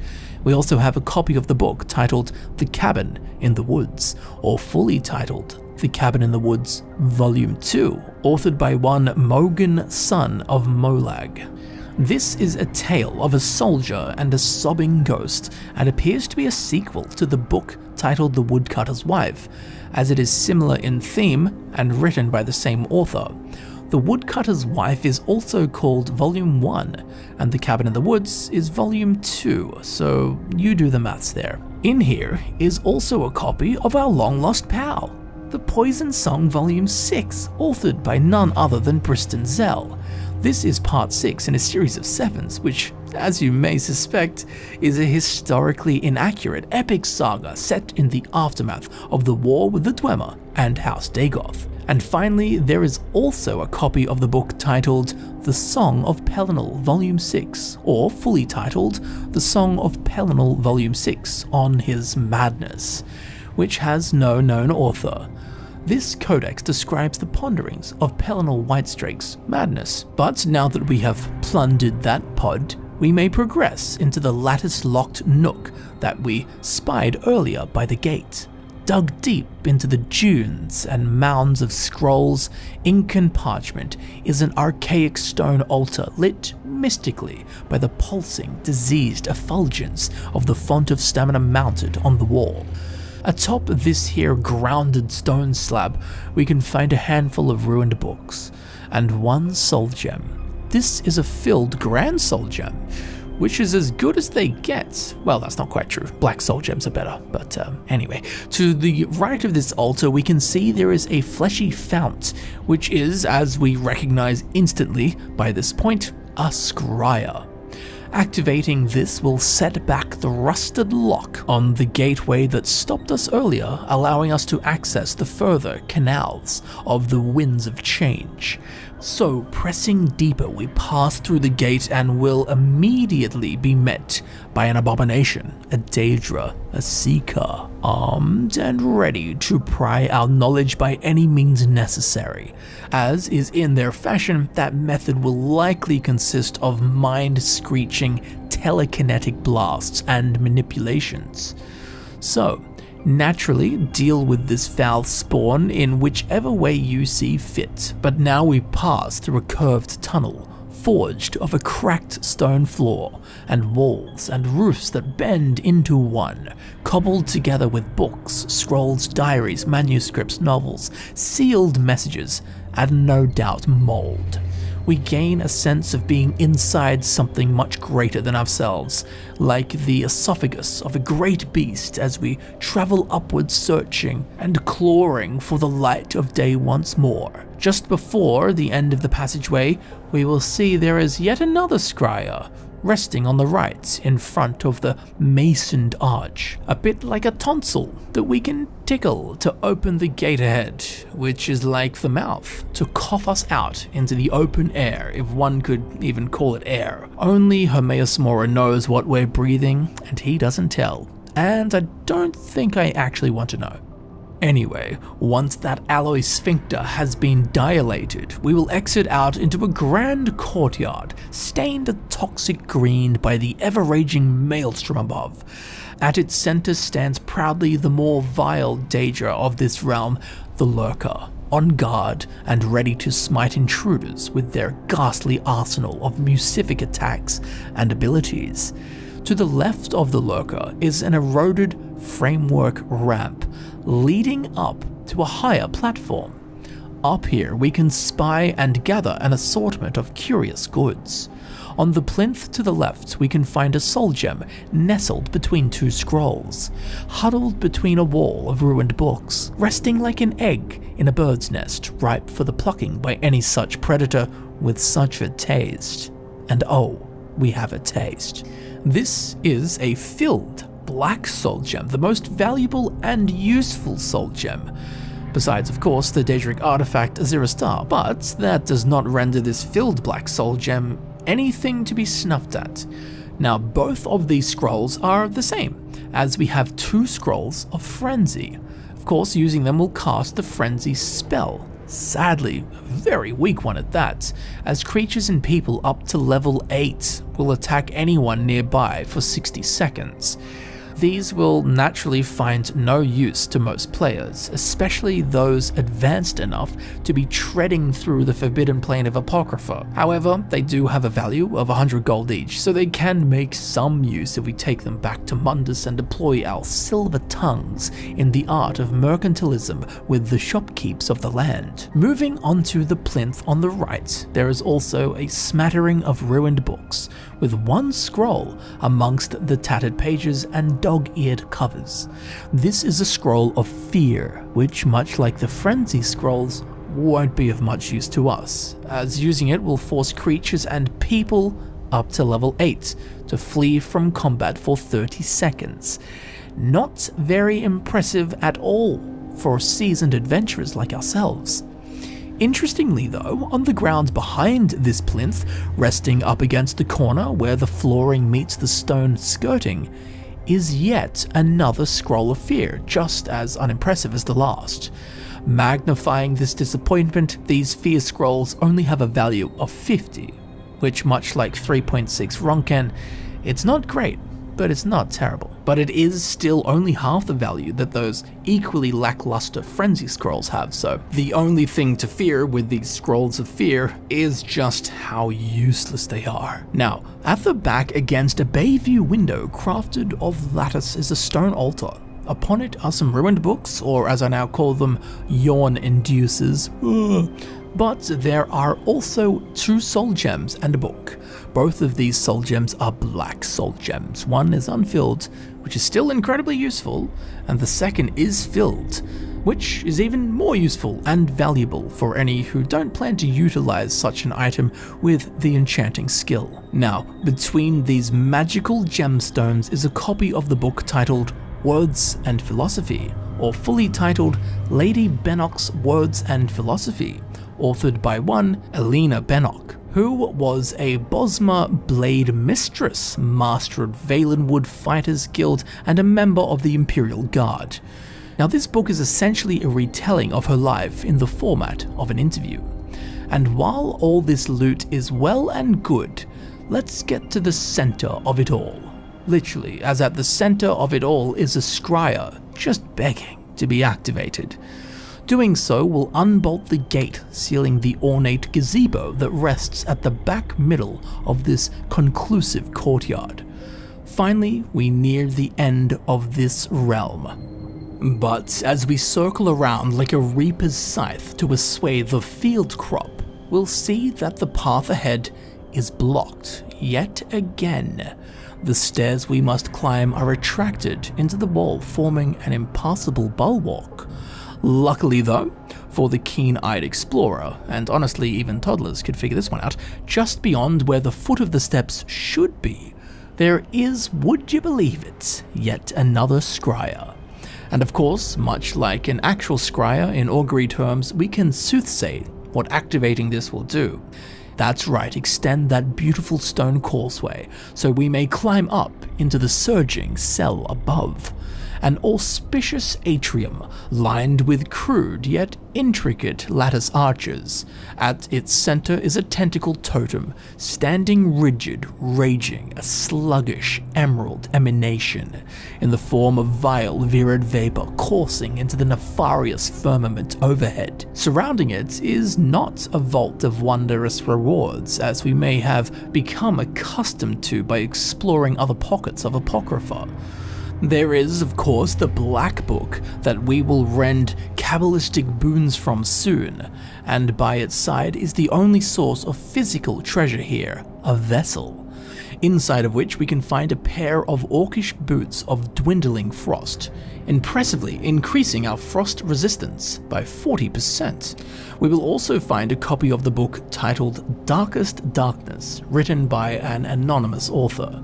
It contains detailed descriptions of various Daedra. We can also find a meaty core bundle of 55 gold pieces, much less than we would expect from a vessel. Along with this is a copy of the book titled Songs of Skyrim, authored by one Giraud Gemane, historian of the Bard's College, Solitude. This book, as you may have very inquisitively guessed, is a compilation of popular songs within the Nordic province of Skyrim. There is also a copy of the book titled Songs of the Return, Volume 24, or fully titled Songs of the Return, Volume 24, the first tale of the Krillot Lock, written by an anonymous author.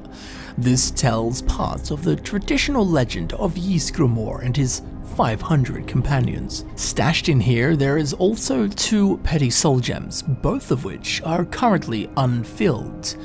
That's the problem with these things, they just have no soul. Oh, but speaking of soul, we can also find a copy of the book titled The Poison Song Volume 1, authored by Bristin Zell.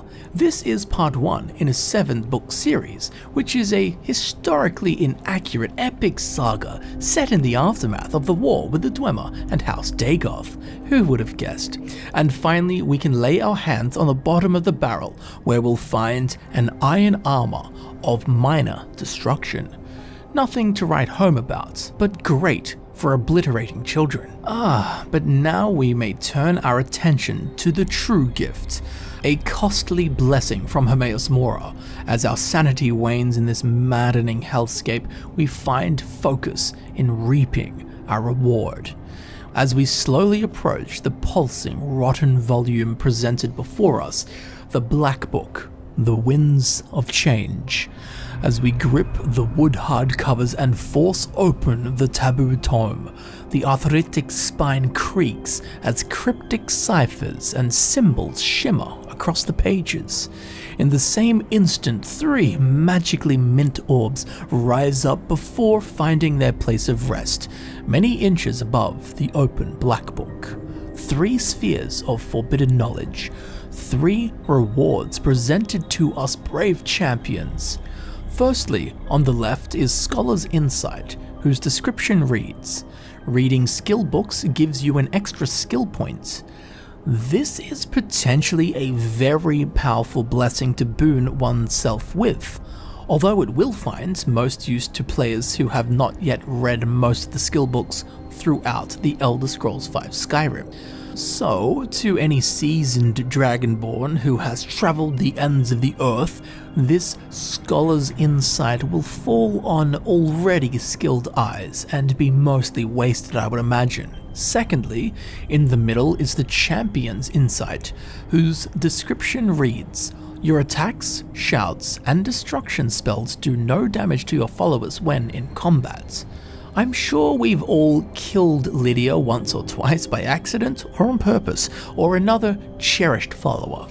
This blessing will protect your followers, a fairly decent choice for all players, but not necessarily a must have, especially if, like me, you don't really ever use a follower. But if you are interested in such an effect, it is worth noting that followers will still be damaged by your area of effect skills, and can still be damaged normally if you are not in combat. So this champion's insight is only effective when in combat. Also, thralls are not protected by this.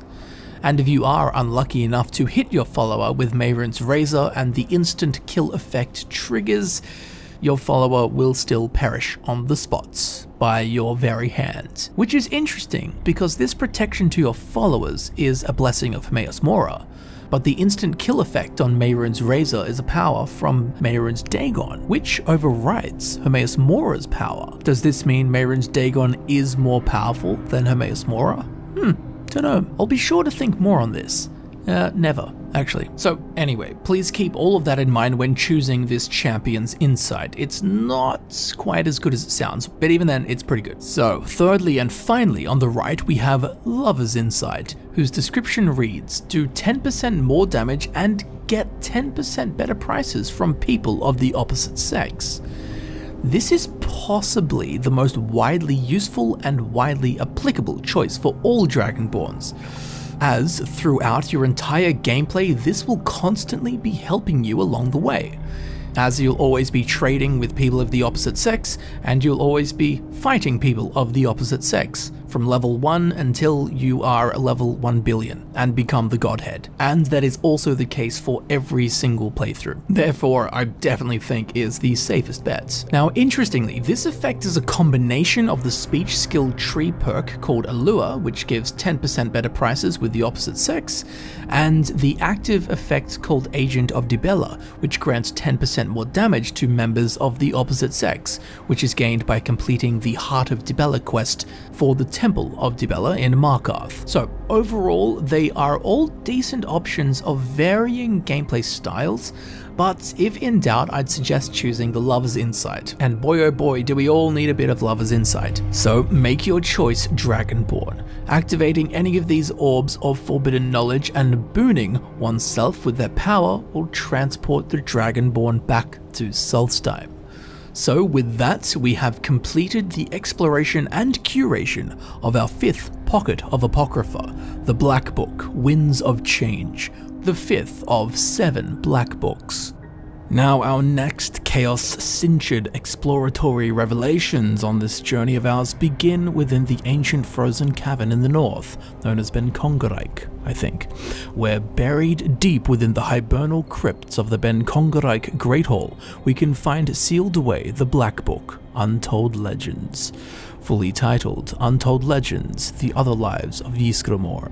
Now upon touching the book, we will be transported to a section of Apocrypha with the same name, Untold Legends. But before we take our first mesmerized steps, however, if we look at the Black Book, Untold Legends, within our inventory, we will learn that it has no known author. Contained within is only one readable page of text. As with all black books, the passage accessible reads as follows.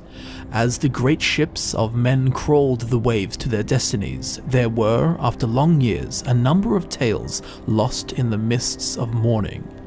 Even after the forgetting though, wisps of story find ways to receptive ears as even the deepest of secrets never truly dies. When fires burn and the night grows soft in, at which point we can read no further, sadly.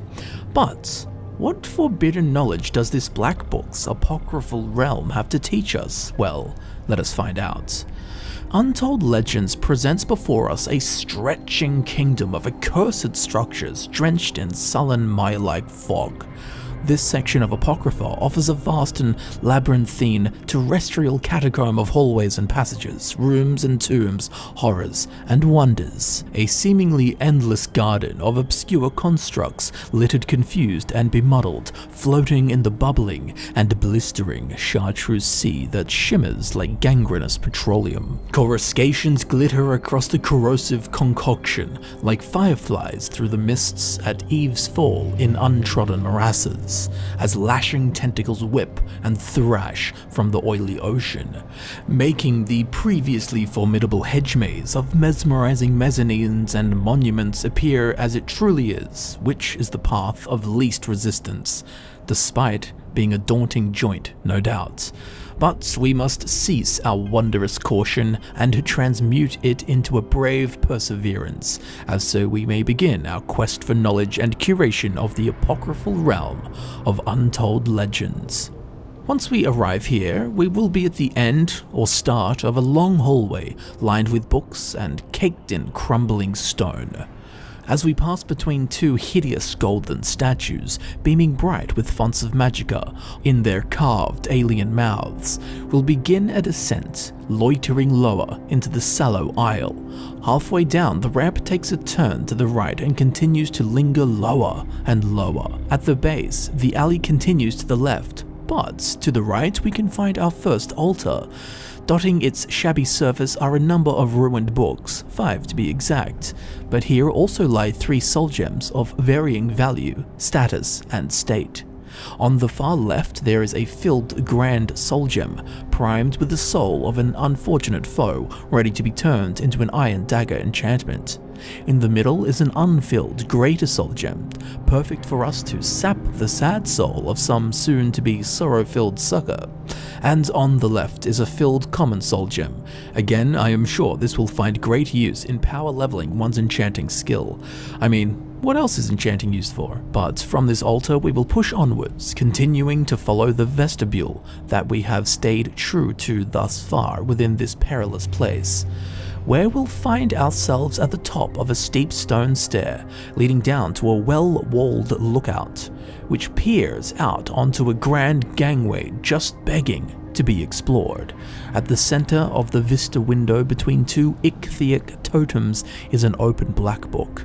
Touching this will transport us to chapter 2 of Untold Legends. After activating the chapter, we will find ourselves across the way and standing on that very grand gangway a series of narrow book spires sprouting out of the murky and mucific Moana, forming support beams for the stone architecture that grants us a passage to more hidden corners. After a short walk, we'll pass through this splendid and uncluttered archway, but be warned, Dragonborn, as rather fittingly, lurking around the corner is a lurker who could have guessed? Depending on your level, this could be one of the more foreboding variations, so be warned, this will be a battle whose tale may linger on, in scratches and dents in your armor. While not an uncommon enemy, they are not to be taken lightly. The only fight you should take lightly is with a candle. Now, beyond this lurker, the Grand Gangway will lead us to a crossroads, a T-intersection of lattice ramps. For us, we will be heading firstly down to the right, where at the end of the Radiant Pier is two fonts of magicka, scorching our eyes with their almost blinding emittance of cold ice light. Just a stone's throw away is an open black book. This will take us to chapter 3 of Untold Legends. After touching the tome, we will be teleported onto the very aforementioned islet, a raised open-topped tower cornered by huge columns of cobbled compendiums. Golden statues stand hauntingly in abnormal profusion, glaring down into the ancient cracked cell. Against one of the walls levitates a seeker, who will be an immediate threat as soon as we translocate to this islet of isolation. So as always, be prepared to duel against this Daedra, as the only thing it's currently seeking is trouble. Against the wall, overlooking the location that we just came from, there are two lamp posts, standing sentinels on either side of the open black book that will take us back to chapter 2 once we're done here. But firstly, on the back wall of this petite stone room is an altar, the top of which is decorated with a mundane scattering of ruined books, one soul gem, and a pod. This is a filled greater soul gem and will find great use back on Mundus, so be sure to pocket this precious gem. It's also important to note that if your character's conjuration skill is level 40 or higher, unlike my character. A copy of the spell tome Conjure Seeker will also be found here.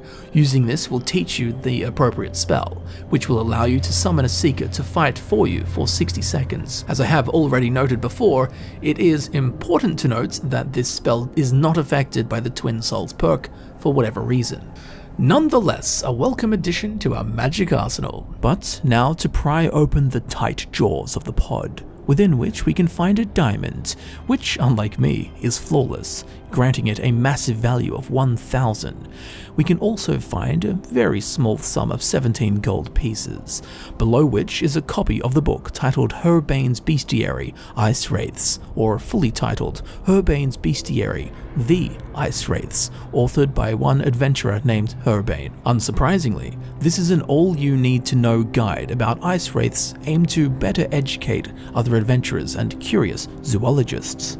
In here, we also have a scroll of mayhem, which, you know, sounds epic and all, it has a rather healthy value of 500, but when used, it will force creatures and people up to level 12 within 250 feet to attack anyone nearby for 60 seconds. A cool effect, but if we are being honest, which I rarely am, this most likely will never find use to anyone who is a high enough level to be delving the deepest depths of the forbidden and challenging plane of Oblivion Apocrypha. But I can assure you there are plenty of merchants back on Mundus who will happily pay a pretty penny for this roll of paper, so it might just cause some mayhem in the local economy. Apart from that, it won't be living much up to its name. And finally, just to brighten our day, here is nothing other than a copy of the book titled The Poison Song, Volume 1, written by the one, the only Bristin Zell.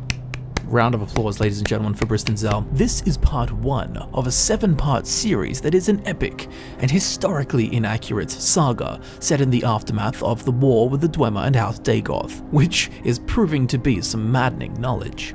But before we go bloody bonkers from too much mind crushing knowledge from our old pal, Bristin Zell, let's move on. We'll have to turn back to the open black book and teleport back to chapter 2.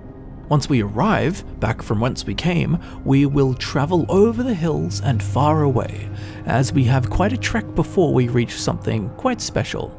So, up the ramp and down the other side we go, at the bottom of which between two lampposts is yet another open black book. Using this archaic edition will transport us to chapter 4, the origin of which is high up on a magnificent dais, which yawns open and narrows into a single central tunnel that once again leads us to lower levels of this plane. Now, after quite some walk through the stockpiled halls of scripts and scrolls, we will emerge into a most wondrous courtyard, known fittingly as the Lock Labyrinth. Great swaying shafts of unnatural book formations burst and grow from the stone foundations of the preternatural plaza, like gargantuan grass blades stricken by plague that dance to a tectonic breeze too outer dimensionally xenophilic for any mortal like us to perceive.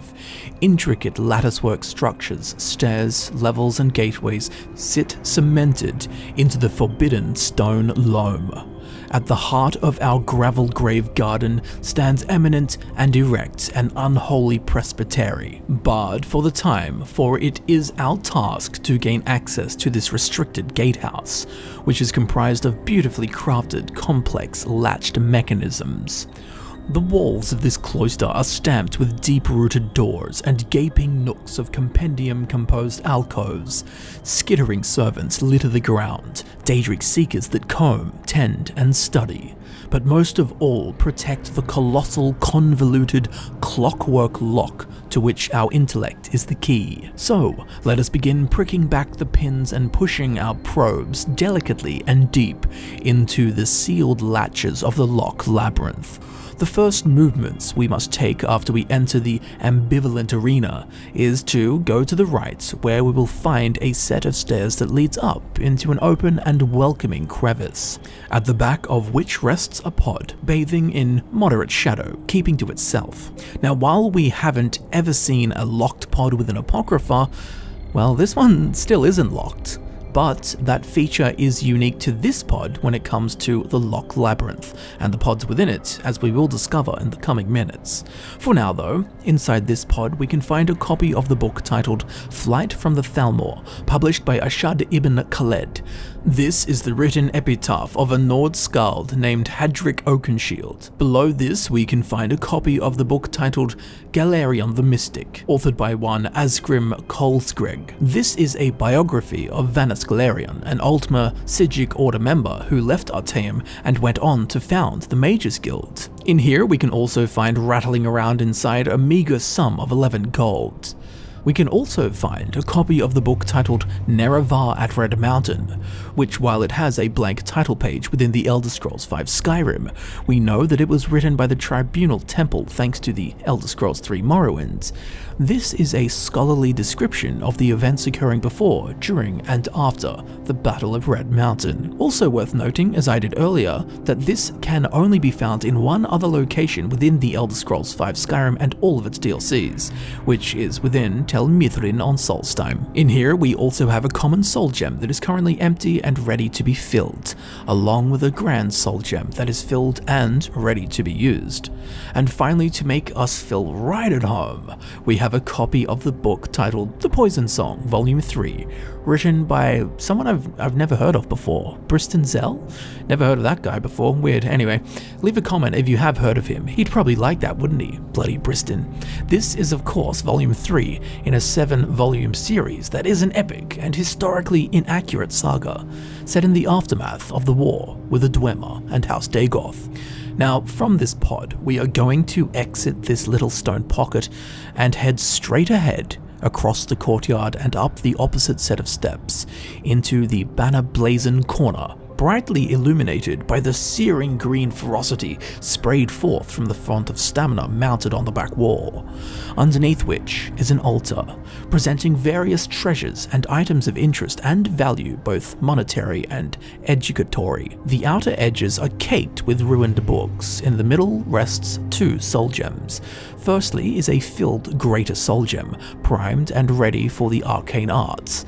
Secondly is a filled Black Soul Gem, vivaciously, with the victim stirring soul of a sorcerer's spell. There are also four notable books here, Firstly is a copy of the light armor skill book titled The Rear Guard, authored by Tennis Moore. This is a tale of how a lone man guards a besieged castle and the methods in which he obtains his food for survival. Naturally, reading this will increase your light armor skill by one point, provided you haven't read it before. Secondly is a copy of the archery skill book titled The Golden Ribbon of Merit, authored by one Ampyrian Brum. This is a tale that tells of a man who tutors his old friend in marksmanship, or as it's simply known in the Elder Scrolls V Skyrim, archery. Of course, reading this will increase your archery skill by one point, provided that you have not read it before. Thirdly, we can find a copy of the lockpicking skill book titled Advances in Lockpicking, written by no known author. This tells of an experienced thief who summarizes the intricacies of lockpicking. Naturally, reading this will increase your lockpicking skill by one point, provided you haven't read it before. And fourthly and finally, underneath the big green book that we just flicked through, we can find a copy of the pickpocket skill book titled Beggar, authored by one Reven. This is the first in a fictional four-part quadrilogy known as The Adventures of Eslaf Erol. Now interestingly, the name Eslaf Erol is false law when spelled backwards, which seems appropriate for a fictional character. Nonetheless, reading this book will increase your pickpocket skill by one point, provided you have not read it before. Now, just across from this altar of curious manuscripts is a pod placed peacefully in the corner. This pod is particularly interesting as it is actually locked with an apprentice level lock the first time in all of our travel through Apocrypha that we have seen a locked pod, the likes of which are unique to this lock labyrinth. Inside of it, we can find a copy of the book titled A Dance in Fire, Volume 5, authored by one Waughin Jarth, a notable Breton writer, having 25 publications under his belt.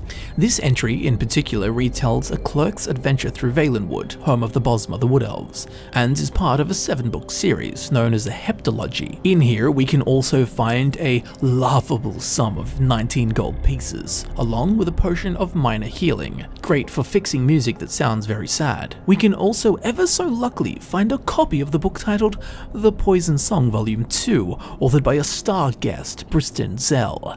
This is part 2 in a 7-part series which is a historically inaccurate epic saga set in the aftermath of the war with the Dwemer and House Dagoth, but I'm sure you knew that already. Below this we have a weak aversion to shock, which is an attribute that you'll have after watching this video.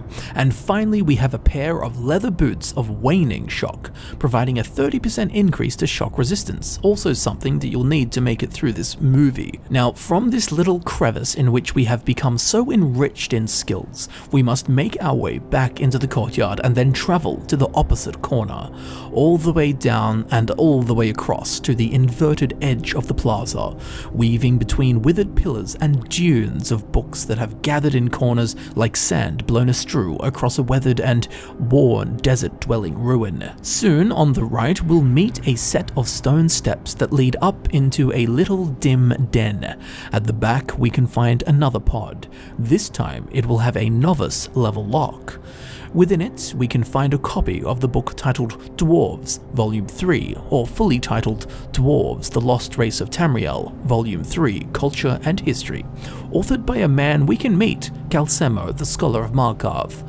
This is the third part in a trilogy of scholarly work on the Dwemer.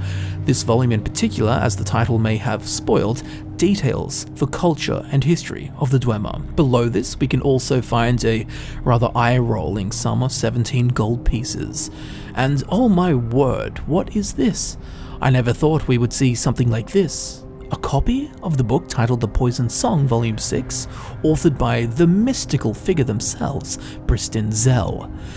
Wow, we are ever so lucky to find this, as it is part 6 in a 7 part series, which is a historically inaccurate epic saga set in the aftermath of the war with the Dwemer and House Dagoth. I'm, I'm almost stunned, it's truly crazy that we found this here.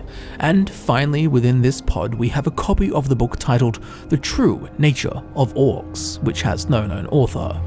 This book details the Orsimer race and their origins. Orsimer are of course the orcs, but now from this little den that we've trod, we will now make our way to the gateway next door, where up the stairs and in front of the sealed arch we will find a scryer. Activating this fleshy mechanism will make those hinges sing and swing open the infernal alloy doors. Inside this little room, some hideous fish-like statues gather at the back, where at their base rests another scryer. Touching its glowing ball will make it sink down and close, but when one door closes, another opens, as directly across the courtyard, the opposite facing gateway will be unlocked. Naturally, of course, we must now leave this little room and travel to the other side, over and around the perverse presbytery that remains barred, and up this newly accessible collection of rock cobbled steps, where we will enter yet another dusky cell, where at the back is another scryer. But before we get to that, just beyond it, in a corner that we have just passed, there rests a pod the likes of which we will have to work to get open, as it has an adept level lock on it. Once we pry its deep sea jaws apart, inside we will find a scoffable sum of 19 gold pieces below which is an unfilled Grand Soul Gem, ready to be used by a sick, soul-stealing sorcerer. And by the Nine Divines! Is it our lucky day or what? Would you just look at this, a copy of the book titled The Poison Song Volume 5, authored by none other than the one and the only Bristin Zell. It's stunning to learn that this is part 5 in a 7-part series, which is a historically inaccurate epic saga set in the aftermath of the war with the Dwemer and House Dagoth. And by Azura, by Azura, by Azura, we have part 7 as well. I won't bore you with the details of this one.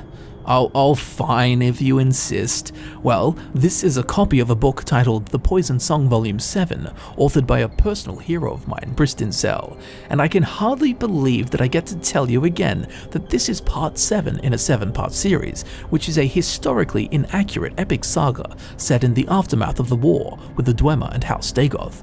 Isn't that just so fun? But anyway, below these two great strokes of luck, we can find a copy of the book titled The Song of Pelinal, Volume 4, or fully titled The Song of Pelinal, Volume 4 On His Deeds, which has no known author.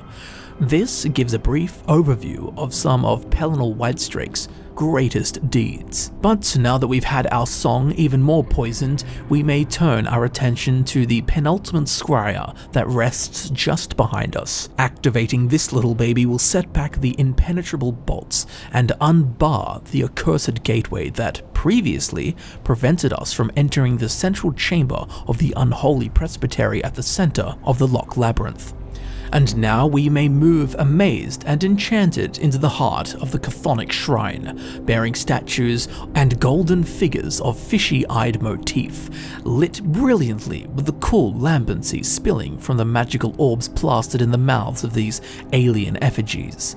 At the nexus of this forbidden shrine rests one simple device, one we all know well. That is of course a scryer. Daringly, as we push this organic lever down into its socket, the second gate will swing wide, and beyond which, atop a throne-like castle of stone steps, the final ultimate gateway will breach.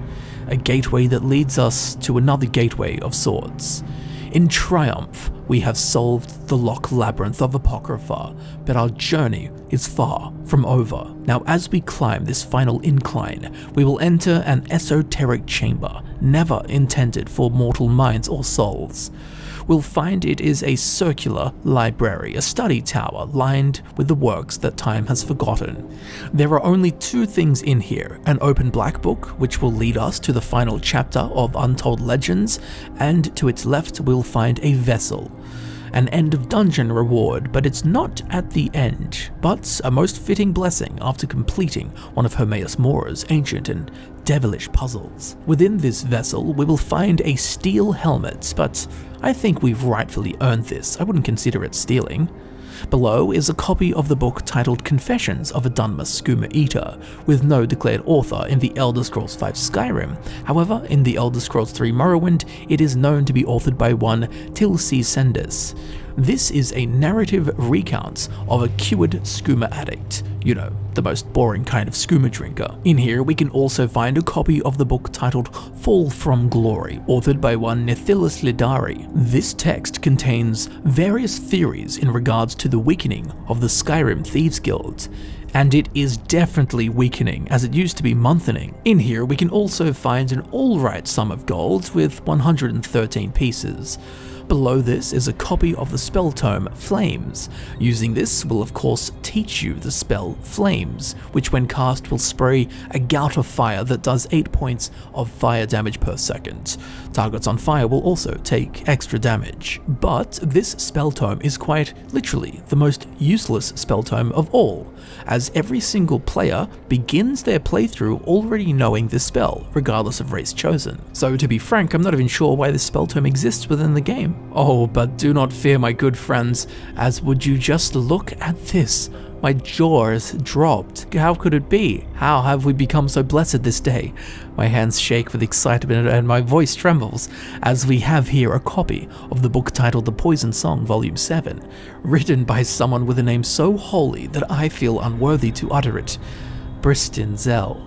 I am most honored to inform you that this is volume 7 of a 7-part series, which is a historically inaccurate epic saga set in the aftermath of the war with the Dwemer and House Dagoth. In truth, nothing can ever match this wondrous discovery, but we must push on, as below this is the final piece of random leveled loot, a copy of the book titled Varieties of Daedra, authored by one Ariana Drethen. This is an analysis of Daedra forms, focusing primarily on the Dremora, which is a shame because I'm most interested in the seducers, but uh, that's neither here nor there. And if you don't know what I'm talking about, play the Elder Scrolls Legend Battlespire. Now, champions, we will turn to the open black book at the dead end of our travels, which we must embrace to be teleported onwards to unknown and unexplored solitudinous reaches of Apocrypha.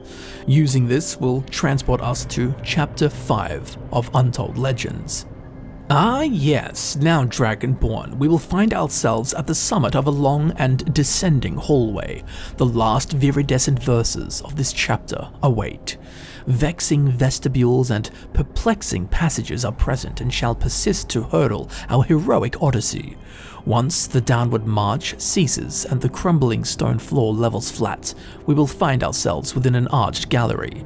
On either side wall stand steadfast portcullises, proudly padlocked preventing pesky prowlers like ourselves any form of pleasant navigation through these painted paragraphs. So, it would seem the only way forward is rather literally forward. It all feels a bit too simple as we can even see the black book inside just up ahead.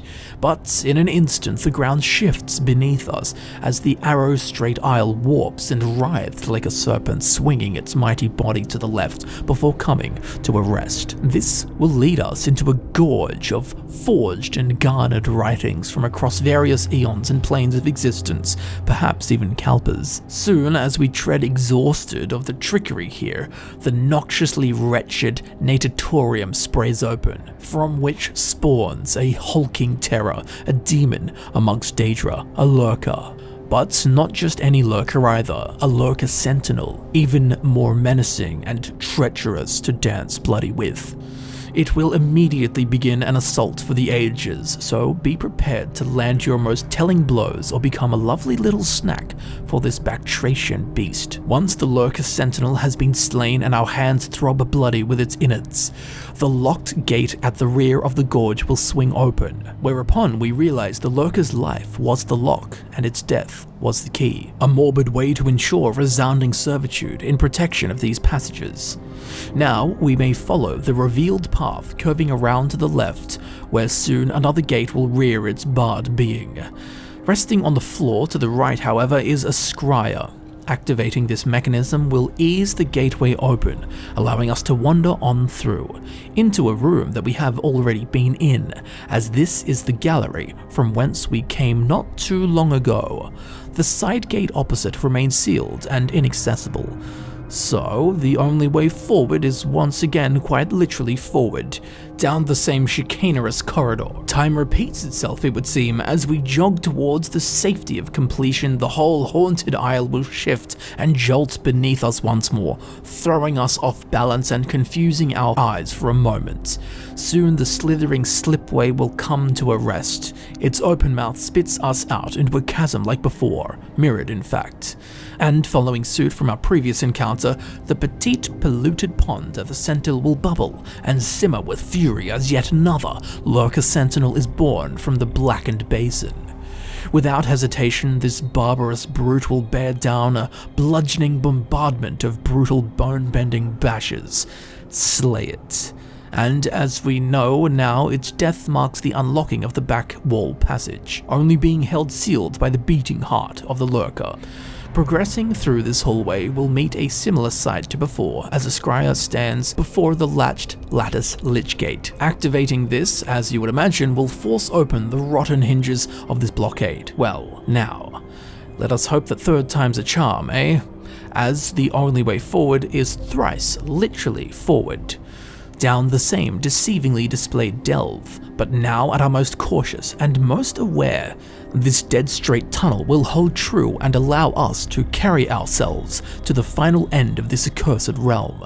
Here, at this ultimate alcove, we will find only a black book and the searing tentacle totem behind it, spewing thick, glowing, gilded green gossamer wafts of some bizarre and taboo energy up through the lofty atrium ceiling. Unlike all other ends, there is no physical treasure here, only what is contained within the Black Book, Untold Legends, The Other Lives of Ysgramor. Touching the stale scripture will force it to bloom open, and from the enchanting script, three wondrous orbs of pure knowledge will spawn and hover, humming in unfamiliar frequencies that massage the mind. Three spheres of forbidden knowledge, three rewards presented to us cunning and persistent heroes for solving this cryptic chapter. Firstly, on the left is Black Market, whose description reads, A Dremora merchant spawns for 15 seconds.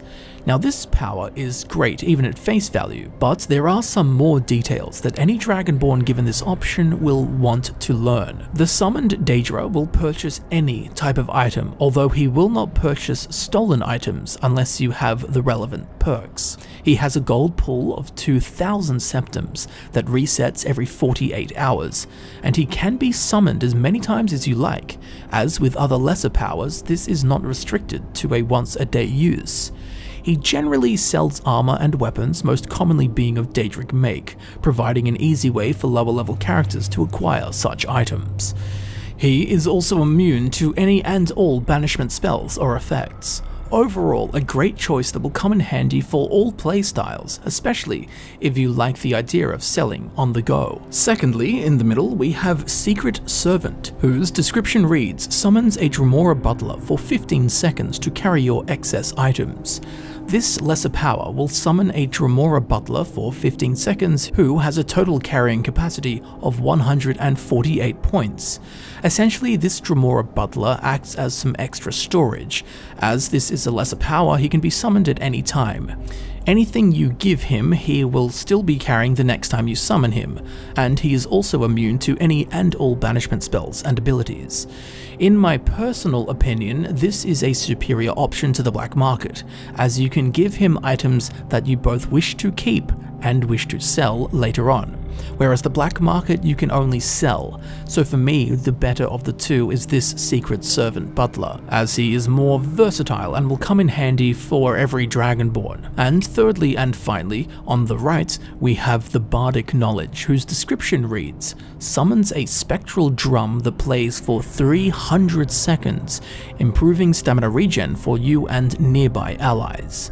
When activated, a hovering spectral drum will be summoned that emits music and grants the following bonus. Fortify stamina regeneration rate by 50% for 300 seconds, which is 5 minutes with a 250 foot radius. Honestly, this is pretty powerful and could come in great use for the right playstyle. For example, vampires lack stamina regeneration in sunlight, this will help alleviate such a burden. It could also be used to maintain the steam blast ability called the Breath of Nchuak, granted from wearing the visage of Mzund as this ability consumes stamina. If you've never heard of it, I do have a full in-depth guide for the Visage of Mzund, a unique dwarven artifact. But the point being that this is very powerful and can be very handy in the right situations. Overall, the best option in my eyes is the Secret Servant, closely followed by the Black Market, and then in last is Bardic Knowledge. So, Make your choice Dragonborn, as activating any of these orbs of forbidden knowledge and booning your blessed self with their power will transport you back to Solstheim. So, with that, we have completed the exploration and curation of our sixth pocket of Apocrypha, the Black Book, Untold Legends, The Other Lives of Ysgramor, the penultimate and sixth of the seven Black Books. And now, my friends, we are at the beginning of the end in our exploration of Apocrypha, the crowning quest in curating curious curiosities. This ultimate mission begins at the heart of Solstheim, within the Temple of Miraak, buried deeper than any mortal should ever tread. Locked away in the darkest depths of the maze-like sanctum of Miraak's temple, we can find the Black Book Waking Dreams, fully titled Waking Dreams of a Starless Sky, resting on a plinth surrounded by unholy flames licking violently around the shrine. Upon touching the book, we will be transported to a section of Apocrypha with the same name, Waking Dreams. But before we take our first steps on this final frontier, we'll inspect the Black Book, Waking Dreams of a Starless Sky itself within our inventory where we'll learn that this was written by one Bilius Felcrex, an otherwise unmentioned author throughout the Elder Scrolls. Contained within this is only one readable page of text, as with all black books. The passage accessible reads as follows. The eyes, once bleached by falling stars of utmost revelation, will forever see the faint insight drawn by the overwhelming question, as only the true inquiry shapes the edge of thoughts. The rest is vulgar fiction, attempts to impose order on the consensus mantlings of an uncaring godhead. First, at which point we can read no further, sadly, as it was just getting juicy. It even brought up the Godhead. I do believe that's the first time ever, actually in the lore, a Godhead's been mentioned. But what forbidden knowledge does this Black Book's apocryphal realm have to teach? Well, let us find out. Waking Dreams of a Starless Sky is a monstrous segment of Hermaeus Mora's realm Apocrypha. It could be considered the heart and mind of this plane of oblivion. It houses utterly unique and truly terrifying things of all mortally unimaginable and unspeakable ilk. The caustic ink oil ocean glistens like necrotic outerplanetary blood, eternally disturbed by the lethiferous legions of ferocious, wriggling and writhing tentacles. They spew and squirm in ungodly profusion, like an orgiastic plague from beyond any realm which we wish to have knowledge of, blanketing the septic sea like the deepest horrors of fevered or neurogenic seizures. Their shadowed silhouettes dancing diabolically across the heinous horizon, like psychonautical visions of a frightful forest forming figures to be feared, a forlorn fantasy that we wish to soon forget. Gangs of swollen, bubbling eyes wake through the sappy sea. Pernicious and unfaltering stares hollow our soul as old Hermaeus Mora gazes into our anima and inspects his new inquisitive intruders, us. But the true bell that rings a note of wonder and galactic awe is the skeletal structures that populate the oozing ocean, an innominable number of fractured shards that represent a shattered fraction of what can only be described as a super city. Immeasurable myriads of soaring cyclopean spires form this mythical megalopolis, stretching beyond what the eyes can see and what the mind can dare to imagine, a vista that makes us question our own senses, forcibly stretching the limiter. Interestingly, here in Waking Dreams we see minarets that bear a motif more akin to what we would generally consider Daedric, with sharp, simple blade-like spikes and spines. The skies here are tempest scarred and rage with mindful maelstroms, scorching a green almost too vibrant for mortal eyes. Void pockets tear open in the heavens above, from which more of those loathsome tentacles pierce through the veil of physical reality, prodding and probing tirelessly through the musty atmosphere. But now it is our time to probe and prod these deepest and most forbidden recesses and bravely browse fully the astounding quantity of brimming books in this astrally audacious pocket of apocrypha, waking dreams of a starless sky. When we arrive here, we'll find ourselves standing on the very same spot as when we first met Miraak, but this time we are unbound by the suppressing spells of Seekers and can roam freely. But before we move forward an inch, we'll want to turn around completely as behind us rests an altar, sunken into a small nook in the back wall, atop which we can spy an interesting assortment of seemingly random leveled loots. But of course we have a bundle of ruined books, along with two rolls of paper, two quills rest ready to scribe, and to help with this process at the back edge stand two inkwells but there are also a handful of useful and educational tomes. Firstly, we can find a copy of the book titled Bone, Volume 1, authored by Tavi Dromio. This is the first volume in a duology explaining the invention of bone mold armor. Secondly in here is a copy of the book titled Thirsk, A Revised History, which has no known author in the Elder Scrolls V Skyrim, but thanks to the Elder Scrolls 3 Morrowind, we know it was written by one Beredit Gestal, who was a Breton bookseller who lived in Thirsk, and can actually be encountered within the Elder Scrolls 3 Morrowind's Blood Moon expansion. Anywho, this tome chronicles the Nord Mead Hall of Thirsk, and focuses primarily on its chieftains. Thirdly, and finally, we can find a copy of the book titled The Changed Ones, which also has no known author. This tells the story of how Boethiah refuted Trinimac. And if you don't know the story, Boethiah ate Trinimac and uh, when Boethiah went to the bathroom next, out came Malacath. That's why that guy never looks happy. And with that, we may now press on into the greeting garden to see what other offerings can be discovered. As we move forward, we'll see to our left a rotund and rather short flat-topped column, behind which, blending ever so well into the cliff of codices, is a pod. Within it, we can find a copy of the book titled Children of the Allmaker, authored by one Tharstan of Solitude, an elderly historian who can actually be encountered within the Elder Scrolls V Skyrim's Dragonborn DLC, as he resides within the Skaal village. This is a book telling of an outsider's accounts of the Skaal people. Below this we can find the chuckle-inducing sum of 14 gold pieces, along with a potion of vigorous stamina, the Viagra of Skyrim. We can also get our hands on this lovely Greater Soul Gem, which has ever so handily been filled for us. But even more lovely is the Grand Soul Gem, that once again is already filled, primed and ready for use. In here, there is also the spell tome Oak Flesh. Using it will teach us the alteration spell of the same name, which will improve the caster's armor rating by 40 points for 60 seconds, the most basic of mage armor spells. And finally, in here, we can find a copy of the book titled The Dowry, or fully titled The Dowry Ancient Tales of the Dwemer, Part 10, authored by Marobar Sul.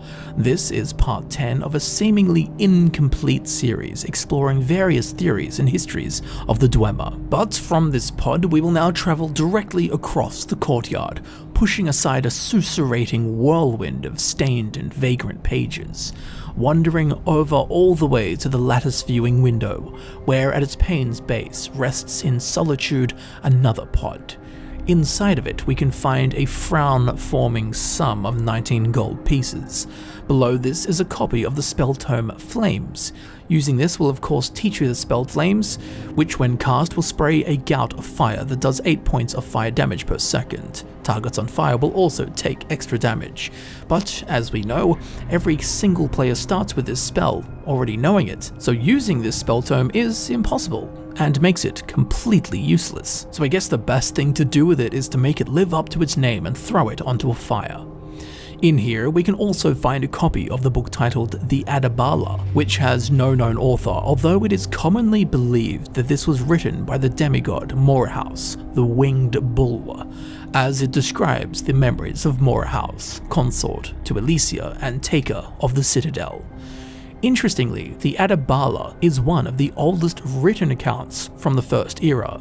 Oh, but hold yourself, boys, as we have finally found what we all truly came to Apocrypha looking for a copy of the book The Lusty Argonian Maid, Volume 1, authored by our hero and savior, Crassius Curio, who we can actually meet in the Elder Scrolls 3 Morrowind within Vivec City, as he is an imperial nobleman and counselor to the great house Hlaalu. If you do go and meet him, be sure to shake his hand for all of us. Now, without getting too much into detail, this book contains short excerpts from Crassius Curio's risque play, which is comprised of many innuendos and euphemisms.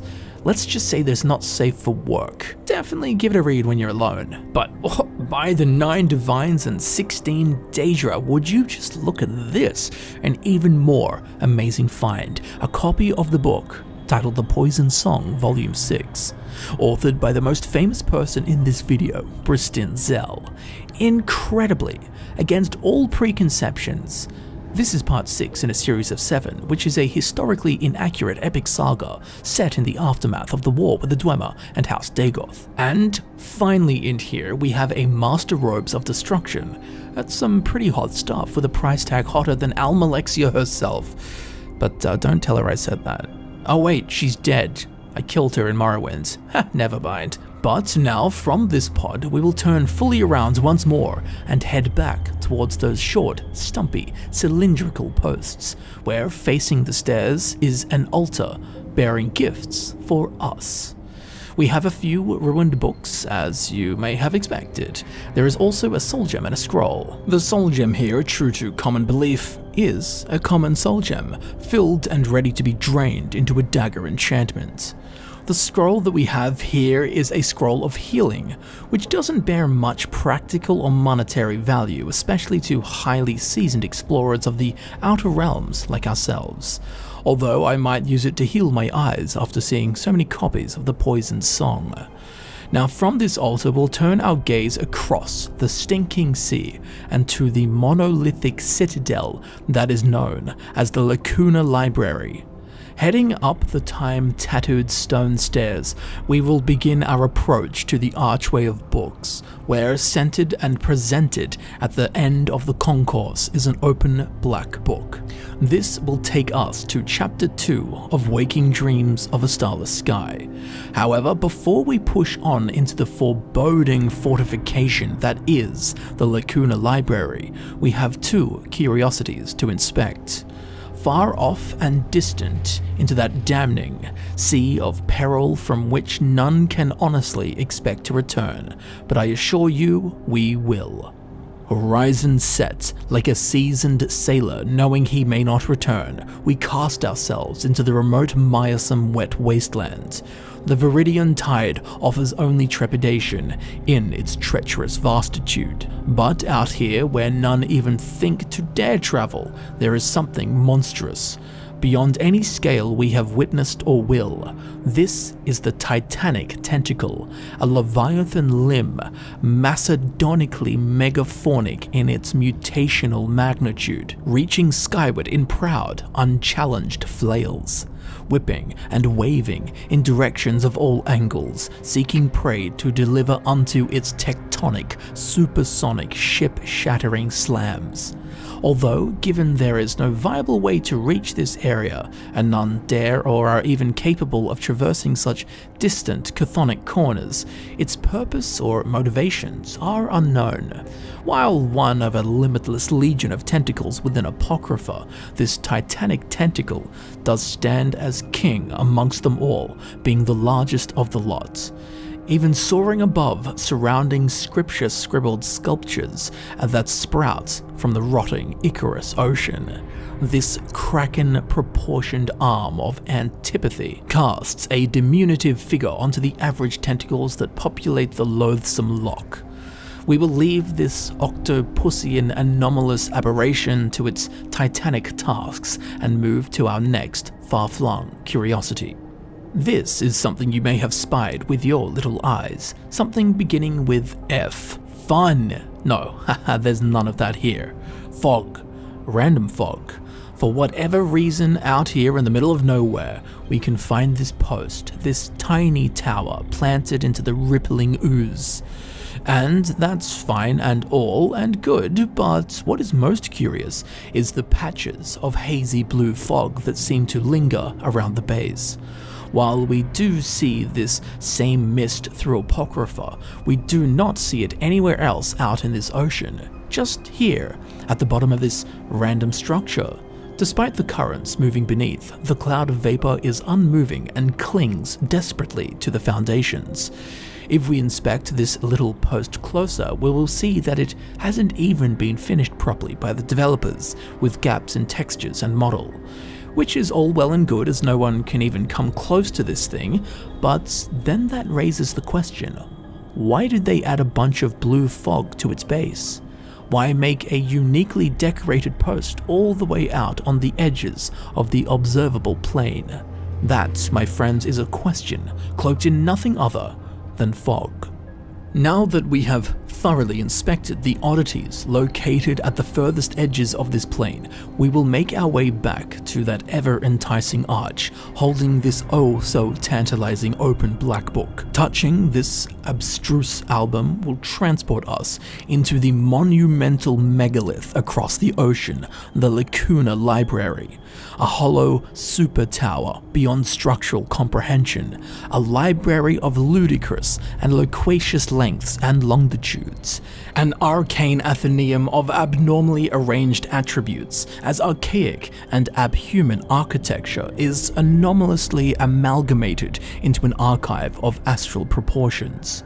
We stand within a bustling bibliotheca. A cosmic and colossal colosseum of archways form a stone skeleton, while the flesh is filled with scriptures both borrowed and stolen. Beguiling bulwarks of books are bricked in barbaric beauty, as manuals and scrolls are wedged and crammed to create prodigious palisades.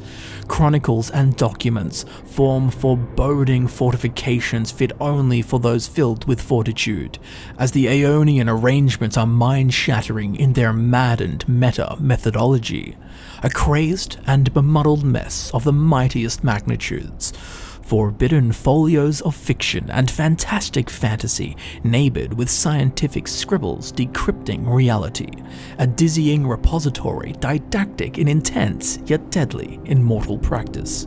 Walkways are carved into precarious positions, allowing servitudinous seekers to scurry and slink through the catatonic catacomb of chthonic creation. Lingering lattice webbings are spun like spider's silk, strung and clinging to crumbling corners, forming spindly layers and levels, conjuncting pathways which serve as synapses for zealots to scuttle and lug secrets like cells, moving minerals through a greater being. Platoons of Daedric seekers hover through the mazed manuscript menagerie, eternally draining and gaining knowledge for their master. Flocks of fleeting, time-worn tomes float freely from the shelves and organize themselves into occult orders, then softly slotting back into settled seats, roosting in reticulation. Sedated cyclones of encrypted pages swirl and rustle, waking in and out of existence, coming from and going to unknowable locations of chaotic classification and confused categorization. The ceiling is cathedral-like in motif, as from the framework atrium spills through the sick green light of the surging maelstrom skyward. In truth, this Lacuna library is a conduit for transcribing, translating, and transferring material to mental, channeling knowledge through an unpolished firmament to he who sits above. Stored here is scribbled knowledge lost and forbidden, more knowledge than is even known, than can be known by any and all. All but he.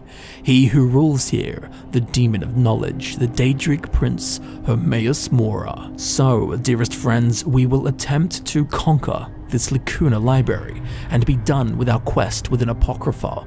So, let us begin our arcanely accursed ascent. When we first arrive here, we will find ourselves standing in a waterlogged basement, the inner foot of the fortress. That meddlesome ooze slips and slops with gentle ripples as tentacles wriggle beneath the smooth virid surface.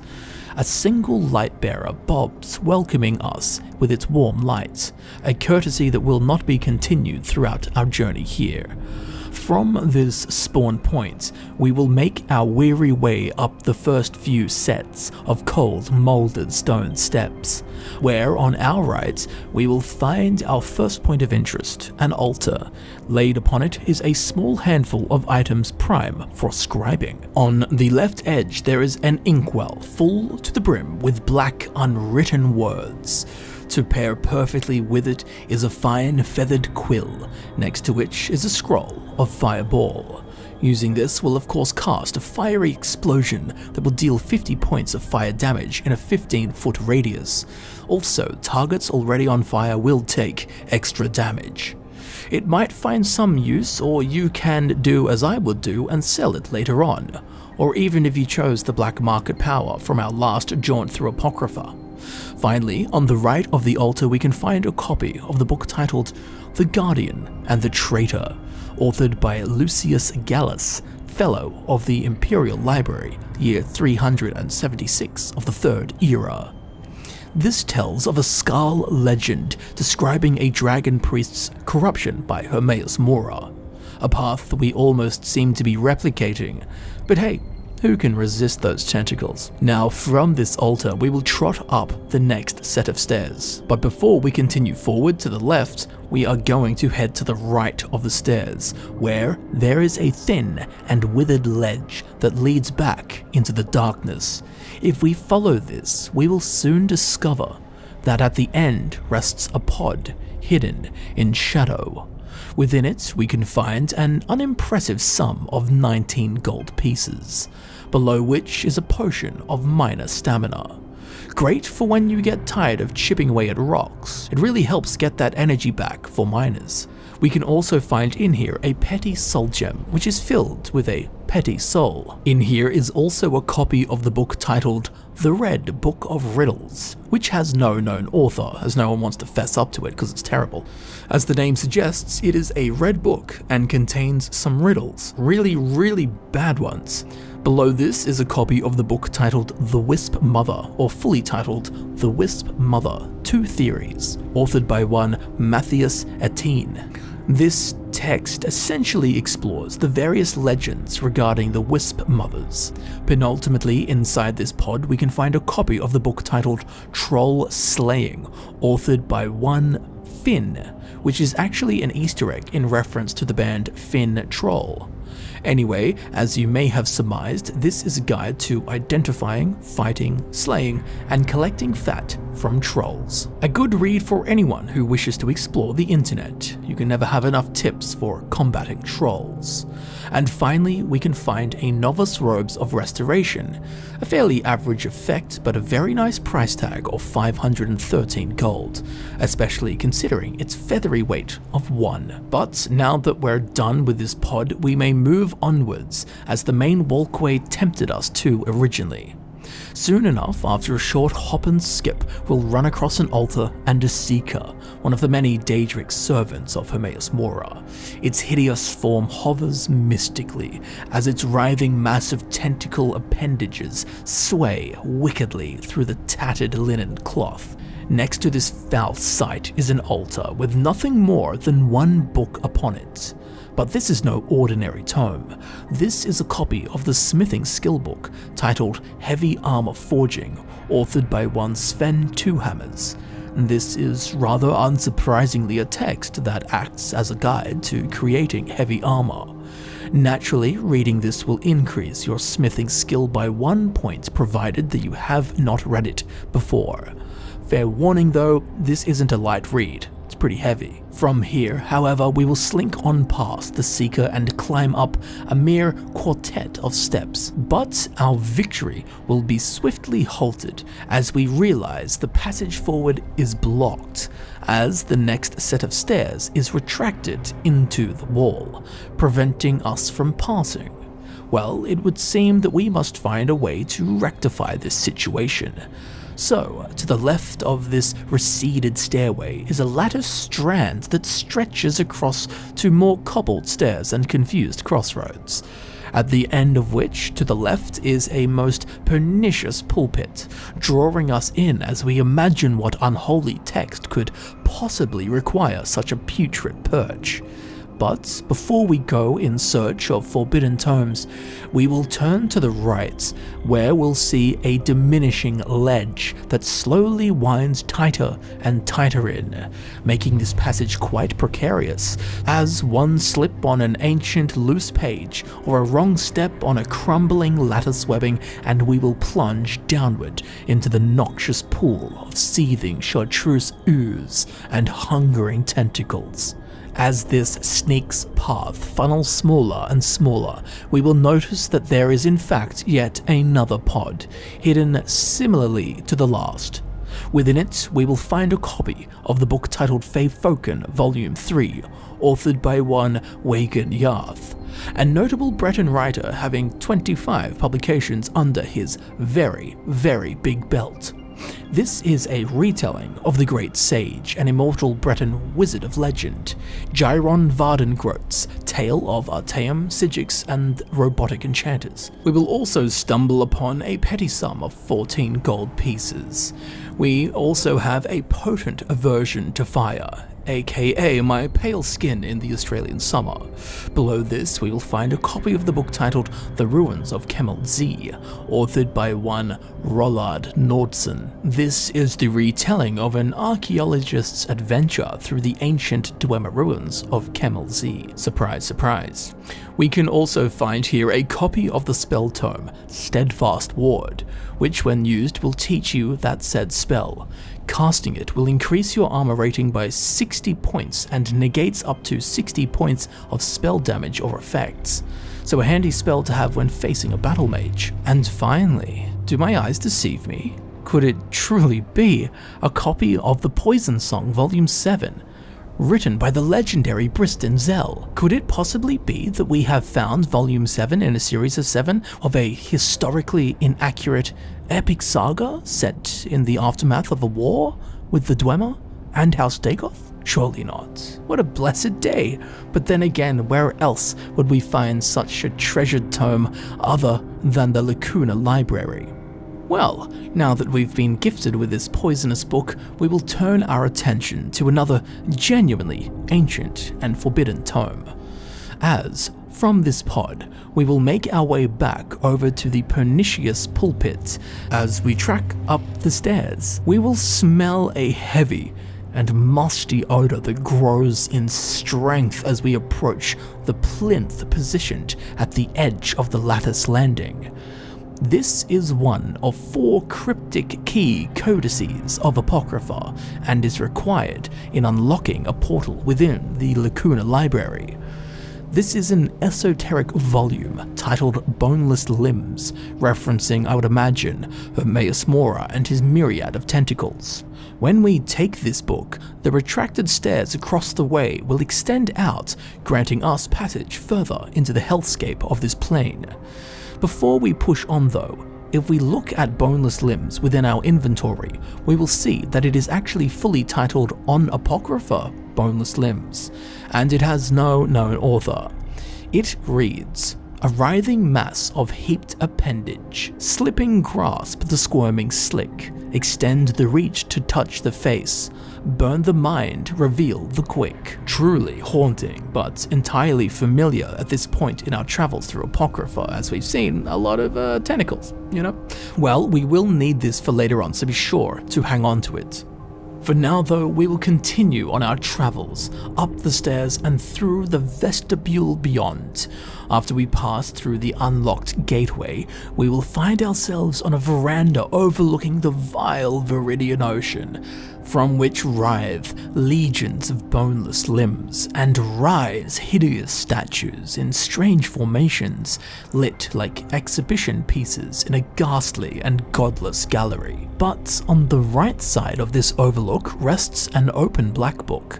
This will take us to chapter 3 of Waking Dreams of a Starless Sky, and the book faces the very location it will take us to, that being the Secret Spire, a lean fungus-like growth sprouting from the rotten waters beneath. Touching this folio will teleport us into the portentous priory of the Secret Spire. Inside is a cluttered and claustrophobic chapel criminal to the cardinal laws, short and stout archways pressed down forming sturdy tunnels and prohibited passageways. Seekers linger in lamentatious rumination, cultivating chthonic considerings, massaging and wearing their minds beyond comprehensive thoughts. Corners are booby-trapped with small ponds of the black ooze with tentacles stirring beneath the oily surface, ready to lash out at any intruders. A truly curious crypt, both provocative and profane. So, as we rematerialize after being linearly shifted by the Black Book, we will find ourselves next to a window, peering back out over the paths that we have trodden.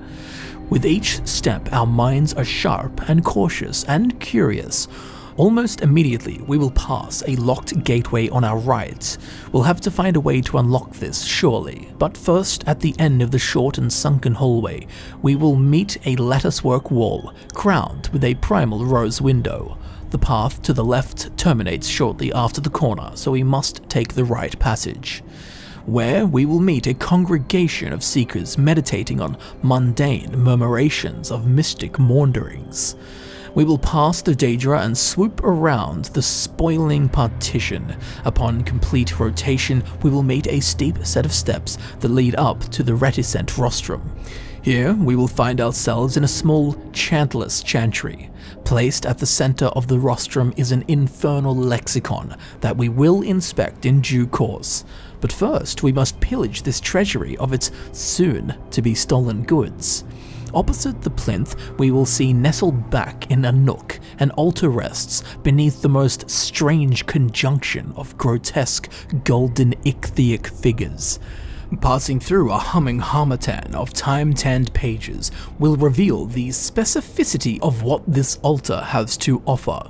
A clutter of miscellany sprinkled across the stone slab before us.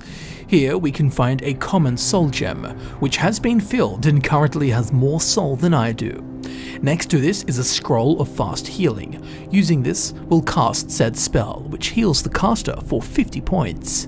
In the back right corner of the tabletop we can find three inkwells, ripe and ready for writing. Fittingly, accompanying them are two blank rolls of paper and two quills, suggesting that someone or something has been scribbling scrolls here. And finally, we can also find a copy of the alchemy skill book titled Song of the Alchemists, or fully titled The Song of the Alchemists Ancient Tales of the Dwemer, Part 5, authored by a very familiar Marobar Sul. This is of course book 5 of an incomplete series of fictional stories about the Dwemer. Reading this will increase your alchemy skill by one point, provided of course that you have not read this before. Now before we leave this shrine, we will want to take a peek next to the altar, where we will discover a little pod hiding silently in the darkness. Within it we can find a copy of the book titled Dwarves, Volume 2, or fully titled Dwarves, The Lost Race of Tamriel, Volume 2, Weapons, Armor, and Machines, authored by Calcelmo, Scholar of Markarth, a character that we can in fact go and visit. Now this manuscript is a detailed work on the war, equipment, and machinery of the Dwemer. Below this is a sigh-inducing sum of 18 gold pieces. we also have here a potion of plentiful magicka, which, if I were in Skyrim, I would probably drink accidentally, thinking it was a bottle of water. In here is also a scroll of Firestorm. Using it will cast the aforementioned spell, which will release a 75 point fiery explosion centered on the caster that does more damage to the closer targets. And if you do not wish to use such wizardry, it does have a very handsome value of 500 gold. In here is also a copy of My Next Holiday, a book titled The Cabin in the Woods, or fully titled The Cabin in the Woods Volume 2, authored by one Morgan, son of Molag. This is a tale of a soldier and a sobbing ghost and appears to be a sequel to the book The Woodcutter's Wife, as it is similar in theme and written by the same author. Also, The Woodcutter's Wife is called Volume 1 and The Cabin in the Woods is called Volume 2, so wrap your head around that. And oh my oh my, I now understand why this vile vault exists to protect the next two tomes, as we have both a copy of the Poison Song Volume 1 and Volume 7, authored by the now deity Bristin Zell. These are the sacred texts that are a historically inaccurate epic saga set in the aftermath of the war with the Dwemer and House Dagoth. Holy tomes, to be sure. What more could this cloister possibly offer after a find like this? Well, from the left of the altar is a set of stone steps that descend down to a barriered corner, at the bottom of which rests yet another pod. My hands shake at the prospect of what could be hidden within. In here, we will find the sum of 14 gold pieces. Below this is a greater soul gem that is currently unoccupied, but I'm sure that we can rectify that situation later on. Now, as we peer downwards, our eyes swell with tears as we're swallowed by a lachrymose phenomenon. Could it be? Could we be so imbued with unholy luck? Is it truly true that we have here before us both copies of the Poison Song Volume 2 and the Poison Song Volume 6, authored by he who is so exalted I hesitate to utter the name Bristin Zell? We feel that our eyes are deceiving us, as we appear to have found both Volumes 2 and Volume 6 that is a historically inaccurate epic saga set in the aftermath of the war with the Dwemer and House Dagoth. But now, as we did before, we must turn our attention to an even more spiritually scorching scroll-bound sacrament, the tattered text that sits so sacrilegiously on the plinth perched, scented on the reticent rostrum. This is one of four cryptic key codices of Apocrypha, and is required in unlocking a portal within the Lacuna Library. This is an esoteric volume titled Delving Pincers, referencing, I would imagine, Hermaeus Mora and his crab-like appendages, often depicted in mortal carved effigies of the Daedric Prince. When we take this book, the previously locked gate located at the beginning of the secret spire will swing open, granting us the freedom to press on with our quest. Before we push on though, if we look at delving pincers within our inventory, we will see it is fully titled On Apocrypha Delving Pincers, and it has no known author. It reads, Crushing razors hollow shells that snap, that twitch, that cinch and rend to hold the subject bodily till mind blows soft and life meets end. A truly gruesome work poetically painting all too familiar aspects of old Hermaeus Mora. Well, we will need this for later on, so be sure to hang on to it.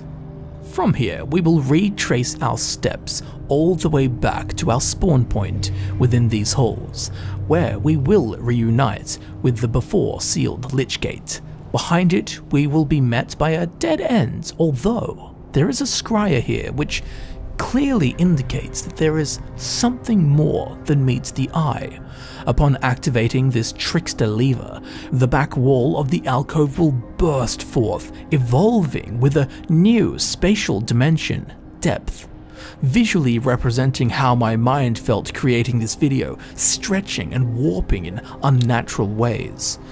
Now we can move on through the newly born but rather lusterless lobby. Soon the flat yet surprisingly firm floor will seize and veer upwards forming a ramped continuation, at the top of which is a foully lit nook sopping and besotted in a gangrenous and glaring green ghostlight gushing from the grotesque lurker-like fetish that is the font of stamina mounted on the back wall, below which is an altar scattered in various scribing tools and their end goals, aka books. Oh, and there's also a soldier. Starting on the left and moving right, Firstly, we can find a scroll of stone flesh.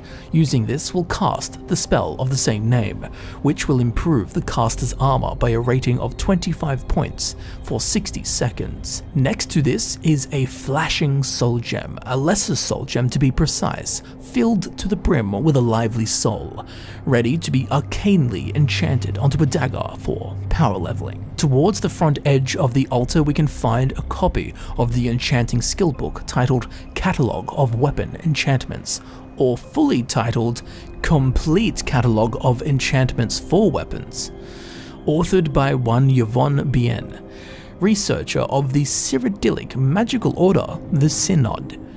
This details an actually incomplete list of all enchantments that go on weapons, so in fact, it's not a complete list at all. It's an incomplete list. Of course, reading this book will increase your enchanting skill by one point, unless of course you have read this educational manuscript before. At the center of the table is a piece of charcoal for putting into toothpaste or whatever people do with that stuff. Given its location, I would imagine that this particular piece is to be used in rubbings or writings. To the right of this is a scroll of fast healing. Using this will cast said spell which heals the caster for 50 points. Or it's great to use when dancing. Get those heals going nice and fast. And on the rightmost edge of the tabletop are two stacked books. Firstly, on top is a real pleasure to lay our hands on, the embodiment of joy, as we have a copy of The Poison Song Volume 4, authored by a person whose name you will never forget, Bristin Zell. I know you won't believe it when I tell you that this is in fact part 4 of a 7 volume series that is a historically inaccurate epic saga set in the aftermath of the war with the Dwemer and House Dagoth. But trust me, it's true, you can even check for yourself. And finally, below it, much like us being weighed down by the poison song, is a copy of the book titled History of Raven Rock, Volume 2, authored by one Liren Tileno. As the name may have hinted, this is a historical documentation of the history of the once East Empire Company mining village on Solstheim known as Raven Rock. But now that we are done inspecting this insipid nook of foul lambency, we can skip on along through the short passageway to the right of the altar. As we osmose through the opening, we will be birthed back out into the rotund rotunda that is the legendary Lacuna Library, but this time into the central chamber, the heart of the bibliothetic beast, Above head, swarms of spellbound scriptures migrate mindfully through the mustily redolent and crushingly humid oblivion air, like spores of existential mold spreading through a mind Cults of Daedric seekers linger in mundane meditation and subdued psychotic cerebration. Heteroclitic honeycomb formations of lattice webbings form extraterrestrially tessellated terraces, lending conceivable and traversable passage to mortal bodies like ours, which is exactly what we will now use them for. So once we enter the Lacuna Library, Firstly, we're going to make our way out and to the left and follow the lattice ledge all the way to its point of cessation, where plonked perfectly in the furthest back corner is a pod. Within this we can find a flawless diamond, which has a price tag that suggests it contains more carrots than a rabbit god's garden. We will then stumble upon a petty sum of 24 gold pieces that force a meh to slip from our lips. Below this is a potion of ultimate healing, for those of you who really want to dance or completely restore your health. In here is also a Grand Soul Gem, which much like my bank account at this time is currently unfilled. Then we will find a copy of the book titled The Legend of Red Eagle, authored by one Tredane Dren, archivist of Winterhold. This tells of an ancient tale about the invasion of the Reach by the First Empire, starring, of course, the famous Reachman hero of legend, Red Eagle, or Faolan as he is known in the tongue of the Reach. Reading this book for the first time will also begin the quest of the same name, The Legend of Red Eagle. And finally, at the bottom of the barrel, or pod in this case, we can find a copy of the book titled Trap, which has no known author. This tells of a starving man who steals money for food, but pays a high price for his action. And no, he doesn't pay in skooma. This is actually quite a rare book, and can only be found in two other places within the Elder Scrolls V Skyrim and all of its DLCs. Also, interestingly, in the Elder Scrolls 3 Morrowind, Trap was a sneak skill book, but it mustn't have had any good tips if it's been stripped of its skill-bearing properties. Now, next to this pod, leaning almost over the edge, is a scryer, which at first glance seems like some kind of booby trap, given there seems to be nothing around but a big drop below. Luckily, that is not the case, but it has highlighted my suspicion of my own constant curious paranoia. When we do activate the scryer, we will see that on a distant wall there is a sealed gateway that will now screech open, granting us access to whatever hides inside. So naturally, as the booty-hungry, loot-grabbing thieves that we are, I mean, uh, brave heroes that we are, we will stroll on over, utilizing these very precarious, yet very handy, lattice walkways that stretch between curved corners, like a spider's web inside a hollow stump to catch creepy crawlies. And well, this alloy framework web has caught a pest within Apocrypha, us. Although unlike me writing this script, we are not stuck, and we will move on into the welcoming alcove, where we will find a rich and ripe reliquary. Two golden statues of unknown material stand proud against the back wall, with stairs leading the way up.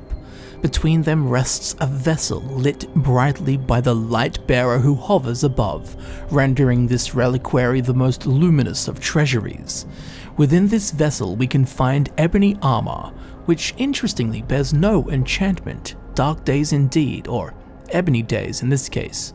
Below is a copy of the book titled Alduin is Real, or fully titled and fully misspelt, Alduin is Real and He Ent Akatosh, authored by one Thromgar Ironhead, a proud Nord. This is a poorly spelled essay from a proud Nord that being P-R-O-W-D, on the difference between Alduin and Akatosh. In here, we will also find a copy of the book titled Confessions of a Dunmer Skooma Eater, with no declared author within the Elder Scrolls V Skyrim. However, in the Elder Scrolls 3 Morrowind, it is known to be authored by one Tilsi Sendis. This is a narrative recount of a cured skooma addict, something I definitely cannot relate to. Oh, this one's empty too. Hey, Maik, do you have any? Oh, cheers, Maik. Oh, that's better. Next, we will find two copies of the book titled Death of a Wanderer, which has no known author. This is a tale of an Argonian's unfortunate venture into a crypt filled with Draugr. Oh, and looky here, a vegetarian's dream, as we have another flawless diamond, which will provide carrots for days. And we will also find a sum of 190 gold pieces, which, you know, feels nice to find an amount of gold that isn't in its teens for once. Also, in here we can find a copy of the book titled Nerevar, Moon and Star, which while in the Elder Scrolls V Skyrim has no named author, thanks to previous titles such as the Elder Scrolls 3 Morrowind, the best game ever, we know that this book was written by the very same Carlovac Townway. This is an imperial scholarly work on the legend of Indoril Nerevar, hero of the Dunmer, the Dark Elves. Interestingly, this book can only be found in one other location as well as bought from Urag gro-Shub in the Arcanaeum at the College of Winterhold, which makes it about as rare as how I like my steak. Below this we have a Grand Soul Gem, which is currently unfilled, but I am sure that we can rectify this situation in the coming encounters. And finally, we can find a copy of the book titled The Oblivion Crisis, authored by one Praxis Secorum, Imperial Historian. This is a summary of events stemming from the assassination of Emperor Uriel Septim VII, leading into, of course, the Oblivion Crisis. But speaking of crisis, let's move on before we suffer an existential one.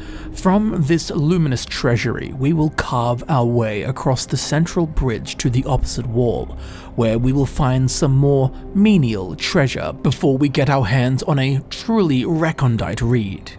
Here rests yet another pod, the calm before the brewing, exploratory storm to come. Inside this pod, we can find a copy of the book titled Amongst the Draugr, authored by Bernadette Bantien, a Breton mage and scholar at the College of Winterhold. A book which details the behavior of Draugr, drawn from several months spent observing them, their hostility, language, and worship of the venerated dragon priests. Below this is a deadly magicka poison, perfect for disarming those pesky mages or for selling at market, as it will fetch quite a pretty penny. We can also find 21 gold pieces, along with a potion of extreme magicka, which is fine as I don't like my magicka any other way. Now we will discover a copy of the book titled Songs of Skyrim, authored by one Giraud Gemane, historian of the Bard's College, Solitude. This book, as you may have very inquisitively guessed, is a compilation of popular songs within the Nordic province of Skyrim. Beneath this is a petty soul gem, unfilled, and ready for the soul of a chicken or something.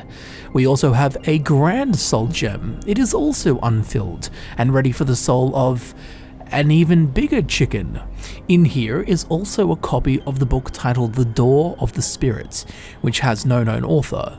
This is an ancestral mantra of the Dunmer spirits.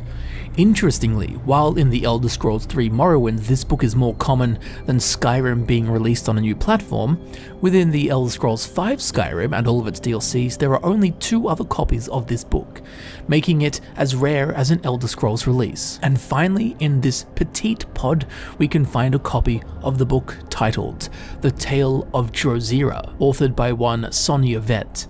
This tells of a Khajiit father in the grips of Moon Sugar who gives his child, or cub I guess, a history lesson. But now it is time to write our own history, as from this pod, we will cling tightly to the wall, being sure not to misstep on this lofty lattice leanway as we crawl along the ledge to the font of Magicka, which spews its attractively Antarctic glow onto a stunted plinth, which bears a wearied and weathered work, the likes of which we've seen before, here in the apocryphal plane of waking dreams of a starless sky. This is one of four cryptic key codices of Apocrypha and is required in unlocking a portal within the Lacuna Library.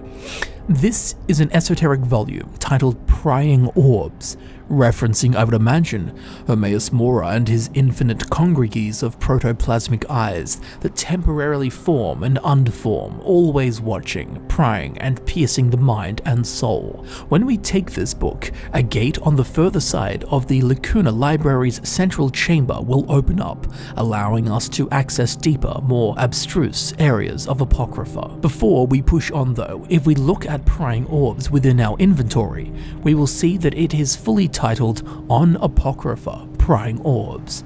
It has no known author. It reads, What takes the world enlightened sense can also seek the outward gleam. They rob the all of essence too, report the nothing they have seen. Truly a haunting work, poetically painting all too familiar aspects of old Herma Mora.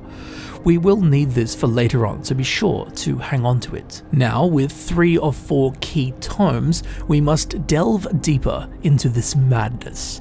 Zigzagging our way across the latticework webbing, we will soon meet the recently unlocked gateway, funneling us into a shallow tunnel forged from cobbled compendiums and warped writings.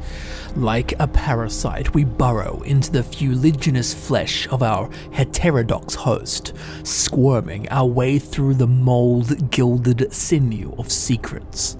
As the shadowy shaft sweeps incontestably left, a bright, venomous light at the end of the tunnel will come into focus. A zesty zephyr blows on our approach, kicking up a dust devil of detritus damaged pages, torn and lost. As we swat these papers aside, we will see a lattice vista view window, looking out upon the infiniteness of the ostentatious ichorous and Mucific mire that is the oozing ocean, but placed purposefully at the center of it all is a plinth bearing an open black book with forbidden scripts and alphabets unnaturally skittering and scattering across the stained sallow pages. Touching this black book will transport us to chapter 4 of Waking Dreams of a Starless Sky. We will now find ourselves within a large urban wilderness within this apocryphal pocket, consisting of one single, sprawling superstructure, kabbalistic in concept and perplexing in design. Or, in short. Hmm. A consternatiously calamitous clustered castle compiled of complicated, crisscrossed, convoluted and confused congregations of contumaciously craze-carved causeways and chaotically conjuncted corridors, crammed with crooked cloisters and capacious courtyards coalesced cathonically in cantankerous conception, crepuscular conjuration and complex copa copacetic construction, a frightful fortress as confusing and unfriendly as that previous colossally circumloquacious sentence. When we first arrive here, we will find ourselves in a ghastly greenhouse of sorts, as trickling tears form nefarious terraces that babble into an oozing, odious, and odorous oneiroscopic oasis. This is a terrible place, filled with tribulations and trickery so we must be wary. Firstly, we will descend down the cascade of ancient stone steps to our right until we reach the first level of lattice that continues on in the same direction, where at the end of which juts a petite protuberance, at the tip of which rests a pod soaking in the honeyed glow of the lamppost below. Inside of this, we will find an iron mace of draining, not particularly useful in either melee or magical mitigation. In here we will also find a copy of the book titled Charwich Koniinge Letters Volume 1 authored by Charwich. This is part 1 of a four-part series known as a quadrilogy. These writings are letters sent between Charwich and Koniinge about their search for Azura Star. This can only be found in three other places within the entirety of the Elder Scrolls V Skyrim and all of its DLCs, making it quite a rare find. Below this is a copy of a book titled Darkest Days, written by an anonymous author. It contains detailed descriptions of various data. In here is also a minor sum of 18 gold pieces. We can also find a copy of the book titled Last King of the Ayleids, or fully titled The Last King of the Ayleids, authored by one Herminia Cinna, an imperial sorceress you can actually meet within the Elder Scrolls for Oblivion, as she resides within the imperial city. This book of hers chronicles the downfall of the Ayleid Empire in the First Era, but rather interestingly, never actually mentions the last king of the Ayleids, Laloriaran Dynar. And finally, what pod would be complete without a copy of our favourite series, as here we can find a copy of the book titled The Poison Song, Volume 1, authored by our best mate, Bristin Zell. This is Volume 1 in a divinely sequenced series of seven that delivers a historically inaccurate epic saga in the aftermath of the war with the Dwemer and House Dagoth, which I'm sure that you are very happy to learn again. Now, from this pod, we shall cast ourselves far and downward across the actually rather aesthete walkway paved throughout the gloomy garden, all the way to the lowest, well, technically second lowest by four steps, all the way across the way and over the tar-like tarn of iniquitous ink that shines virid like the blood of an unknown and ancient deity. On our way over, we will run across several seekers who guard their garden and are ready to pummel unwelcome guests with their psychonautic psyche spells of telekinetic and daedric witchcraft, so be sure to remain steadfast at all times. Now, when we finalize our sojourn, here we will find an altar pushed up against a tremendous stockade of stockpiled tomes and scrolls. This slate sheet presents a healthy handful of items. Firstly, there is a few ruined books knocking about, which interestingly we have seen few of within Waking Dreams of a Starless Sky. Hmm, seems they take better care of their wares in this part of town. There are also three rolls of fresh and bare paper here, ready to be used in the arts of writing. To accommodate this, there is also a small yet rather ornate inkwell filled with unscribed stories yet to be materialized. On this altar, we can also find a copy of the book titled Killing Before You're Killed, authored by one Eduardo Corvus, which unsurprisingly consists of tips on effective combat methods to be used to kill before you are killed.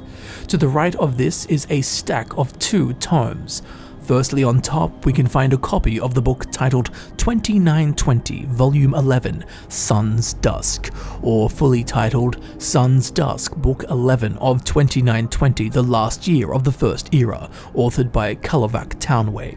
This is part 11 of a series of 12 that relates the historical happenings of Vivec and the Empire at the end of the First Era. Beneath it is a copy of the book titled The Anticipations, which has no known author. This is an overview of the members of and the relationships between the Tribunal and the Daedra. Now, interestingly, in the Elder Scrolls 3 Morrowind, the item ID for this book is BK for book underscore then Vivec Murders. Strange and something to ponder over as you try to sleep. But even more curiously, this here copy of the Anticipations is the single and only copy of this item in the entirety of the Elder Scrolls V Skyrim and all of its DLCs. So this book here is actually a unique item so be sure to take it and store it somewhere nice and safe. And to the right of this unique item, we can find a copy of the book titled Hawker Attacks, authored by one Eadmir Starkard. Amazingly, this tells the tale of a Hawker attack. Now from here we will continue onward, or at least attempt to, as you'll soon see how difficult such a simple notion is within this hellish convolution of corridors. At the lowest landing of the tiered terrace, we will run across a seeker in front of an opening. We will enter this gaping passage and follow it around as it warps to the left. Soon we will come across a crossroads of sorts. One path leads to the right, and one leads straight ahead. But before we get hoaxed by these hallways, to our left we will see an altar with just one item atop it. This is a potion of ultimate healing, which is great and all, but curiously, I do believe this is the single and only potion within all of Apocrypha that rests outside of a container. Sure, we have found many as the result of the famous random leveled loots, with pods and vessels and such, but if my memory and investigation serves me and us correctly, this is the only one placed out in the world, or out in the outer worlds would seem more apt. Now from this altar, we're going to progress forwards through the passage ahead, but as we scurry through, we will notice the walls begin to seem to move too quickly. But before we know what's happening, the back wall will smash into us as we realize that the tunnel is in fact telescopic and is retracting completely, landing us where we were before. So, hmm, okay, we'll take the other aisle. But in a flurry of deja vu, the same hocus pocus hallway magic will trick us once again. Now, defeated and dazed, we will have to retrace our steps and go from whence we came. But we'll notice that the passage has shifted to the left now, creating a new path, funneling us into a new and secret section of the frightful fortress we will emerge out into this lattice-lined plaza that at first glance does not have much to offer a mere mortal like ourselves, other than a sneaky seeker who skulks in the shadowed corner of the furthest lattice pier. But besides this Daedric zealot, there is one point of interest in here, and that is a raised area cinched by two long sets of slippery stone steps. Once we mount them on the first landing, our eyes will be drawn to the well-illuminated wall, where a lamp post spills a brilliant and welcoming light onto an altar beneath it. Upon this tabletop is a smattering of seemingly random items. Firstly, there is a collection of ruined books. There is also two rolls of paper just waiting to be turned into scrolls, along with three pieces of charcoal to accommodate with this task. And then on the front right corner of the altar are four scrolls, neatly lined up like they have just been created, especially when paired with the surrounding scribing tools. This is a likely scenario. From left to right, we have a scroll of Muffle. Using this will cast said spell, which will allow you to move more quietly for 180 seconds. Next to it, we have a scroll of Fury. Using this will cast said spell, making creatures and people up to level 4. Pff, 4. Anyway, it will make them attack anything nearby for 30 seconds. Next to this, we have a scroll of Oak Flesh. Using this will cast said spell, which will improve the caster's armor rating by 20 points for 60 seconds. And finally, next to this we have a scroll of Firebolt. Using this will cast said spell, creating a blast of fire that does 15 points of damage.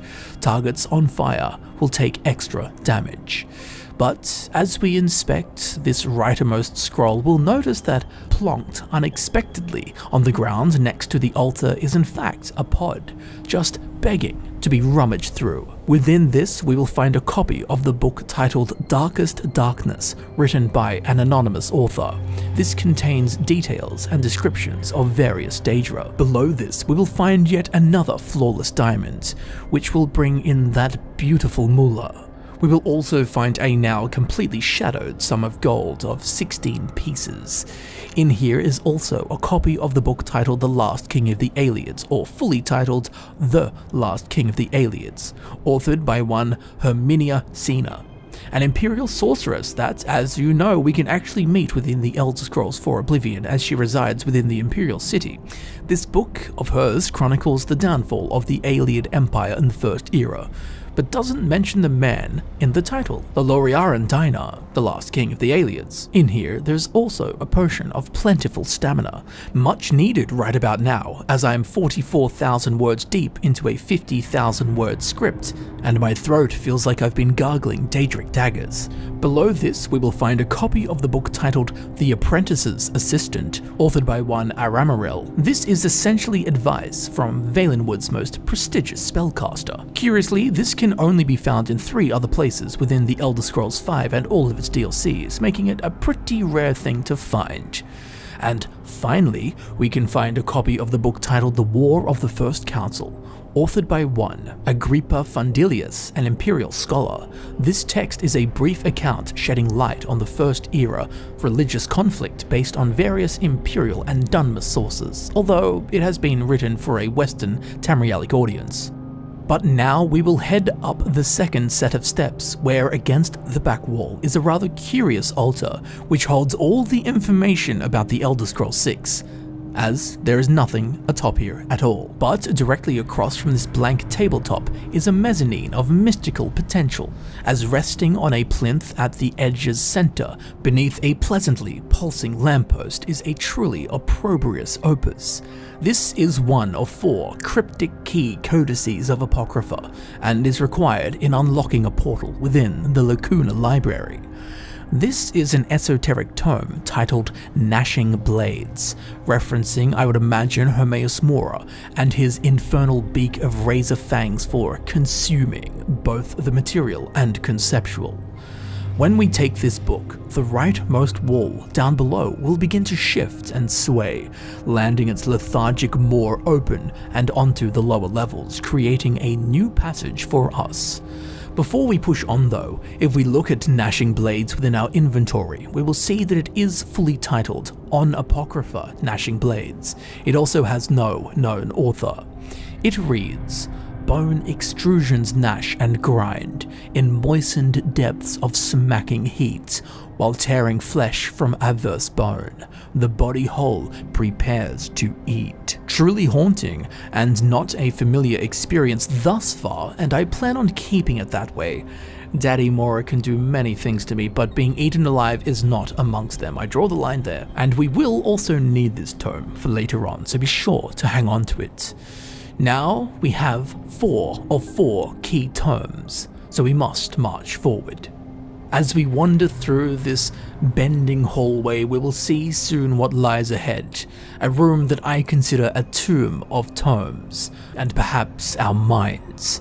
This is a small, nookish room with several altars and many, many, many books. In the alcove to the left is a small pond of that accursed ooze. Beware of a tentacle that lives within.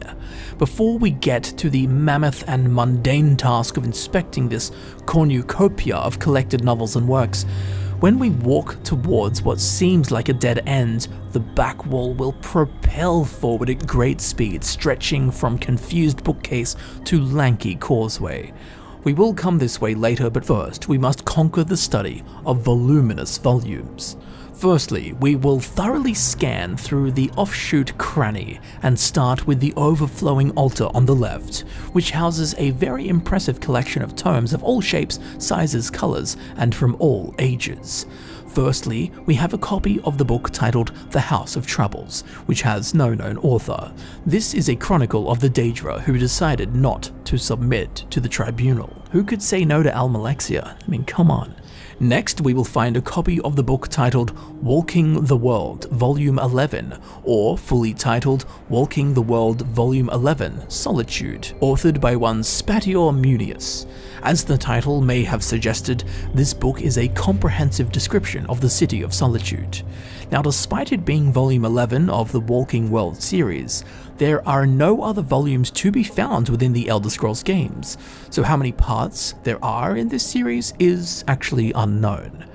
Next, we have a copy of the book titled Charwich Koniinge Letters Volume 2, authored by Charwich. This is part 2 of a four-part series known as a quadrilogy. These writings are letters sent between Charwich and Koniinge about their search for Azura's star. This can only be found in three other places within the entirety of the Elder Scrolls V Skyrim and all of its DLCs, making this find once again quite a special one. Under this is a copy of the book titled The Hope of the Redoran, authored by one Turiel Nerith. This tells of a tale of a child blessed by a prophecy and the interpretation of such a tale. Beneath this is a copy of the book titled The Life of Uriel Septim VII, or fully titled A Short Life of Uriel Septim VII, authored by one, Rufus Hayn. This is a short biography of Uriel Septim VII's accomplishments, mainly getting captured constantly and killed. On the bottom of this pile, we have a copy of the book titled The Wolf Queen, Volume 2, authored by Waughin Jarth.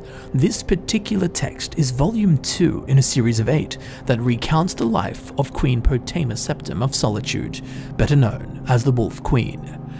Behind this is a copy of the book titled The Pig Children, authored by Tiston Bain. This is a rather xenophobically titled discussion on the history of the orcish threat in the Iliac Bay. Interestingly, this is one of a few books within the Elder Scrolls V Skyrim that were first introduced in the Elder Scrolls II Daggerfall. Next, we will find a copy of the book titled The Song of Pelinal Volume 3, or fully titled The Song of Pelinal Volume 3 on His Enemy, which has no known author, so I'll claim it. Yeah, I wrote it. This contains a description of Pelinal Whitestrake's mortal enemy, the half-elf, half-divine demigod, Umaril the Unfeathered. And finally, on this altar we can find a copy of the book titled Spirit of the Daedra, which has no known author. This provides a look into the Daedric mindset, and this book was first introduced in the Elder Scrolls Legend Battlespire. And look at that, we're a quarter of the way through this inconceivable congregation of tomes. Now we will inspect and flick through the offerings of the altar on the other side of the mundane alcove atop which is a chromatic collection of tales and recounts. Firstly, we will come across a copy of the book titled The Wolf Queen Volume 5, authored by one of our old chums, Waughin Jarth. This particular text is Volume 5 in a series of 8 that recounts the life of Queen Potema Septim of Solitude, better known as the Wolf Queen, as you may have suspected. Underneath it, we can find a copy of the book titled Thirsk, A Revised History, which has no known author within the Elder Scrolls V Skyrim, but thanks to the Elder Scrolls 3 Morrowind, we know it was written by one Beredit Jastal, who was a Breton bookseller who lived in Thirsk and can actually be encountered within the Elder Scrolls 3 Morrowind's Bloodmoon expansion but you already knew that. Anyway, this tome chronicles the Nord Mead Hall of Thirsk and focuses primarily on its chieftains. Besides this, we can find a copy of the book titled The Red Book of Riddles, which has no known author. As the name suggests, it is still a red book and contains some riddles, and some damn awful ones at that. Oh, and look, wedged between it we can find a copy of the book titled Walking the World Volume 11, or fully titled Walking the World Volume 11 Solitude, authored by one Spatior Munius. Walking the world more like walking in circles, am I right? As you well know if you were paying attention, this book is a comprehensive description of the city of Solitude, and at the bottom of the stack we can find a copy of the book titled Antecedents of Dwemer which has no known author as no one wants to confess to the spelling mistake in the title as antecedents should be antecedents. Anyway, this is a historical account of the development of Dwemer lore and custom from its roots in High Elf culture, allegedly, as as far as I know, the Dwemer don't actually have any known connection to the Altmer, at least not observable and traceable through history. Now at the top of the next pile we can find a copy of the book titled Fragment on Artaeum, authored by one Tros Il Anselma, who sadly has a name that sounds like a disease. This is a work explaining some of the history of the Psijic island of Artaeum, and curiously is one of few books in the Elder Scrolls V Skyrim that was first introduced with the Elder Scrolls II Daggerfall. Beneath this we can find a copy of the book titled Opusculus Lamae Bal, or fully titled Opusculus Lamae Bal Tar Mesamorite a brief account of Lamae Bal and the Restless Death, authored by one Maybe Awinil, scribe. Translation by University of Gwilym Press, 3rd Era, year 105. It's worth noting that the author's name is Maybe Awinil, and not it's maybe authored by Awinil, if you catch my confusing drift. Not my fault they have a weird name. Yeah, let's call our kid Maybe, that won't confuse everyone they ever meet. Anyway, this is a brief account of Lamae Bal, the first vampire, and the Restless Death. Below this is a copy of the book titled Songs of the Return, Volume 24, or fully titled Songs of the Return, Volume 24, the first tale of the Krillot Lock, written by an anonymous author. This tells parts of the traditional legend of Ysgramor and his 500 companions, and despite being volume 24, there are only 5 volumes found within the Elder Scrolls V Skyrim, the highest number being volume 56, so who knows how many volumes there actually are in this series. Underneath this, we can find a copy of the book titled Shadow Marks, authored by Delvin Mallory, the Breton sneak master of the Thieves Guild, who we encountered during the Elder Scrolls V Skyrim. This is simply a list of the symbols that the members of the Thieves Guild leave behind for each other, known as shadow marks. And finally, on the bottom, we will find a copy of the book titled Magic from the Sky, authored by one Olav Jarol, Master Wizard of the Arcane University, who we can actually meet within the Elder Scrolls IV Oblivion. This is a treatise regarding Ayleid Wells, Welkin Stones, and Varla Stones. Umbacano's dream. Now from this alcove we will turn back around and make our way into the main passage, where we have two more altars to inspect. Firstly, the altar on the left bears an assortment of hermetic miscellany, from left to right, we will gaze upon three rolls of paper, a strangely common item in this part of Apocrypha, suggesting knowledge isn't just being stored here, but created here. Beside these is a scroll of Detect Life. Using this will cast said spell, allowing the Dragonborn to see living creatures through walls. Next to this is a scroll of Fast Healing. Using this will cast said spell, which will heal the caster for 50 points. To the right of this is a greater soul gem that is currently unoccupied, just begging for a tenant which I'm sure we can organize. Then we have two beautiful and well-conditioned quills, ready to dance across the surface of plain paper. And finally, we have a scroll of fury. Using this will cast said spell, which will force creatures and people up to level 4 to attack anything nearby for 30 seconds. So naturally that will find little use here, but will make us furious in its pathetic effect. Now across from this arcane altar is, you guessed it, another altar. Luckily this will be much faster and easier to catalogue. Firstly, the outliers here are two inkwells perched towards the back right hand corner but laid out in some kind of lazy order are seven books from two different series. The blue books are copies of The Wolf Queen, volumes 2, 3, 4, 5, and 7, written all by Waughin Jarth, all of which recount the life of Queen Protema Septim of Solitude, better known as the Wolf Queen, as you may have suspected, and the two apricot toned books are volumes 1 and 3 of the biography of Barenziah, both of which are authored by Stern Gamboge, an imperial scribe. Both of these volumes are part of a series that is a factual biography of Queen Barenziah, Karliah's grandmother. But now we have proudly conquered the study of voluminous volumes, and we can now push on deeper into the unknown twisting terrors of this frightful fortress. Once we meet the right angled bend in this long trot, there will be a font of stamina set into a shallow recess. Huddled beneath it is a pod. Within this we can find a copy of the book titled Chronicles of Nchuleft, authored by an anonymous Altmer. This is a historical chronicle of events in the Dwemer freehold colony of Nchuleft, just on the other side of Nachu Right. there is also a petty sum of 21 gold pieces. Beneath this we can find a copy of the spell tome Magelight. Reading this will teach us the Magelight spell, which when cast throws a ball of light that lasts for 60 seconds and sticks where it strikes.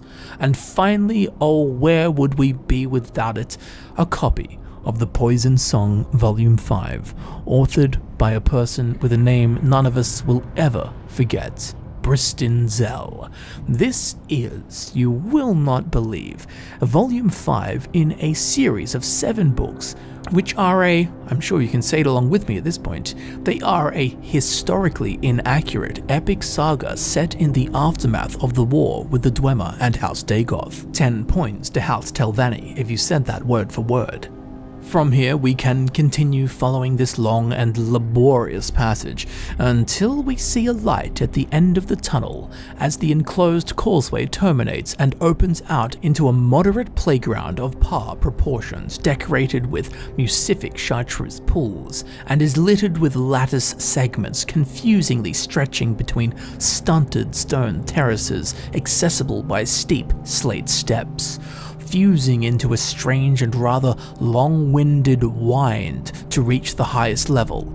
Given there is only one way up, we will approach it from such a direction and make our way towards the back wall where the stairs begin. After a few effort-filled steps of our own, we will be met immediately by a seeker, silently shambling in thought, and well, quite frankly, soon to be killed. Just next to this Daedra peon is an altar as we may have come to expect.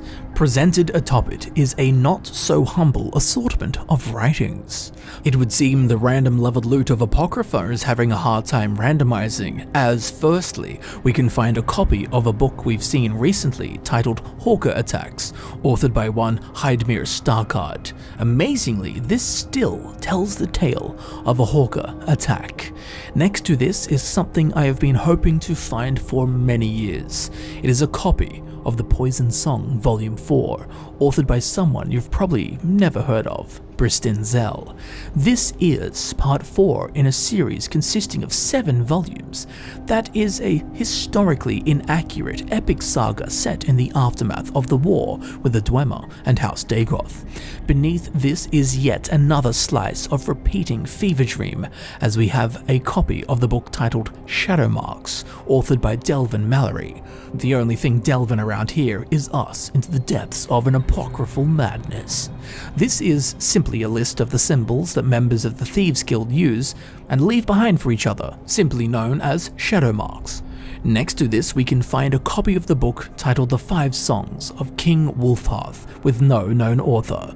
This is a summary of five epic songs of King Wulfharth, plus an additional and rather fittingly apocryphal song of the Tribunal, Dagoth-Ur, and Indoril Nerevar. Next in line is a break from the boredom of books for a moment, as we have a filled common soul gem that's going straight into my pocket for later. And finally, on the end, we can find a copy of the book titled Myths of Sheogorath, authored by one Mymophonus. This is a compilation of magical myths about the mad god himself, the Daedric prince Sheogorath. Now, from this altar, we will progress forward, up the next set of steps where there is actually a seeker lying in wait and cloaked with some form of invisibility spell. Its location, however, is betrayed by the vile haze being emitted from its wretched being. From this landing, we will now wander across the lattice bridge to the other side, where more curling rungs of thigh-screeching stairs will carry us up to the highest platform here, where between two lampposts is a scryer, something we haven't seen for quite some time. Its purpose is unclear currently, but there is one sure way to find out what it does and that is of course to activate it. Upon doing so, we will witness the slender tunnel that brought us here shift like a sluggish serpent in a hibernal state, carving a new way for us to travel even deeper yet into the mysterious acumens of Apocrypha. Now we will hop on down from this top tier and begin our journey through yet another corridor, and while we need to follow this all the way through to see the end of this plane, there is something very special and secret that I must first share. The inner wall of this curved passageway masks a great hidden area. In fact, it is inaccessible, which, you know, isn't common, that's what walls are for, to keep the players in the bits we're meant to be in. But if we peek on over into the spaces that we are not meant to explore, we will find something very curious indeed. In this weird wedge between barriers is a lagoon that is primarily rippling ooze, but in the corner there is a small spit of lattice, generating a tiny little area where we can stand and where two vessels do stand. In total, there are about 10 vessels scattered infrequently throughout Apocrypha, two of which rest right here, side by side, in a location that cannot be accessed by the player. Well, not through normal gameplay means of course. Nevertheless, this raises a most curious question. Why? They serve no purpose and seem like a very strange decision for a dev to make. To place two of the most valuable containers in the game next to each other in a place where no one will ever find them nor can they find them as you need console commands or some very game-breaking trickery to access them. It is reminiscent of the hidden and inaccessible chests found on some roofs within the Soul Cairn.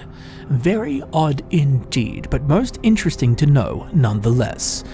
Now, considering we went to all that trouble of discovering the undiscoverable, let's bathe in the glory of their random leveled loot. Within the left vessel we can find a mighty sum of 207 gold pieces, beneath which is a filled common soul gem, along with an unfilled greater soul gem. Also here is a copy of the book titled The Dowry, or fully titled The Dowry, Ancient Tales of the Dwemer Part 10, authored by Marobar Sul. This is part 10 of a seemingly incomplete series, exploring the various theories and histories of the Dwemer. Along with this is two copies of the ever-famous book titled The Poison Song Volume 4, authored by Bristin Zell. This is part 4 in a series consisting of 7 volumes, which tells a historically inaccurate saga set in the aftermath of the war with the Dwemer and House Dagoth. Below these we can find a copy of the book titled Thief of Virtue, which has no known author. This is a bawdy tale of a thief's quest for copious coin and the capture of a lady's virtue. Penultimately, we can find a copy of the book titled Trap, which has no known author. This tells of a starving man who steals money for food, but pays a high price for his action. And no, he doesn't pay with a cliff. And ultimately, we can find a pair of elven boots of major stamina, which when worn will increase your stamina majorly or numerically by 40 points. Now, oh, I wonder what glorious loot of the random persuasion we will find in the hidden vessel on the right. Well, firstly, within it is a stash of 113 gold pieces. We also have a copy of the book titled The Life of Uriel Septim VII, or fully titled A Short Life of Uriel Septim VII, authored by one Rufus Hayn. This is a short biography of Uriel Septim VII's accomplishments. Below this we can find a copy of the book titled Nchunak's Fire and Faith, which has no known author within the Elder Scrolls V Skyrim, but thanks to the Elder Scrolls 3 Morrowind, we know that this book was written by Nchunak, a notable Dwemer believing and teaching Kagrenac's theories. This text follows Nchunak's journey among the Dwemer and his attempts to understand the teachings of Kagrenac. Haha, good luck with that one, buddy. In here, we will also find a scroll of Call to Arms, which, come to think of it, will go quite nicely with my scroll of Call to Legs. Anyway, using this will cast the spell of the same name, Call to Arms, which improves the target's combat skills, health, and stamina for 10 minutes. It's actually pretty good. Well, that is to be expected after all, as it is a master level illusion spell. Also interesting to note that this scroll can only be found in one other place in the game, that being Fort Sungard. Along with this, we can find a lesser soul gem that sadly, much like my beer stein, is not currently filled. Beneath this we can find a copy of the book titled The Old Ways, or fully titled, and it is one full title, The Old Ways, The Customs and Philosophy of Grave and Faithful Counsel, authored by Loremaster Celarus of the Psijic Order who you can actually meet in the Elder Scrolls Online. Also, weirdly, this book has two title pages, Anyway, it is essentially a guide to the Psijic Order and their beliefs. Interesting to note, too, that this was first introduced in the Elder Scrolls II Daggerfall. Oh, and I thought this vessel couldn't get any more interesting, but here we have a copy of the book titled The Poison Song Volume 6, authored by some ancient hero named Bristin Zell. Amazingly, this is part 6 in a series consisting of 7 that tells a historically inaccurate epic saga set in the aftermath of the war with the Dwemer and House Dagoth. Also in here we can find a copy of the book titled The Wolf Queen Volume 6, authored by Waughin Jarth.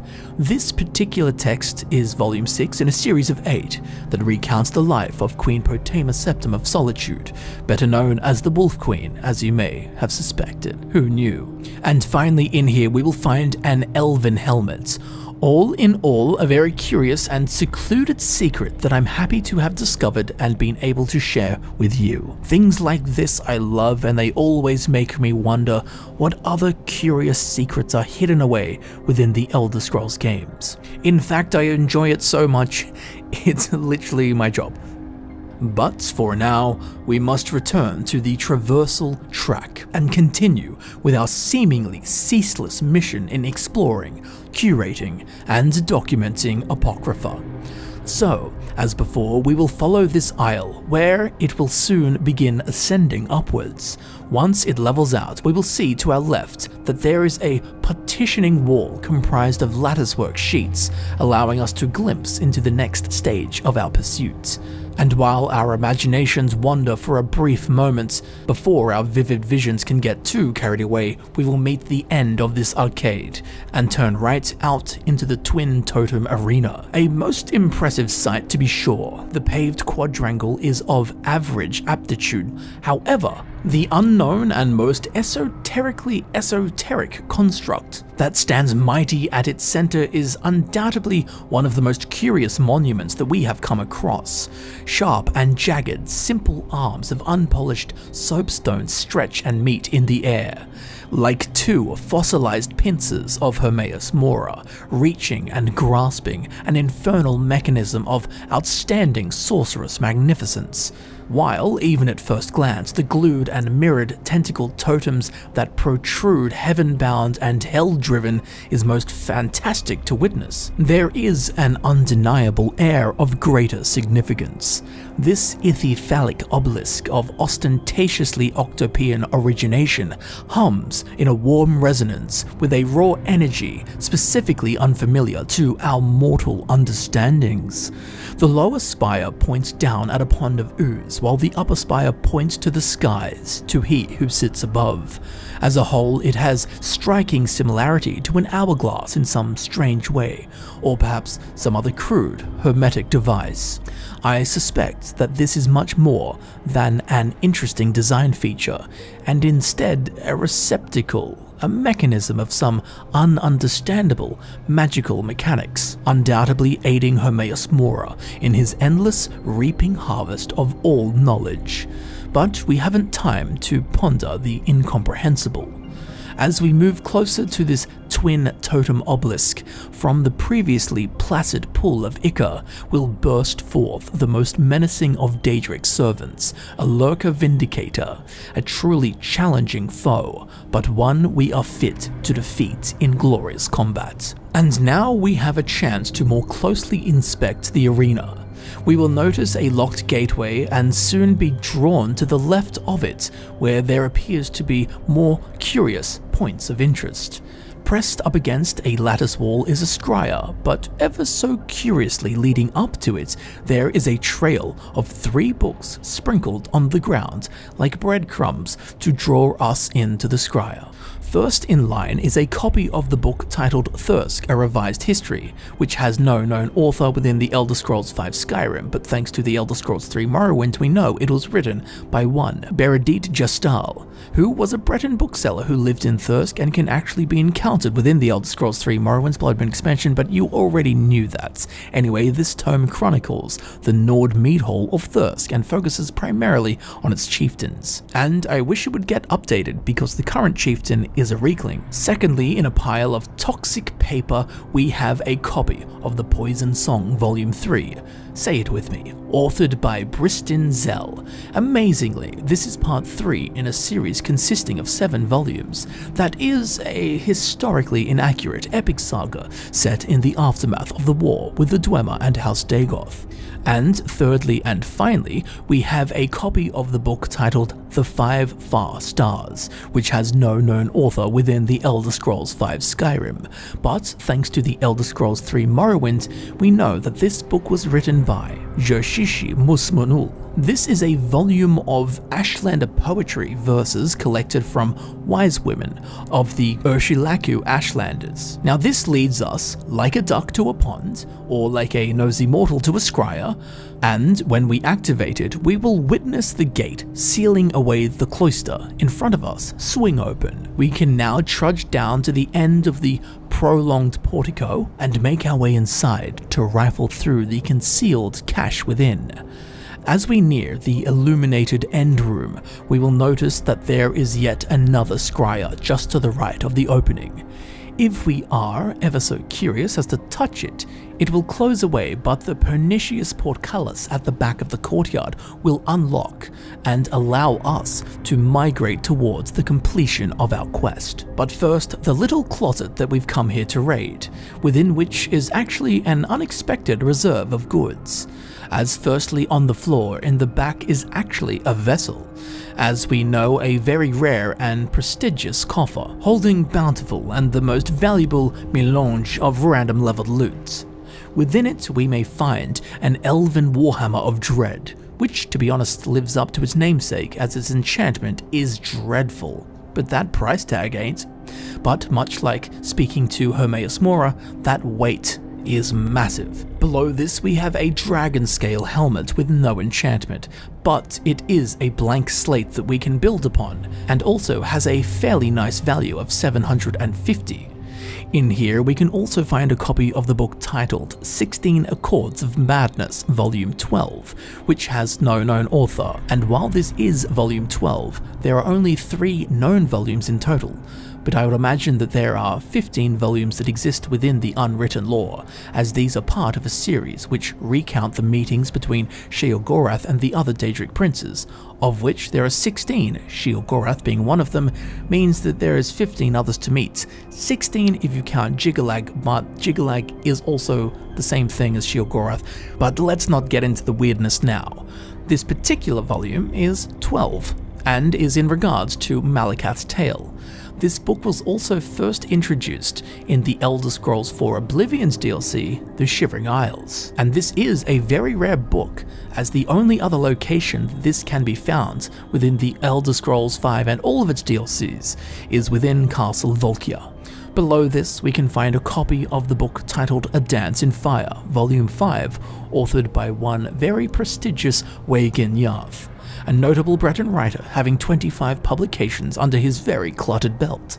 This particular entry retells a clerk's adventures through Valenwood, home of the Bosmer, the Wood Elves, and is of course volume 5 of a 7-part series known as a heptalogy, and that's heptalogy and not heptology, heptalogy, not heptology. Just so you know, if you ever use that word, which you never will. Anyway, in here is also a rather mediocre sum of 80 gold pieces.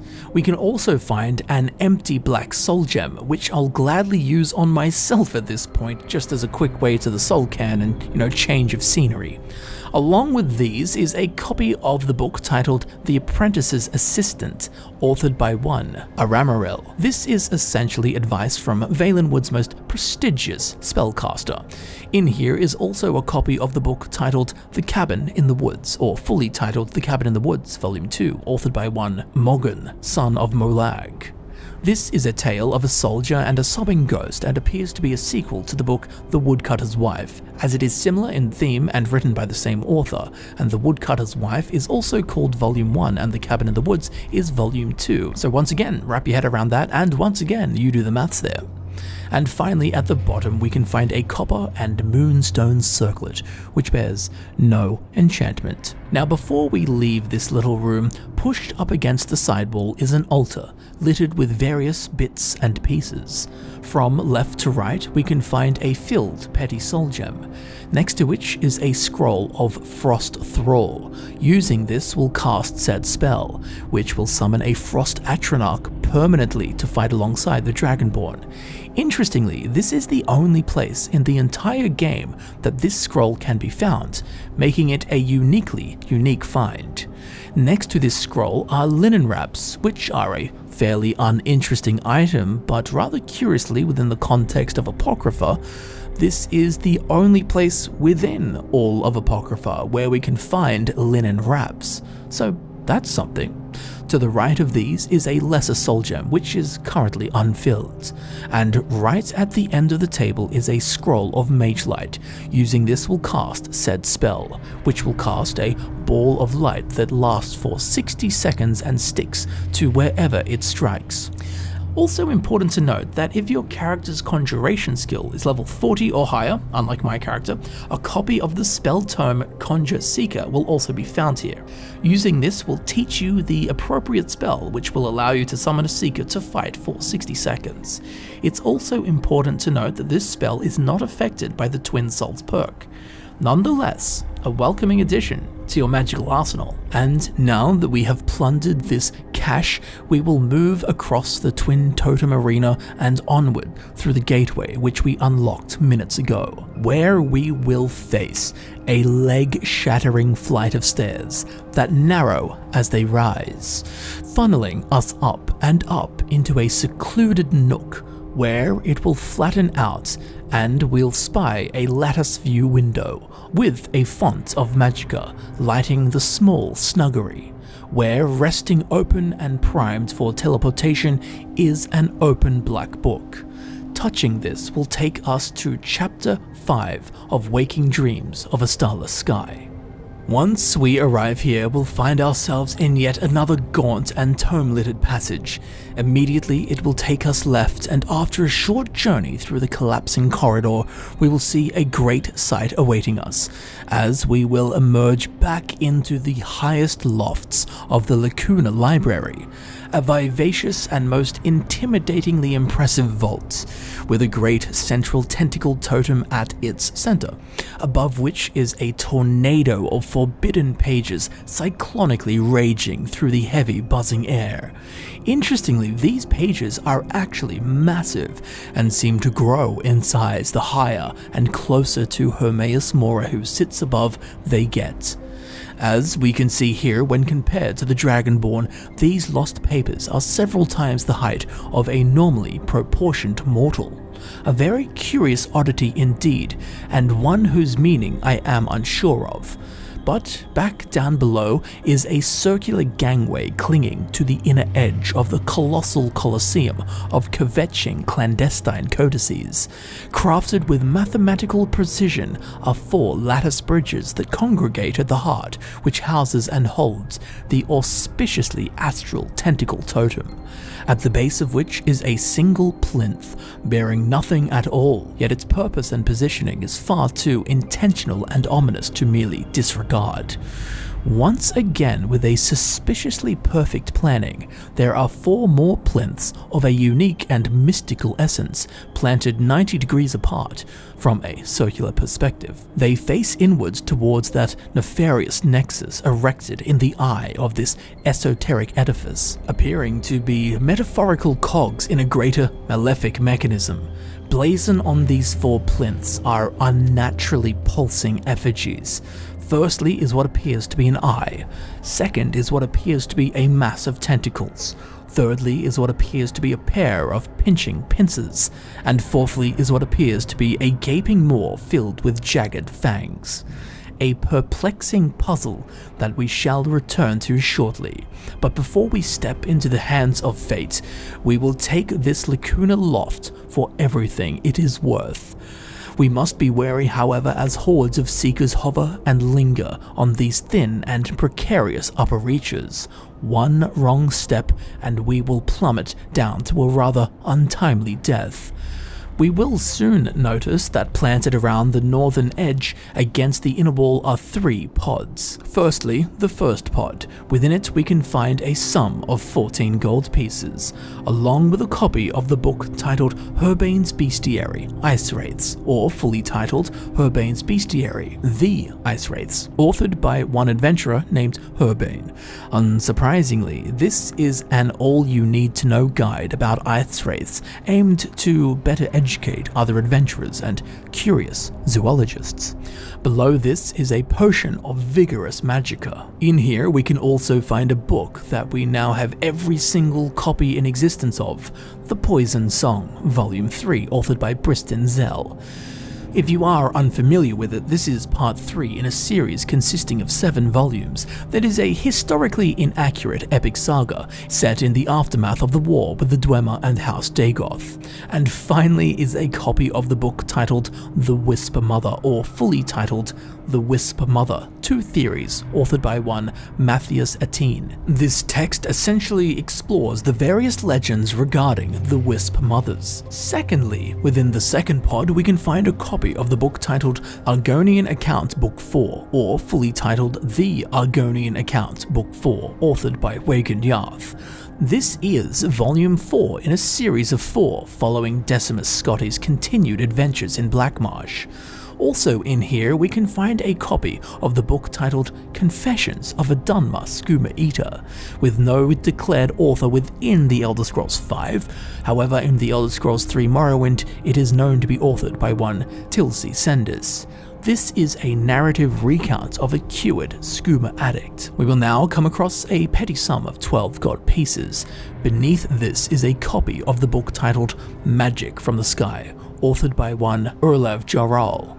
Master Wizard of the Arcane University, who we can actually meet within the Elder Scrolls IV Oblivion. This is a treatise regarding Ayleid Wells, Welkin Stones, and Varla Stones. Also in here is a copy of the book titled Nchunak's Fire and Faith, which has no known author within the Elder Scrolls V Skyrim, but once again, thanks to The Elder Scrolls III Morrowind, we know this book to be written by Nchunak, a notable Dwemer believing and teaching Kagrenac's theories. This text follows Nchunak's journey among the Dwemer and his attempts to understand the teachings of Kagrenac. In here, we also have a potion of ultimate healing, along with a greater soul gem, which at this time is currently unfilled. And finally, at the bottom, we have an Adept Robes of Destruction, which has a very lovely price tag of 1,700 gold. And thirdly, we have the third pod, within which we can find a steel war axe, something that I wouldn't steal even if it was stealing, along with 13 gold pieces, beneath which is a copy of the spell tome Oak Flesh. Reading this will teach one the alteration spell of the same name, which will improve the caster's armor rating by 40 points for 60 seconds, the most basic of mage armor spells. Oh, and look here, a beautiful and never before seen copy of a book titled The Poison Song, Volume 4, authored by Bristin Zell. This is part 4 in a series that is a historically inaccurate epic saga set in the aftermath of the war with the Dwemer and House Dagoth, which is actually something not many people know. And at the bottom of the barrel or pod, we can find a copy of the book titled The Real Barenziah, Volume 2, which has an anonymous author, but we know in lore that it was written by one Plitinius Mero, an Imperial savant who we can actually encounter within the Elder Scrolls III Morrowind's expansion Tribunal. Now this book is part 2 in a series of 5, which in the Elder Scrolls II Daggerfall was originally a 10 book series but has been condensed to 5 in later games. This is an unauthorized biography of the famous Queen Mother of Morrowind, Barenziah, again and still Karliah's grandmother. But now we will turn our attention back to those infernal plinths that stink of prophecy. Firstly, the one with the eye. When we activate it, an option will appear in which we choose one of our four key tomes that we have collected in Waking Dreams of a Starless Sky. It would seem we have to match the symbol on the plinth with the appropriate book. So, on this eye plinth, we must place the book prying orbs. On the plinth blazoned bashfully with a writhing mass of tentacles, we must place the book boneless limbs. Then, on the plinth marked with a pair of pinching claws, we must place the book delving pincers. And finally, on the plinth with the fang-bearing jaw on it, we must place the book Gnashing Blades. As soon as we correctly align all four books onto their designated plinths, upon the central plinth will be instantly conjured an open black book. It would seem that we have successfully unlocked and summoned a secret and final chapter of the apocryphal realm, Waking Dreams of a Starless Sky. Now it is time to complete our mission here. We must march with certainty and face this wicked work. Placing our hands upon it, we will be teleported to an unknown and unreachable locale. Still alive and breathing, we will arrive standing upon a brilliantly lit shrine in what appears to be a chapel of sorts, with the now all too familiar cracked stonework architecture and walls of piled papers. There are two passages that lead to the same place, so if we take the path to the right, we will turn into a dark corner where there will be an altar wedged into the angle in which the walls meet. Atop this, we will find a now quotidian array of items. On the left, we can find a scroll of stone flesh. Using this, we'll cast the spell of the same name, which will improve the caster's armor rating by 60 points for 60 seconds. Next to this is a quill, suggesting that these scrolls have recently been written. To the right of this is a filled greater soul gem, which can also be used for shredding cheese. You know, it's always handy to have a grater. Next to this, we have a scroll of grand healing. Using this, we'll cast that very spell, which will heal everyone close to the caster for 100 points. And finally, on the far right edge, we can find a copy of the Destruction skill book titled The Art of War Magic, authored by one Zurin Arctus, Imperial Battle Mage and Grand Vizier of the Septim Empire, with commentary by other learned masters. Interestingly, Zurin Arctus is possibly one of the mortals behind the god Talos, depending on what you want to believe and how you interpret certain events and tales. This book covers the mastering of the art of winning war. Naturally, reading this will increase your destruction skill by one point, provided that you have not read it before, of course. Now, from this altar, we will head across the small room, where we will find a pod resting on the floor underneath an unlit font on the wall. This is our final encounter with random leveled loot, so it is a bitter sweet moment. Inside this pod, we can find a gem which, much like the Thieves Guild member, is a flawless sapphire. In here, we can also find a measly sum of 21 gold pieces. Classic. In here is also a copy of the book titled Great Harbingers, or fully titled Great Harbingers, The Companions, authored by one Swick the Long-Sighted. This book tells of some of the leaders of the Companions. Bet we're not in there. Along with this, we can find a common soul gem filled with nothing other than a common soul. There is also a greater soul gem that is currently unoccupied. We also have a copy of the book titled The Dragon War, authored by one Torhal Bjorik. This is a religious text that describes the primordial war between men and dragons during the Merethic era. And oh, for the very last time, we have here a copy of the ever famous and ever reappearing, our good friend that followed us all the way through Apocrypha, the Poison Song Volume 7, authored by the mighty Bristin Zell. I think at this point, I should confess to you something about these books that I've kept to myself, and that is that this series, if I'm being honest, you know, these Poison Song books are in fact a, uh, a historically inaccurate epic saga set in the aftermath of the war with the Dwemer and House Dagoth. I really hope you appreciate that, that piece of heart to heart there. Below this, we can find a copy of the book titled The Posting of the Hunt, which has no known author. This is a document announcing a ritualistic hunting of a mortal by Daedra. And our final piece of random level loot for Apocrypha is a weak aversion to Frost, which seems unfitting, but such is the nipple-twisting gamble of random leveled loot. And now that we are done with this homely cloister, we may push forward and walk up the central ramped hallway and out into a squamous square at the cusp of oblivion. As we wander on out bravely into the untouched deeps of this hellscape, the small oozing puddle at the center will ripple and from which will burst a lurker vindicator, a welcoming party to be expected in such a sacred, concealed corner of Apocrypha. Joining it are two seekers guarding an unknown and unseen monument of unfamiliar motif. So be prepared to fight these foul Daedric spawn and smite them back to oblivion. Well, not to oblivion, as we're already here. Just, you know, smash them somewhere else. I don't know, Aetherius, the Void, something like that. Yeah, you know what, let's send them to Lyg. Yeah, that'll teach them a lesson. Once that is done, we may inspect this most fantastic and diabolic semi-cylindrical shrine of chthonic cacographical dialect, carved with Kabbalistic calligraphy. This here, my friends, is actually a word wall, formed of a super scroll that is many times larger than even the Elder Scrolls themselves. At the center, we will see the transition of Dancing Divine Script to the much simpler and crude runes of Dovahzul, the Dragon Tongue.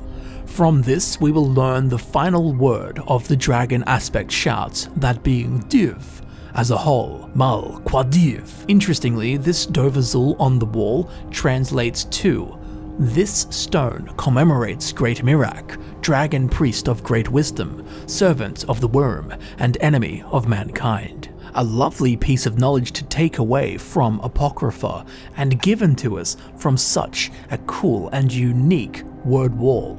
Forged and designed, written even in a way that we know exactly who made it, Hermaeus Mora.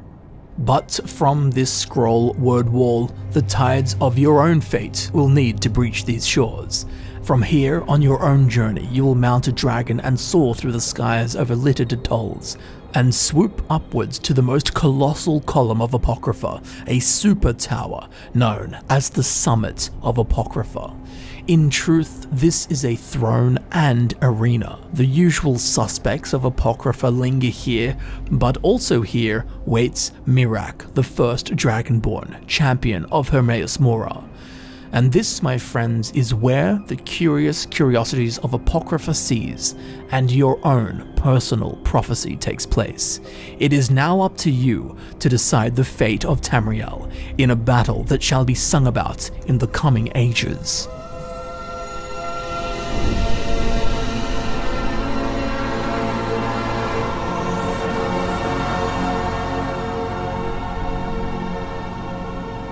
And with this final professorial paragraph that you must write, we have now fully explored and curated the curious curiosities of the Plane of Oblivion Apocrypha.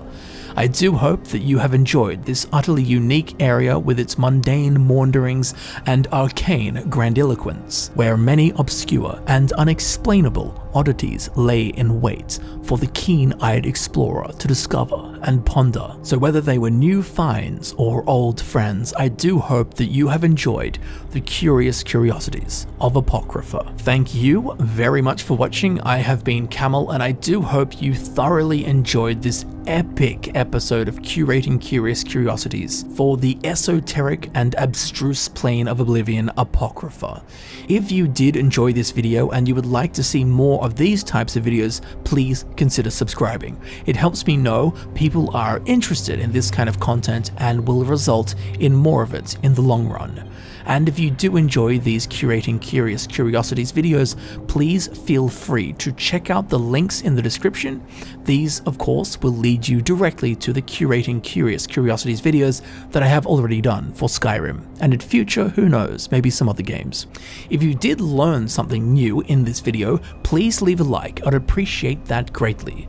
And if you have any theories, backstories, imaginings, or explanations for any or all of these curious curiosities, please leave a detailed explanation of what your thoughts are in the form of a comment down below. I am very interested in hearing your thoughts and conclusions for some of these ever so strange and curious finds, with an apocrypha. The community's collective mind power will be much greater than my own, I hope. So hopefully together we can come up with all of the backstories for these curious curiosities and weird goings-ons. Now down there in the description you can also find links to all of my social media, be sure to follow me on Instagram and Twitter, along with of course my brand new and aforementioned merch store with a ton of widely ranged pieces.